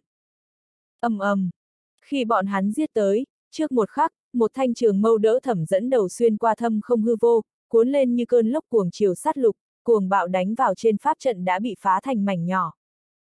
Rung động kịch liệt để đế thành vừa mới ổn định bỗng nhiên nhấc lên mấy chục mét, thần ma bên trên liệp thần thương gầm thét thê lương, cây giáo ngàn trượng giống như là có được ý thức ác thú của riêng mình, cuồng dã tiến vào bên trong. Đế thành trung quy vẫn là đế thành, pháp trận phòng ngự khủng bố đến cực điểm, pho tượng đế quân ở bên trong như là sống lại, đạp tan đại địa, phóng lên tận trời, một loại uy thế hoác loạn khuấy động đế thành, như là giao hòa cùng pháp trận, một quyền đánh về phía liệp thần thương đang muốn xông vào. A a a a! Thiên hậu giết tới, khuôn mặt thanh tú trở nên dữ tợn không gì sánh được, theo sát liệp thần thương bạo kích, năng lượng của chín loại yêu thú cuồn cuộn tại khí hải, bí lực vô lượng tuôn trào ra, ẩn chứa uy lực côn bằng, uy lực kim hống, uy lực kim ô các loại, giống như là chín yêu thú mượn nhờ thiên hậu phát ra một kích toàn lực, đánh vào bên trên liệp thần thương. Liệp thần thương tăng vọt uy thế, lại lần nữa xông vào mấy chục mét, đối kháng chính diện cùng pho tượng đế quân. ầm ầm, pháp trận do đế quân khống chế, kịch liệt cuồn cuộn, giống như là biển gầm sôi trào, sóng chiều hỗn loạn gây rối loạn hết thảy. Năng lượng do thiên hậu bộc phát đều vô tình bị tách rời, liệp thần thương đều như tháo chạy dưới pháp trận vặn vẹo. Một màn kinh người để đám người đang giết tới bỗng nhiên biến sắc, nhưng ngay sau đó bọn họ lại nghiêm nghị gào thét, giống như là ác thú kinh khủng, kẻ trước ngã xuống, kẻ sau tiến lên nhào về phía hỗn loạn. Trong chớp mắt, bọn hắn như là xông vào uông dương thần nguyên bạo loạn, bị năng lượng khủng bố vặn vẹo cuồng quyến, hoàn toàn mất đi khống chế. Cho dù là bọn hắn đã dự đoán được sẽ gặp phải, hỗn loạn, nhưng không nghĩ tới uy thế hỗn loạn lại nhanh nhẹn dũng mãnh như vậy, lại có thể đều xua tán thánh hoàng bọn hắn đi như thế.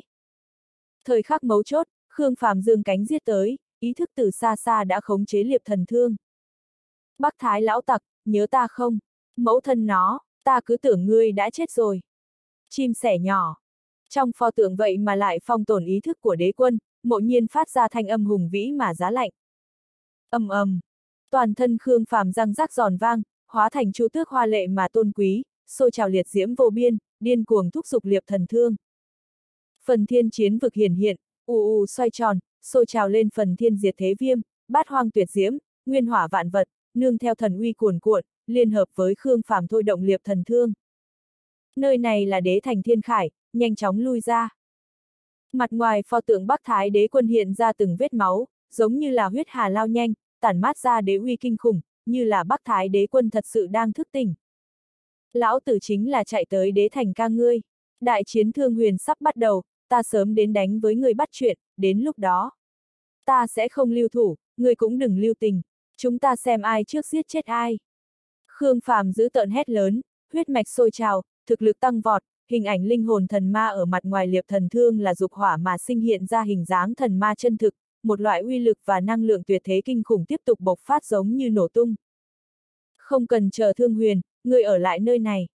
Bắc Thái đế quân ô hô tượng giao hòa cùng cả tòa đế thành, tất cả bảo vật, hài cốt trong pháp trận, nhao nhao thức tỉnh, nhanh chóng phong hóa mục nát, dâng lên năng lượng vô biên vô tận, muốn tràn vào pho tượng đế quân. Đế uy kinh khủng tràn ngập khắp đế thành, để đám người đang phóng tới pháp trận liền sợ hãi quỳ xuống đất, cơ hồ không đứng lên nổi, ngay cả thiên hậu ở phía sau bọn hắn đều cảm nhận được áp bách đến ngạt thở, chiến ý như thủy triều cũng đều biến mất. Chỉ là một pho tượng mà thôi, người thật cho mình là đế quân rồi. Phá cho ta! Khương Phàm gào lớn với thâm không hư vô, huyết khí sôi trào, hồn khí cuồn cuộn, ấn ký thủy tổ tràn ngập ra thiên khải, truyền vào vũ trụ, giao hòa cùng ba tôn chu tước trong dòng sông lịch sử. Nương theo tiếng gáy to sắc nhọn, ba tôn chu tước vượt qua thời không quang tới ý thức, mượn nhờ huyết khí hồn khí, lấy niết bàn huyền diệu hóa thành hình thái chu tước, liên hợp với Khương Phàm phát khởi tấn công mạnh. Đánh cho ta, đây chẳng qua là chỉ là một pho tượng, chỉ là pho tượng, phá vỡ đế thành, xé hắn cho ta. Thiên hậu dẫn đầu áp chế cảm giác hồi hộp, sôi trào lên bí lực vô lượng, cưỡng ép đảo loạn hỗn loạn do pháp trận thả ra. Chúng ta là Thánh Hoàng, Thánh Hoàng. Khương Quỳ và đám người hét lớn, nhao nhao phát lực, kích phát tiềm lực huyết mạch, kích phát uy lực Thánh Hoàng, trong cuồng chiều như đại dương minh mông hỗn loạn lật đổ, bọn hắn cưỡng ép giữ vững thân thể, dã man tiến lên phía trước. Pháp trận hỗn loạn tại đế thành xác thực rất mạnh, nhưng cường giả chấn thủ lại quá ít quá yếu, đối mặt với liệp thần thương kiềm chế, cùng Thánh Hoàng Thánh Vương bộc phát toàn diện, năng lượng hỗn loạn do pháp trận thả ra lại khó ngăn cản được bọn hắn. Chỉ sau vài phút ngắn ngủi, bọn người thiên hậu thành công tới gần pháp trận, thời gian cấp bách, tình thế nguy cơ, bọn hắn đều đỏ hồng mắt, cuồng loạn phóng thích, bộc phát ra thực lực mạnh nhất, liên miên bất tuyệt đánh thẳng vào pháp trận. Mà, chủ công những vết nứt trên pháp trận kia. Pháp trận nhanh chóng tăng vết nứt lên, liên lụy đến thực lực tổng hợp, mà thực lực tổng hợp chịu ảnh hưởng để hỗn loạn bị thả ra phía ngoài cũng bị yếu bớt, sóng chiều hỗn loạn yếu bớt, bọn người thiên hậu thì tiếp nhận hạn chế càng ít, tiếp nhận hạn chế càng ít, thực lực thì bộc phát càng mạnh, bộc phát thực lực mạnh hơn thì vết nứt trên pháp trận lại càng ngày càng nhiều. Mà pháp trận tại đế thành tiếp tục suy bại và phá toái, cũng liên lụy đến thực lực do pho tượng đế quân thả ra. Lão tặc, cảm ơn tài nguyên của ngươi, ta sẽ dùng bảo vật bên trong đế thành bồi dưỡng thần tôn mới, săn giết con dân Bắc Thái đế tộc ngươi. Khương Phàm thể hiện dữ tợn, ba tôn chu tước nhấc lên tuyệt thế sát uy, liên tiếp đánh tới gần bình chướng, sau đó tự bảo. Gần như ba tôn thần linh tự bạo một cách khủng bố, nhấc lên uy lực diệt thế giống như biển động, trùng kích sóng chiều hỗn loạn, phá diệt pháp trận. Pháp trận đang nhanh chóng yếu bớt không thể kiên trì thêm được nữa, đầu tiên là sụp ra ba cái hố to lớn, liên lụy đến phòng ngự chỉnh thể ổn định. Tiếp đó thiên hậu, hỗn độn cự long thuận thế sông mở bình chướng, giết vào đế thành, phòng ngự đế thành nhận phải chí mạng hư hao, uy thế mà pho tượng đế quân đang thả ra lập tức sụt giảm. Khương Phàm gầm lên giận dữ, mang theo liệp thần thương nhanh chóng bạo kích, đối diện xuyên qua đầu pho tượng. Pho tượng đế quân tương đương với cả tòa đế thành hóa thân, pháp trận phá diệt để thực lực của hắn nhanh chóng suy yếu. Giết! Bọn người Khương Quỳ phát động ra sát huy cực đại, liên tiếp xé nát bình chướng trước mặt, giết vào đế thành. Liên hệ đế thành lục địa, xin mời đế quân, giá lâm thiên khải. Các chấn thủ đế thành bọn họ bi phẫn gầm lên, gào thét với các tộc lão ở sâu trong hoàng cung. Các tộc lão cũng sớm đã bắt đầu liên hệ, nhưng càn khôn đại táng trôn vùi không gian, cắt đứt hết thảy các đạo ngấn liên hệ, bọn hắn không ngừng trùng kích tế đàn, nhưng không có bất kỳ sự đáp lại nào. Tuy nhiên, đế huyết đế quân lưu lại trên pho tượng lại tồn tại phản ứng vi diệu cùng đế quân ở lục địa phía dưới. Khi Khương Phàm vô tình phá giải pho tượng, điên cuồng cướp đoạt đế huyết ở bên trong, Bắc Thái đế quân ở bên trong đế thành lục địa đã phát hiện ra dị dạng. Mạnh như Bắc Thái đế quân cũng không nghĩ tới đế thành thiên khải của mình sẽ gặp phải tập kích, huống chi tin tức mới vừa nhận được lại là cái tên cuồng nhân chiến tranh Khương Phàm kia đang trở về Thương Huyền, cho nên khi pho tượng vừa mới chưa tỉnh lại, hắn chỉ là cảm thấy rất kỳ quái, không có rất để ý. Cho đến khi, pho tượng tại đế thành thiên khải bị Khương Phàm triệt để phá hủy, đế huyết ở phía trên hoàn toàn lọt vào cướp đoạt, rốt cuộc Bắc Thái đế quân cũng bừng tỉnh, thiên khải đế thành. Gặp phải biến cố. Đế thành có biến, thánh linh, thần tôn, đăng lâm thiên khải. Bắc Thái đế quân tự mình xuất hiện, năng lượng kinh khủng khôi phục, như đại dương minh mông nổi giận bao phủ bầu trời, tiếp đó là tràn ngập đất trời để chúng sinh run sợ. Mặt đất bao la, 10 vạn dặm núi sông đều rõ ràng nghe được tiếng lệnh quát này. Lăng tiêu chiến thần và các cường giả nhao nhao kinh động, cho dù đang bế quan cũng đều cưỡng ép xuất quan. Đế thành có biến. Phía dưới đang rất bình thường mà. Chẳng lẽ là, thiên khải đế thành. Bắc Thái đế quân không đợi bọn người lăng tiêu chiến thần thì đã bay lên không, trước một bước vượt qua bầu trời, chạy tới tế tràng thiên trụ sơn ở ngoài vạn giảm tại Bắc Thái đại lục. Đế uy vô biên, trời đất hỗn loạn, tất cả trật tự, đại đạo ở xung quanh đều không còn tồn tại ở trước mặt hắn, mà là lâm vào bên trong nghịch loạn vô tận. Hắn như là hành tẩu ở bên ngoài trật tự, siêu thoát khỏi thế gian, như là thời không đều sụp đổ xung quanh ở xung quanh hắn. Thiên khải chiến trường, Tây Bắc Thiên Môn. Không sai biệt lắm chỉ. Đông Hoàng Lăng Tuyệt lo lắng nhìn qua thiên địa quy về hư vô hơn 2.000 dặm, khẩn trương đến muốn hít thở không thông. Người đó, tuổi còn rất trẻ, còn cần rèn luyện, gặp được chuyện cũng đừng hốt hoảng, phải chú ý quan sát, phải dùng tâm tư, lại làm ra phán đoán. Đông Hoàng Càn đứng chắp tay, dùng lời nói thấm thía dạy bảo. Giáo tôn nói đúng lắm. Đông Hoàng Lăng tuyệt tranh thủ thời gian cúi đầu, không còn dám biểu hiện quá khiếp đảm. Ngươi là tương lai thần giáo, cùng đi theo chúng ta, phải chú ý quan sát, chú tâm học tập. Đông Hoàng Càn bình tĩnh lạnh nhạt.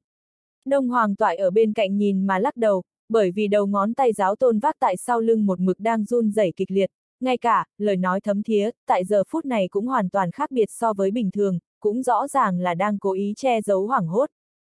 Dù sao bọn hắn cũng là người phụ trách con đường quan trọng nhất, không chỉ phải cực lực chống cự năng lượng tại thiên khuyết sơn nơi đó trùng kích, để thiên môn giữ yên lặng, càng cần tại thời khắc mấu chốt cưỡng ép phá hủy con đường hơn. Quá sớm, không được, dễ dàng kinh động chấn thủ phía dưới. Quá muộn, càng không được, nếu như đế quân đột nhiên giết lên, ba người bọn hắn nhìn như cao ngạo thánh vương thánh hoàng, trong nháy mắt đều có thể bị dây thành cặn bã. Không tốt. Đông Hoàng toại đột nhiên hét lớn một tiếng. Ngọa tào, tới. Đông Hoàng càn la một cái nhảy dựng lên. Không có, giải buồn. Đông Hoàng toại cười ha ha. Thằng danh con, người cần ăn đòn, tới đây cho ta. Đông Hoàng càn giận dữ, một tay bóp lấy cổ Đông Hoàng toại, nhét vào nách muốn đánh cho tê người, nhưng đúng vào lúc này, thiên môn đột nhiên nổi lên cường quang, cửa đá đóng chặt ù ù run động, như là liền muốn rộng mở. Tới, toàn thân Đông Hoàng Càn, Đông Hoàng Toại, Đông Hoàng Lăng tuyệt lập tức lạnh cả người, tiếp đó là lên tiếng hét to. Đánh! Ba vị cường giả không gian phóng thích toàn bộ năng lượng đang vận sức chờ phát động, ngừng tụ thành không gian loạn quyền, chút xuống cửa đá. Đánh! Cộc cộc cộc cộc! Đông Hoàng Càn đang khẩn trương, sợ hãi và sự điên cuồng, hắn cuồng loạn phóng thích năng lượng không gian, âm điệu cũng thay đổi. Đông Hoàng Toại, Đông Hoàng Lăng Tuyệt càng sợ hãi hơn, toàn thân đều đang run rẩy, trong mắt đều chừng đến căng tròn, kẻ đang tới phía dưới chính là đế quân, mẫu thân nó, là đế quân nha. Dưới áp lực cực hạn mà cả ba đều điên cuồng phóng thích, hình thành cuồng chiều năng lượng hủy trời diệt đất, diễn biến thành lít nha lít nhít trọng quyền không gian giống như mưa to gió lớn vọt vào con đường thiên trụ sơn. Bình thường mà nói, dù là Đông Hoàng Càn Thành Thần đều khó có khả năng ngăn cản đế quân đang muốn giá lâm thiên khải, nhưng đây là đầu con đường không gian, toàn bộ con đường đều là không gian đạo ấn sen lẫn mà thành. Đám người Đông Hoàng Càn điên cuồng trùng kích, không đả thương được đế quân, lại có thể để con đường đâm đến thiên khải vặn vẹo kịch liệt. Giờ phút này đế quân đang cưỡi trên tế đàn, con đường lao thẳng tới thiên khải lập tức sôi trào mãnh liệt một như cơn lốc, số lượng lớn sóng chiều không gian từ bên trong đổ xuống, trùng kích bầu trời, tàn phá bừa bãi. Rốt cuộc đế quân cũng xác định được phía trên đang xảy ra chuyện lớn, hắn không nhìn con đường đang hoắc loạn, nghịch thiên mà lên, thẳng đến thiên khải. Ổn định pháp trận.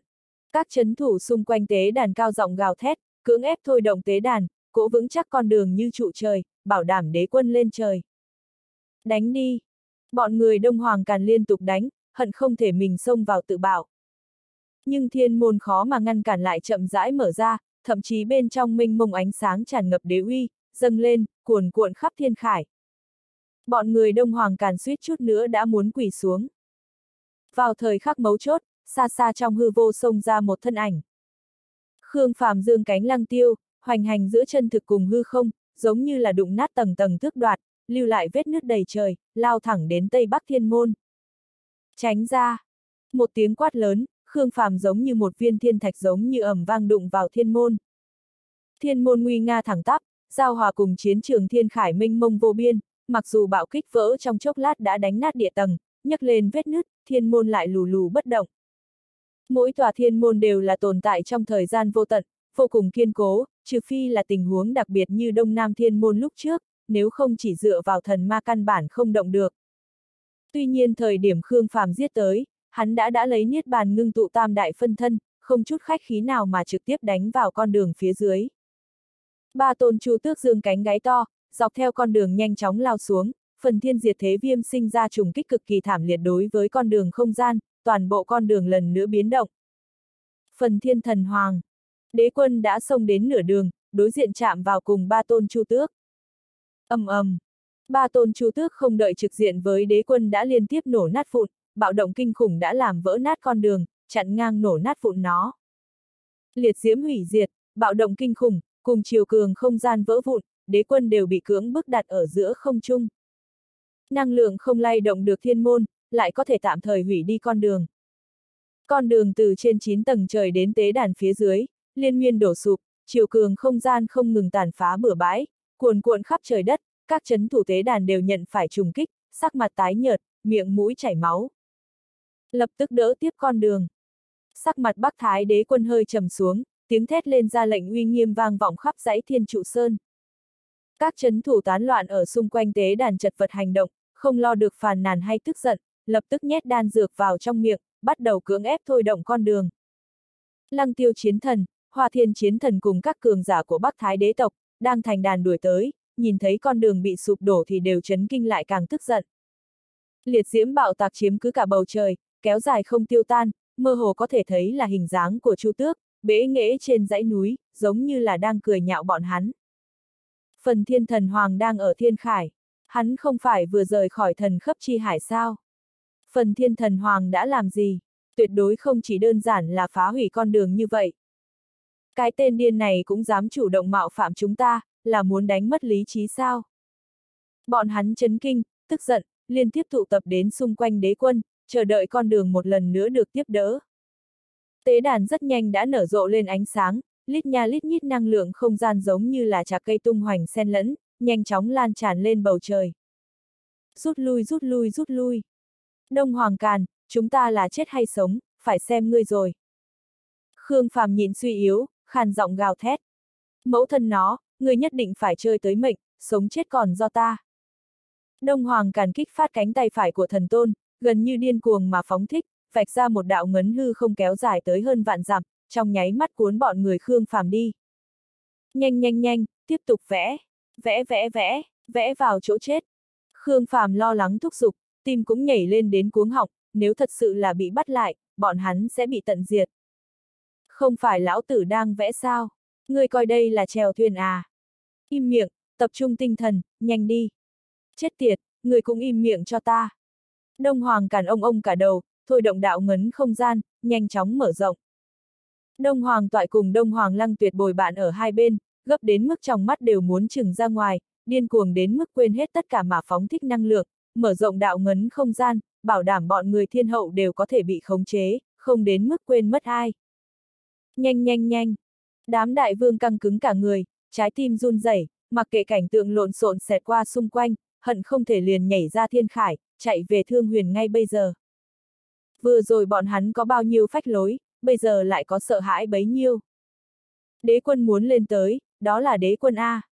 Đông Hoàng càn bị gió lớn thổi loạn cả mái tóc trắng phơ, hắn giống như nổi điên mà cuồng kích hư không, một đạo tiếp lấy một đạo ngấn kéo đến mấy ngàn dặm lại đến hơn vạn dặm, mang theo bọn người Khương Phàm tiếp tục vượt qua không gian.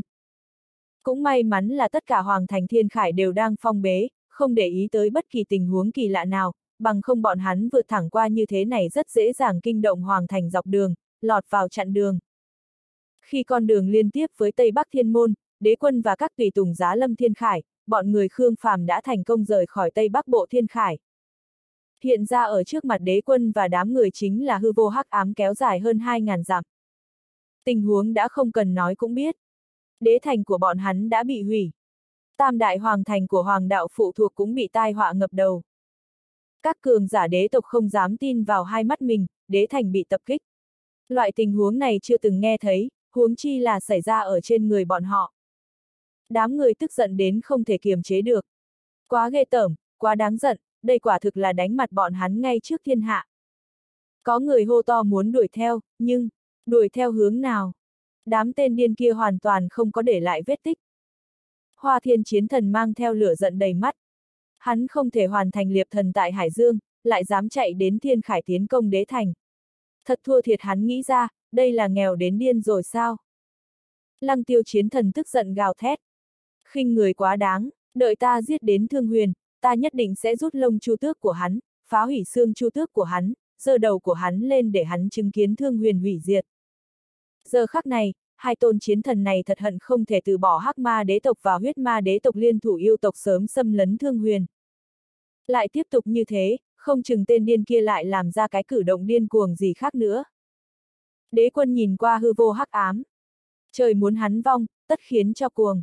Ngay cả đánh lén loại đế thành nguy hiểm này cũng dám nhấc lên, nói rõ hắn đã cùng đồ mặt lộ, không thể không bí quá hóa liều.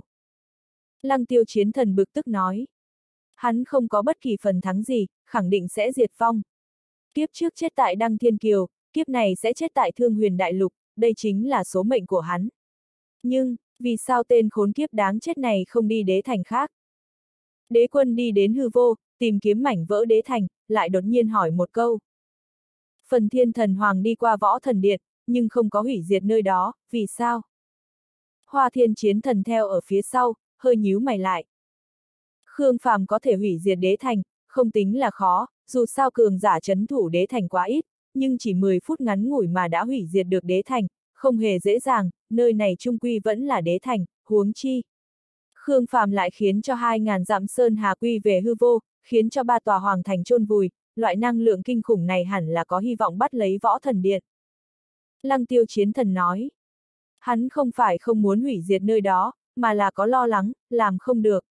Nếu không, hủy diệt nơi đó, xa so với bôn tập đế thành, nguy hiểm cũng càng nhỏ.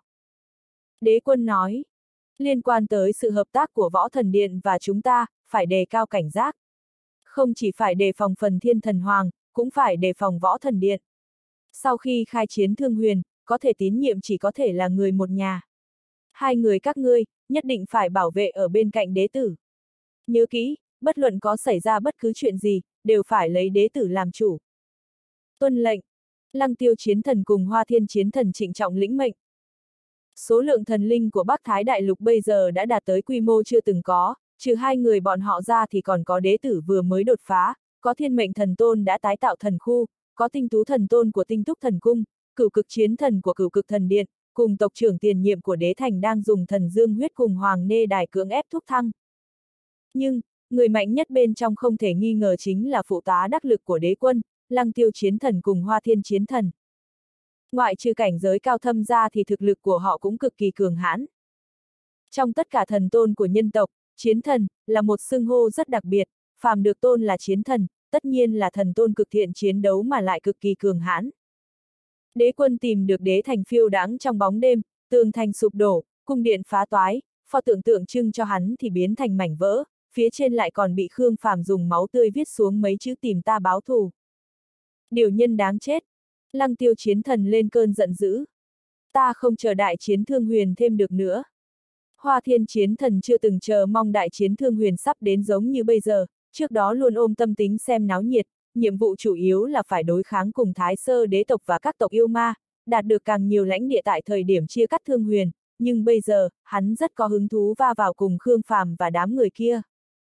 Lúc này, thống lĩnh tự biết tội nghiệt đang sợ hãi quỷ gối trước mặt đế quân, tự mình xin lỗi. Hắn chính là Thánh Hoàng phụng mệnh chấn thủ đế thành, lại vụng trộm xuống đến hạ giới. Mạch ngươi đây, thanh trừ. Đế quân chưa từng liếc nhìn hắn một cái, lạnh lùng hạ đạt chu sát lệnh tàn nhẫn.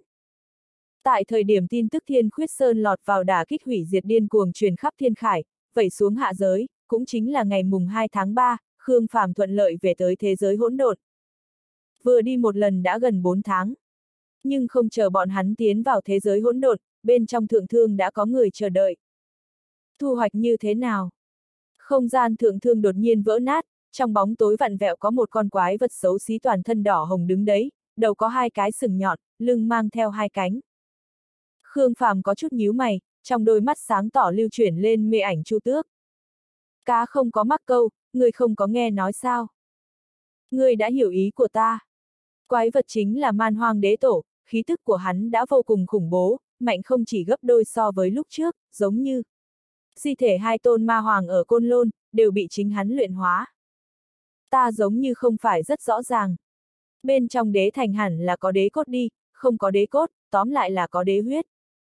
Bọn người thiên hậu đều âm thầm cảnh giác, quái vật này làm thế nào biết được thiên khải sự kiện. Bây giờ hẳn là vừa mới truyền khắp các đế tộc, tất cả hoàng tộc hoàng đạo cũng không biết, huống chi là thương huyền đoạn tuyệt liên hệ cùng thiên khải và ngoại giới. Sau lưng man hoang đế tổ xuất hiện nê đài vàng tươi, chìm nổi bên trong hư không hắc ám vô tận. Đế cốt đế huyết đều cho ta, ta giao hoàng nê đài cho ngươi. Giao dịch này, ngươi không lỗ. Khương Phàm lập tức nhìn chằm chằm hoàng nê đài, man hoang lại có một tòa. Hoàng nê đài chỉ là thần vật, giá trị kém xa đế huyết. Thật sao? Man hoang đế tổ chỉ là cười lạnh, con mắt tinh hồng nhìn chằm chằm Khương Phàm. Hoàng nê đài có thể tạo thần, nhưng đối với chúng ta mà nói, thời gian không đủ. Quên đi, ngươi từ từ hưởng dụng. Không gian xung quanh man hoang đế tổ cuồn cuộn, nhanh chóng bao vây hắn. Chậm đã. Tại một khắc cuối cùng Khương Phàm gọi hắn lại. Hoàng nê đài xác thực không thể nào lại cho bọn hắn tạo thần, nhưng khống chế càng nhiều, càng dễ dàng khống chế chủ nê đài, đó là mấu chốt bên trong mấu chốt. Ta muốn đế cốt đế huyết. Giọng của man hoang đế tổ từ trong bóng tối bay ra, khàn khàn lạnh lẽo. So với thần vật, đế cốt đế huyết lại càng dễ để hắn khôi phục thực lực, nếu như số lượng đầy đủ, hẳn là có thể để hắn trở lại cảnh giới bán đế trước khi cuộc chiến thương huyền bộc phát. Thần cốt thần huyết chiếm đa số, đế cốt đế huyết rất ít. Khương Phàm từ trong thông thiên tháp lật ra một cây đế cốt, không biết là ở vị trí nào, tựa như là bị luyện hóa, lúc ấy khảm nạm ở trong pho tượng bộ, do bộ phận đế huyết bao quanh. Ta muốn toàn bộ. Có chừng có mực đi, giá trị hoàng nê đài chỉ những thứ này. Thật sao, theo ta được biết, người muốn khống chế phong thần đài, thật đúng là cần tòa này của ta. Ngươi nói cái gì? Khuôn mặt Khương Phàm có chút động, vẻ mặt của bọn người thiên hậu lập tức cảnh giác. Chuyện ta biết, nhiều hơn ngươi. Đế cốt đế huyết đều đưa hết cho ta, ta sẽ cho ngươi hoàng nê đài ngay bây giờ. Trong bóng tối bay ra thanh âm cười lạnh của man hoang đế tổ. Hắn lại biết bí mật phong thần đài. Khương Phàm đột nhiên hoài nghi về thân phận của con quái vật này. Trước đó đột nhiên xuất hiện, lại có thể ép huyết ma hoàng chạy trốn tại côn lôn. Cái tên gia hỏa tự xưng là thức tỉnh bên trong man hoang tổ miếu này rốt cuộc là từ bao nhiêu năm trước. Còn có, quái vật này làm sao biết hắn bôn tập đế thành. Khương Phàm đột nhiên nghĩ đến sinh mệnh thần điện. Đưa mắt nhìn khắp thương huyền, kẻ biết hắn mạo hiểm trèo lên thiên khải trộm đế thành, trong thời gian ngắn giống như chỉ có nơi đó. Mà biết bí mật giữa Hoàng Nê Đài cũng chỉ có nơi đó, nhưng... Lúc ấy hắn không có nói phong thần đài cơ mà. Huống chi, man hoang đế tộc, sinh mệnh thần điện. Hai phe này không thể nào tồn tại liên hệ. Khương Phàm nhìn chăm chú hắc ám, từ từ dẫn xuất hai viên đế huyết từ trong thông thiên tháp. Nói là viên, mỗi viên đều có to như nắm tay, khuấy động minh mông đế uy, như là hỗn loạn nguyên, để không gian xung quanh sụp đổ, trật tự vỡ vụn, ngay cả tay Khương Phàm đều giống như muốn bị bóp méo. Người còn, ta đương nhiên còn, một khối đế cốt, hai viên đế huyết, cực hạn của ta. Người muốn, để lại hoàng nê đài. Không muốn, ném hoàng nê đài đi đi.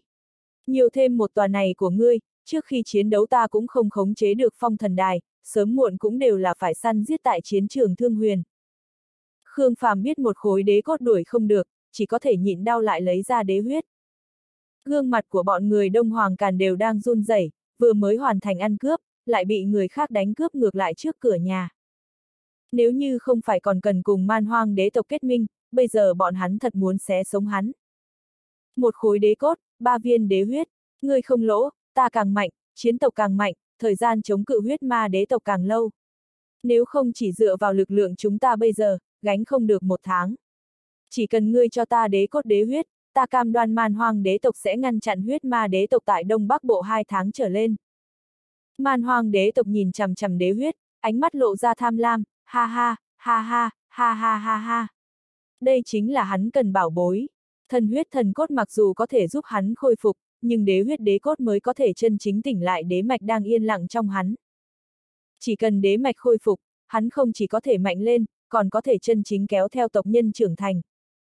Huyết ma tộc, đó chính là con mồi của hắn. Hắn muốn sống nuốt huyết ma đại lục, trở lại đế vị. Khương Phàm suy nghĩ hồi lâu, cuối cùng vẫn lấy ra một viên đế huyết, lạnh lùng nói. Để lại Hoàng Nê Đài, đóng giữ Đông Bắc, ba tháng. Hư không vặn vẹo, Hoàng Nê Đài bị thô lỗ phun ra. Man Hoàng đế tổ đạp tan không gian, xuất hiện ở trước mặt Khương Phàm, trực tiếp cuốn đế huyết đế cốt đi, biến mất không còn bóng dáng. Bầu không khí thoáng kiềm chế. Đế cốt đế huyết không thể nghi ngờ là thu hoạch quan trọng nhất trong lần buôn tập này, lại bị quái vật đoạt đi. Mặc dù đạt được hoàng nê đài cùng cam đoan, nhưng... Vậy mà vui mừng không nổi. Còn có đế huyết không? Đông Hoàng Càn cũng không biết Khương Phàm cuốn đi bao nhiêu đế huyết. Còn lại ba giọt. Trên đường Khương Phàm còn tính toán để mình dùng ba giọt, tất cả bọn người Đông Hoàng như ảnh dùng đế huyết đế cốt, cưỡng ép đẩy lên thần linh cảnh. Kết quả, lão yêu quái thực sẽ nhân lúc cháy nhà mà đi hôi của. Đông Hoàng Càn lắc đầu, nếu như không phải cần man hoang đế tộc ngăn cản huyết ma đại lục cùng ma tộc hải vực, há có thể chịu khuất nhục này. Cũng coi như có thể, ít nhất là đến trao đổi, không phải tới cứng đoạt. Đông Hoàng toại khổ sở nói. Tám tòa. Khương Phàm nhìn Hoàng Nê Đài, cảm xúc uất ức và mong đợi hỗn tạp cùng một chỗ, để hắn vô cùng khó chịu. Thiên hậu nói. Tốt nhất là có thể gom góp 11 tòa, bảo đảm tuyệt đối không được xảy ra sai lầm. Khương Phàm thở phào một hơi. Gom góp 10 tòa là được, 11 tòa. Khó quá, Đám người lắc đầu, nhấc tinh thần lên, một lần nữa về tới thế giới hỗn độn. Kết quả vừa trở lại bên trong, lại lần nữa bị người khác ngăn chặn. Là Đông Hoàng Trấn Nguyên. Sớm tại tháng 11 năm ngoái đã thụ mệnh bồi tiếp ma hồn của thôn Thiên Ma Hoàng, đi ra bên ngoài tìm kiếm ma đồ, đến bây giờ đã là nửa năm. Người trở về, ma giới hoàng đồ đâu? Khương Phàm quan sát đến thể hiện của Đông Hoàng Trấn Nguyên, chờ mong có thể có tin tức tốt. Chúng ta đã trở về từ tháng trước, ma giới hoàng đồ. Tìm được hay là không tìm được? Ngài vẫn là tự mình đi gặp hắn đi. Tin tức tốt hay là tin tức xấu? Cũng có tin tức tốt, cũng có tin tức xấu. Đông Hoàng Trấn Nguyên mang theo Khương Phàm chạy tới sâu trong thế giới hỗn độn. Hồn phách của thôn Thiên Ma Hoàng đang chỉ đạo các tộc nhân sát đồ tu luyện võ pháp, nhìn thấy Khương Phàm tới, lập tức nói. Ta rõ ràng có thể cảm giác được ma giới hoàng đồ vẫn tồn tại, nhưng tìm khắp cửu châu thập tam hải đều không có phát hiện tung tích. Là thất lạc ở sâu trong đại lục nào đó. Nếu như đang tại đại lục nào đó, ta chỉ cần tới gần Tân Hải thì đã có thể xác định có ở đó hay không, lại đang phương vị nào, nhưng từ đầu đến cuối ta đều không có bất cứ cảm ứng nào. Ta có thể xác định không tại từng cái đại lục, cũng không tại hải vực nào đó. Lúc trước bồi tiếp tịch nhan tiến vào U Minh địa ngục, cũng không ở trong đó. Sau đó thì sao, đừng nói với ta là bị một vị đế quân nào đó bí mật khống chế. Tâm tình tốt của Khương Phàm bị tiêu hao một chút xíu. Nếu như bị đế quân chấn áp, lại giấu trong đế thành, ta hẳn là hoàn toàn không cảm giác được bất cứ tồn tại gì. Nhưng, ma giới hoàng đồ vẫn mãi cho ta một cảm giác rất phiêu miểu. Nói thẳng suy đoán của ngươi. Ta hoài nghi ma giới hoàng đồ bay tới vũ trụ hư vô, cũng chính là ngoài cửu thiên, trong vũ trụ hắc ám phía trên thiên khải. Ý của ngươi là, để tiểu lão đầu này theo giúp ta đi thiên khải chiến trường tìm xem. Đông Hoàng Trấn Nguyên đứng ở bên cạnh im lặng lắc đầu, tiểu lão đầu nhi. Ta cùng ngươi đi nửa năm, liền đổi lấy một cái xưng hô như thế. Khương Phàm nói. Vậy liền đi đi. Thôn Thiên Ma Hoàng nói. Ta muốn đi, nhưng tiểu lão đầu nhi không đi. Đông Hoàng Trấn Nguyên cười khổ nói. Nếu quả thật ma giới hoàng đồ phiêu ở trong vũ trụ hư vô, khẳng định là rất rất xa, xa tới không cách nào tưởng tượng được nổi, mặc dù ta là võ giả không gian, nhưng bình thường đều di chuyển tiếp xúc cùng hư không thế giới. Có nói các ngươi cũng không hiểu rõ, dù sao cũng chính là rất nguy hiểm, vô cùng nguy hiểm. Nhìn thấy Khương Phàm dùng ánh mắt hồ nghi nhìn hắn, Đông Hoàng Trấn Nguyên lại bổ sung. Tựa như ta là một con cá sinh sống trong biển, hắn hết lần này tới lần khác muốn dẫn ta đến trong biển sâu phiêu lưu tìm một viên chân châu. Tìm không tìm được là một chuyện, nhưng làm sao trở về mới là vấn đề lớn. Đông Hoàng Trấn Nguyên nói mà lắc đầu liên tục, thật vất vả bởi vì thần dương huyết kích phát tiềm lực linh văn, tại 500 tuổi lột xác ra linh văn thánh hoàng thiên phẩm, mặc dù đời này chưa chắc có hy vọng chân chính tiến vào thánh hoàng, nhưng tiềm lực linh văn cường hãn đủ để hắn đối kháng cùng một ít thánh hoàng. Hắn cũng không muốn còn chưa có phát huy nhiệt lượng thừa, thì lại mê thất lúc đang ở trong hư vô vũ trụ. Tại vô hạn giá lạnh bên trong chết héo. Khương Phàm hỏi. Người xác định ma giới hoàng đồ đang ở trong hư vô vũ trụ. Thôn thiên ma hoàng nói. Khả năng cực lớn. Khương Phàm thận trọng tự định giá một lát, nói. Trấn Nguyên tiền bối tuổi tác đã cao, không thích hợp đến hư vô vũ trụ, ta có thể thay ngươi mời Đông Hoàng Toại. Hắn là Thánh Hoàng, thực lực mạnh hơn, tạo nghệ không gian cao hơn. Tuy nhiên, tuy nhiên cái gì? Nếu nơi đó có cực mệnh nguy hiểm, có phải ngươi phải làm chút biểu thị gì hay không? Đợi ta trở về, săn giết thần tôn, quỹ lấy thần huyết. Ngươi có phần tâm ý này, ta đi bàn bạc giúp ngươi. Tuy nhiên, tuy nhiên cái gì, có chuyện gì cứ nói thẳng. Ngươi muốn đi thiên khải chiến trường như thế nào? Đi đường vòng qua hắc ma đại lục sao? Quá phiền phức, dùng thông thiên tháp của ngươi. Có thể, tuy nhiên. Nói, có chuyện gì thì cứ nói thẳng. Ta phóng thích thứ này một lần, tiêu hao rất nhiều, mà chúng ta mới vừa chọc họa ở thiên khải, lại mạo hiểm xuyên suốt liên hệ, nguy hiểm sẽ rất lớn. Ta cũng không lừa ngươi, như vậy đi, dựa theo giá thị trường bình thường, ngươi lại không điều kiện giúp ta đánh một lần nữa đi. Thôn thiên ma hoàng từ từ ngưng kết hồn khí, bày biện ra hình dáng một cự ma, ở trên cao quan sát Khương Phàm. Đây không phải đe dọa. Còn giá thị trường bình thường. Không cần chê đắt, ta thuộc về lũng đoạn ngành nghề, giá cả chính là hơi cao. Nếu như ngươi không chấp nhận được, đi đại lục khác, từ thiên môn trèo lên thiên khải. Nếu như muốn từ nơi này trực tiếp tiến tới thiên khải thì phải lại không điều kiện giúp ta đánh một lần, tính cả bốn trận ước định trước đó, hết thảy năm trận. Thôn thiên ma hoàng giận dữ hầm hầm nhìn Khương Phàm thật lâu. Anh danh một thế của đan hoàng sớm muộn cũng hủy ở trên tay tên đồ đệ ti tiện như ngươi đây. Tâm tình Khương Phàm đã hơi tốt hơn một chút, nói. Vậy cứ quyết định như thế, Trấn Nguyên tiền bối đi về nghỉ ngơi đi, ta đi tìm Đông Hoàng toại nói chuyện. Đông Hoàng Trấn Nguyên thở dài, lắc đầu. Cũng được, vẫn là để ta đi đi. Ngài, thân thể có thể chịu được sao? Không chịu cũng phải chịu thôi. Đông Hoàng Trấn Nguyên rất bất đắc dĩ, chiến tranh sắp bộc phát, hai vị thánh hoàng như Đông Hoàng Càn cùng Đông Hoàng Toại càng cần tu dưỡng trưởng thành hơn, Thánh Vương Thánh Linh khác lại không có đầy đủ kinh nghiệm, nếu như Khương Phàm kiên trì muốn tìm ma giới hoàng đồ, chỉ có thể là hắn. Khương Phàm vội vàng nói tạ ơn. Ngài bị liên lụy, ta sẽ xin mời cho ngài từ mấy viên đan dược chỗ đan hoàng. Đông Hoàng Trấn Nguyên nói. Đúng rồi, nơi này còn tới một vị khách, là bất hủ thần Sơn. Lúc các ngươi vừa rời khỏi thì họ liền đến, vẫn luôn chờ ở đây. Hỏa lạc. Mặc dao ngửa đầu, kinh ngạc nhìn cự thú thần tuấn oai hùng vảy đen ở trước mặt. Tám cái đầu hoàn chỉnh, một cái đầu hắc ám sắp thành hình. Ngũ hành phong lôi quang cùng ám, đây không phải chính là biểu tượng của tổ kỳ lân sao? Hỏa lạc vậy mà thật, thật, thật sự đã thức tỉnh tổ mạch trong truyền thuyết. Mặc dao, đã lâu không gặp. Tám cái đầu của tổ kỳ lân có chút rủ xuống, nhìn đồng bạn đã từng, cũng không khỏi có chút than thở.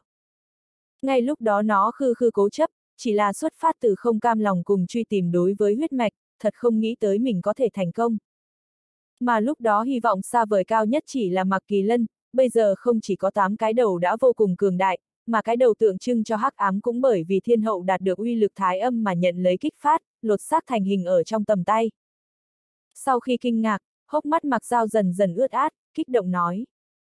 Chúc mừng ngươi, ngươi thật sự đã làm được, ta kiêu ngạo vì ngươi. Là có thiên hậu và Khương Phàm trợ giúp ta mới có thể có ngày hôm nay.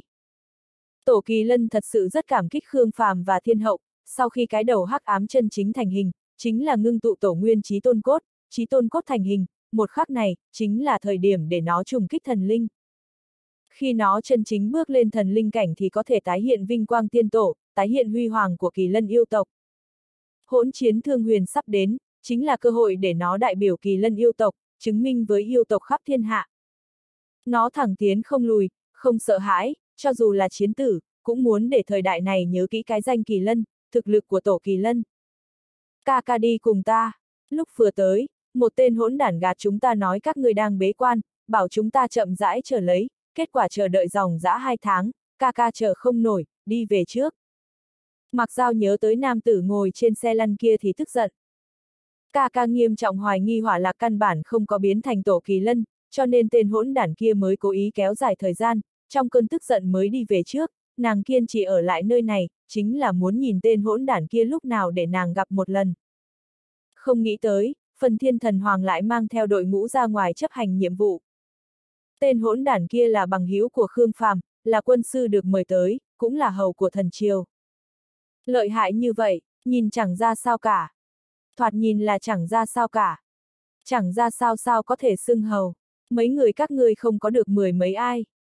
Ba vị hầu, hắn là một trong số đó. Năng lực của hắn không thích hợp để chiến đấu, nhưng thích hợp để quản lý. Năng lực gì? Người suy nghĩ gì, hắn đều biết, ý nghĩ của tất cả mọi người xung quanh, đều ở trong đầu hắn. Bao gồm cả khi ngươi mắng hắn. Mặc dao che lấy môi đỏ, trừng to mắt, trực nhìn Tổ Kỳ Lân. Tổ Kỳ Lân nói, không cần khẩn trương, hắn sẽ không để vào trong lòng. Đôi mắt to của mặc dao vụt sáng, mặt mũi tràn đầy xấu hổ. Có thể nhìn trộm ý nghĩ. Trên đời còn có linh văn như thế này. Ta đâu chỉ mắng hắn, ta còn, còn. Tổ kỳ lân hỏi. Bây giờ bất hủ thần sơn như thế nào? Thái sơ đế tộc có làm khó dễ các ngươi hay không?